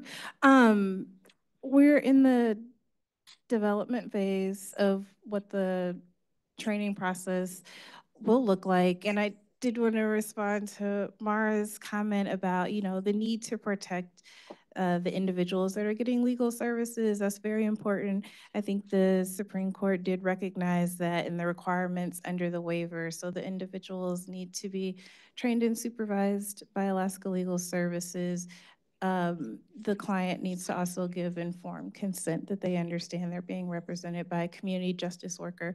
And with those protections, I think that can be very easily, you know, extended to the other legal services providers in the state. So when, not if that question comes up again, um, we hope that we're able to support that from Alaska Legal Services by showing the success of CJWs that have practiced under the waiver. One last thing, and I'm hoping will, that other folks can answer. One thing that has, I guess, excited and then worried me about about this particular model is that it is cabined um, still to individuals who qualify for legal aid. Um, that it requires supervision by um, legal aid, and and whether or not there's ability to attract and retain um, non-attorney talent in this area and provide a, a means of a career path that would be independent. Um, noting that the limited licensed legal technicians of, of Washington State had the ability to practice independently, I understand. But Washington State has determined that they want to sundown that, that, that it's, that that program is no longer going to operate, that you, if you're in the door, fine, but we're, the door has closed. And so what vision do you have about, uh, for how non-attorneys can grow their practices outside of these low-income legal aid practice models where, where the only people who can access non-attorney advocates are people who cannot afford attorneys? Do you have any insights on that? Well, so we live in the world. Um, and we have to work with what's possible and, and having legal aid supervise justice workers is possible right now. UPL restrictions in, in Alaska are fairly limited compared to other states. But if, but in order to make possible what you're describing, what we have to do is get rid of UPL or scale it way back, right? So that, so that it isn't, so that the activity of justice workers doesn't necessarily always have to be at least formally controlled by attorneys, which is the model that you're describing. There are other, though, justice worker initiatives around the country, some of them Antonio is part of, where there aren't supervising attorneys. Um, I think in, in Arizona, they're authorized by individual court order for each program, and then in Utah, in the regulatory sandbox, an entity doesn't have to have an attorney to field justice workers and have them do things. So there are, there are different ways to do that, but I do think it does require lawyers kind of getting out of the way, one way or another. Well, I would just add there's also other countries in which UPL doesn't exist and the sky hasn't fallen. So the UK, you know, England and Wales is an example of that. Community paralegals have been active in South Africa for 70 years and were critical to um, the the transition from apartheid to to democracy. And so I think we what we need to be more focused on. Um, what uh, one of those things is these paths pathways. Um, but I also think that we're at a moment where we need to be focus on implementing strong and sustainable programs. And I think part of that is a lot of learning that has to happen. Um, it's hard to study things that are criminalized, and UPL has criminalized the practice of law for non-lawyers um, for a long time. And so I think we need to do more knowledge generation, um, more build more evidence about what's effective. Um, so just simply you know, it, eliminating the barrier of UPL is an important piece, but it's only the starting point for um, what needs to be a more robust um, kind of engagement with how do you actually build and scale these programs over time. All right. Do folks in the audience have questions? Yeah, we've got a couple over here. That's okay. Um, first one, I think this one's for Joy. Uh, what was the organization you mentioned that helped your staff become CJW so they could help folks make wills? I, the tribal consortium that we partner with is Association of Village Council Presidents, AVCP. Great. And other question I have here is, do CJWs play any role in criminal cases in Alaska, either in the tribal court space or the Alaska court system space? For the tribal court space, I'd say it's that's like a case by case question um, for the tribal court if they provide or allow um, represent representatives um, in those cases. And that was probably a question for Alex who left. but as far as the state court, uh, no. And I can say my understanding is that um, the VAWA pilot projects are not fully up and running such that there would be a role for um, those representatives, although law trained um, is a broader um, term than licensed, state licensed attorney. Um, and so there may be opportunities for that, but we're not there yet within the state, to my knowledge. Anyone else? Why is the Washington uh, program sunsetting? Is it guild-based or is it performative-based?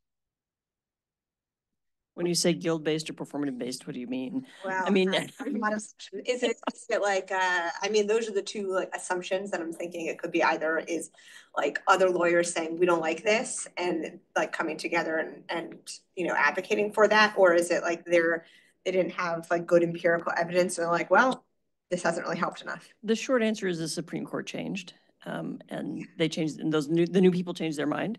But the, the print, what the experience that was underneath that change of mind was this is an incredibly barrier rich way of creating people who are not attorneys who can practice law. So you have something like 3,000 hours of supervised practice. You have to have an associate's degree. You have to have a paralegal certification. You had to take a year of courses in a law school. No one could figure out how to get financial aid to work for that year of courses in law school. Um, only one law school would do it, so you could run like 15 people through this every year. And also when they rolled it out, they didn't think about, the regulatory costs were like $400,000 to create 28 people. So, which means their startups, startups are expensive, but that was a little bit inefficient. Um, and they also didn't think about part of what you have to do, particularly if we move to fee generating models, people have to understand how to have business models and business plans. And there was no training or thinking about that either. So there, so the pathway to, to being useful was kind of blocked by the design of the program. Set up to fail, yeah. Yeah, not on purpose. No, no, I, I don't mean it. Also three bar exams and. Oh, I forgot the three bar exams. Purchase insurance, which isn't required of lawyers, but it's required. Well, I was just gonna say, you might as well go to law school and do everything, I, once you, yeah, that's. Got one last one over here. Um, can you discuss best practices for educating CJWs and how we prevent the creation of education and experience barriers that make those programs difficult to scale? Can you turn Yeah. on? Um, so we talk about this a little bit in the article. I think the, the, the way in which ALSC has begun to develop this program, I think is innovative in a couple of ways. One, it's, it's uh, asynchronous. So it's important, particularly because this model depends on people who typically already have jobs, right? They might be embedded in social service providers or volunteering, um, that they be able to take courses when they have time, um, which isn't and and also given just the the rurality of the state, um, not have to travel in person to do that. They're also only about eight hours to ten hours long, so they're not a huge barrier in terms of um, of the actual training. And then the important thing happens, which is they get mentored by an attorney to take a case, actually do a case, um, and and um, build that experience as well. Um, I I don't think that there is a lot of evidence at this point about how to develop these trainings. I say this as a researcher, and I'm cautious maybe about what we call evidence. I do think it's one of the exciting things that Frontline Justice is doing is partnered with Ascendium um, to develop a national um, standards um, uh, uh, working group uh, on helping to figure some of these things out. Um, but my sense is that if we can train community dental practitioners, community dental aides to do extractions, we can probably train non-attorneys to do fairly complex legal work. We also know in the immigration context, um, there are what's called fully and partially accredited representatives. These are lay advocates. They've been around for 50 years, so there's a lot of learning we can um, build from that. There's a standard 40-hour training, but the fully accredited rep representatives are doing in-court representation of immigrants, including deportation defense. That's about as complex as it gets for kind of standard litigation practice in the US. So there's no evidence that I've seen that suggests that we can't um, level up folks to do fairly complex work. I just think that there's a lot of learning that we have to do about best practices in building these trainings. Just to add one fun fact from our friends in the United Kingdom, um, they had a really expensive legal aid system called Judicare. So it's just like Medicare. You get a you get a voucher from the government to pay a private attorney to help you. At one point, like 65% of the population was eligible for this. It's demand driven. It's really expensive. So when when neoliberalism came in, they thought, how can we make this cheaper? Um, we already have no restrictions on who can give legal advice. We already have justice worker models out here. Let's see if we can offload some of this stuff we're paying for to something that someone else will pay for. And they wanted to do it in an evidence-based way. So they commissioned an audit study that did blind peer review of the work of non-attorneys and then solicitors, office lawyers across a range of civil areas, including immigration, but also employment, housing, all this kind of stuff. And they found two really interesting things. One is that everybody makes mistakes. So about 20% of the cases that the attorneys did got, got failing grades, and 20% of the cases that the non-attorneys did got failing grades. But that also means 80% of the time, everybody's getting it right, which is good. The other really interesting finding, though, was that if you looked at who got an A or whose work was, was rated excellent by the peer reviewers, the people who weren't attorneys were eight times more likely to get A's than the attorneys. Um, and it, it probably isn't their innate superiority. It probably is that they specialize in a few things or in one thing and they become really good at that thing, whereas attorneys are trying are omnicompetent um, and trying to act that way. So I think there is we need a much more evidence about how to scale. Um, we need some more thought about how to be sustainable, but we have pretty clear evidence that we can train people to do this work really well and they can be very effective. I think Joy mentioned that Terrence had a question, or did it go away?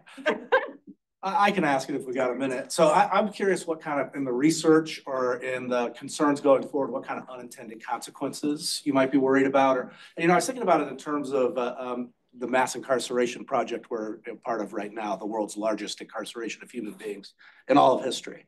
And it's all post Gideon.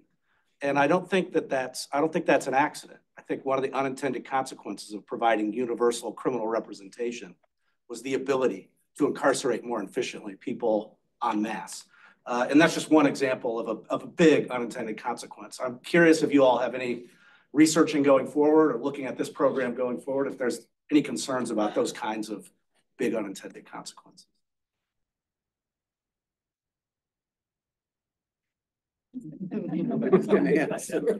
Too much justice. Um, I mean, it's hard to know. I'm a big fan of um, pre-mortems and trying to think about sort of future states. But, uh, you know, the one thing I would say I think is a big challenge going forward is really getting to this question of scale, right? Um, we know from the ALSC program, there's a lot of recruitment that's been very successful, but there's also a lot of attrition, right? People have busy lives, complex lives. Um, I think also for these programs, there are going to be real challenges around getting um, the the real engines of community-based uh, services behind it. So I'm talking about, I mean, legal aids in every state and every place are comparatively very small kinds of nonprofit organizations, but they're really large social service providers like Catholic Charities and others. We need those engines to be able to, to, to really scale, to, to, to scale this program. And I think that's a hard conversation. One, because of resources, right?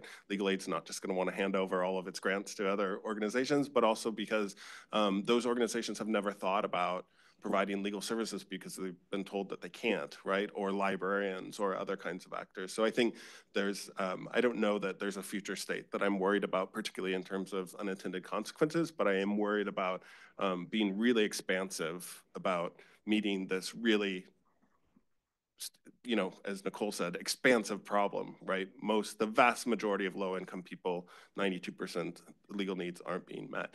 92% is a pretty hard statistic to beat back in a meaningful way. And so I think we have to continue to be really imaginative about how we build out and scale these programs.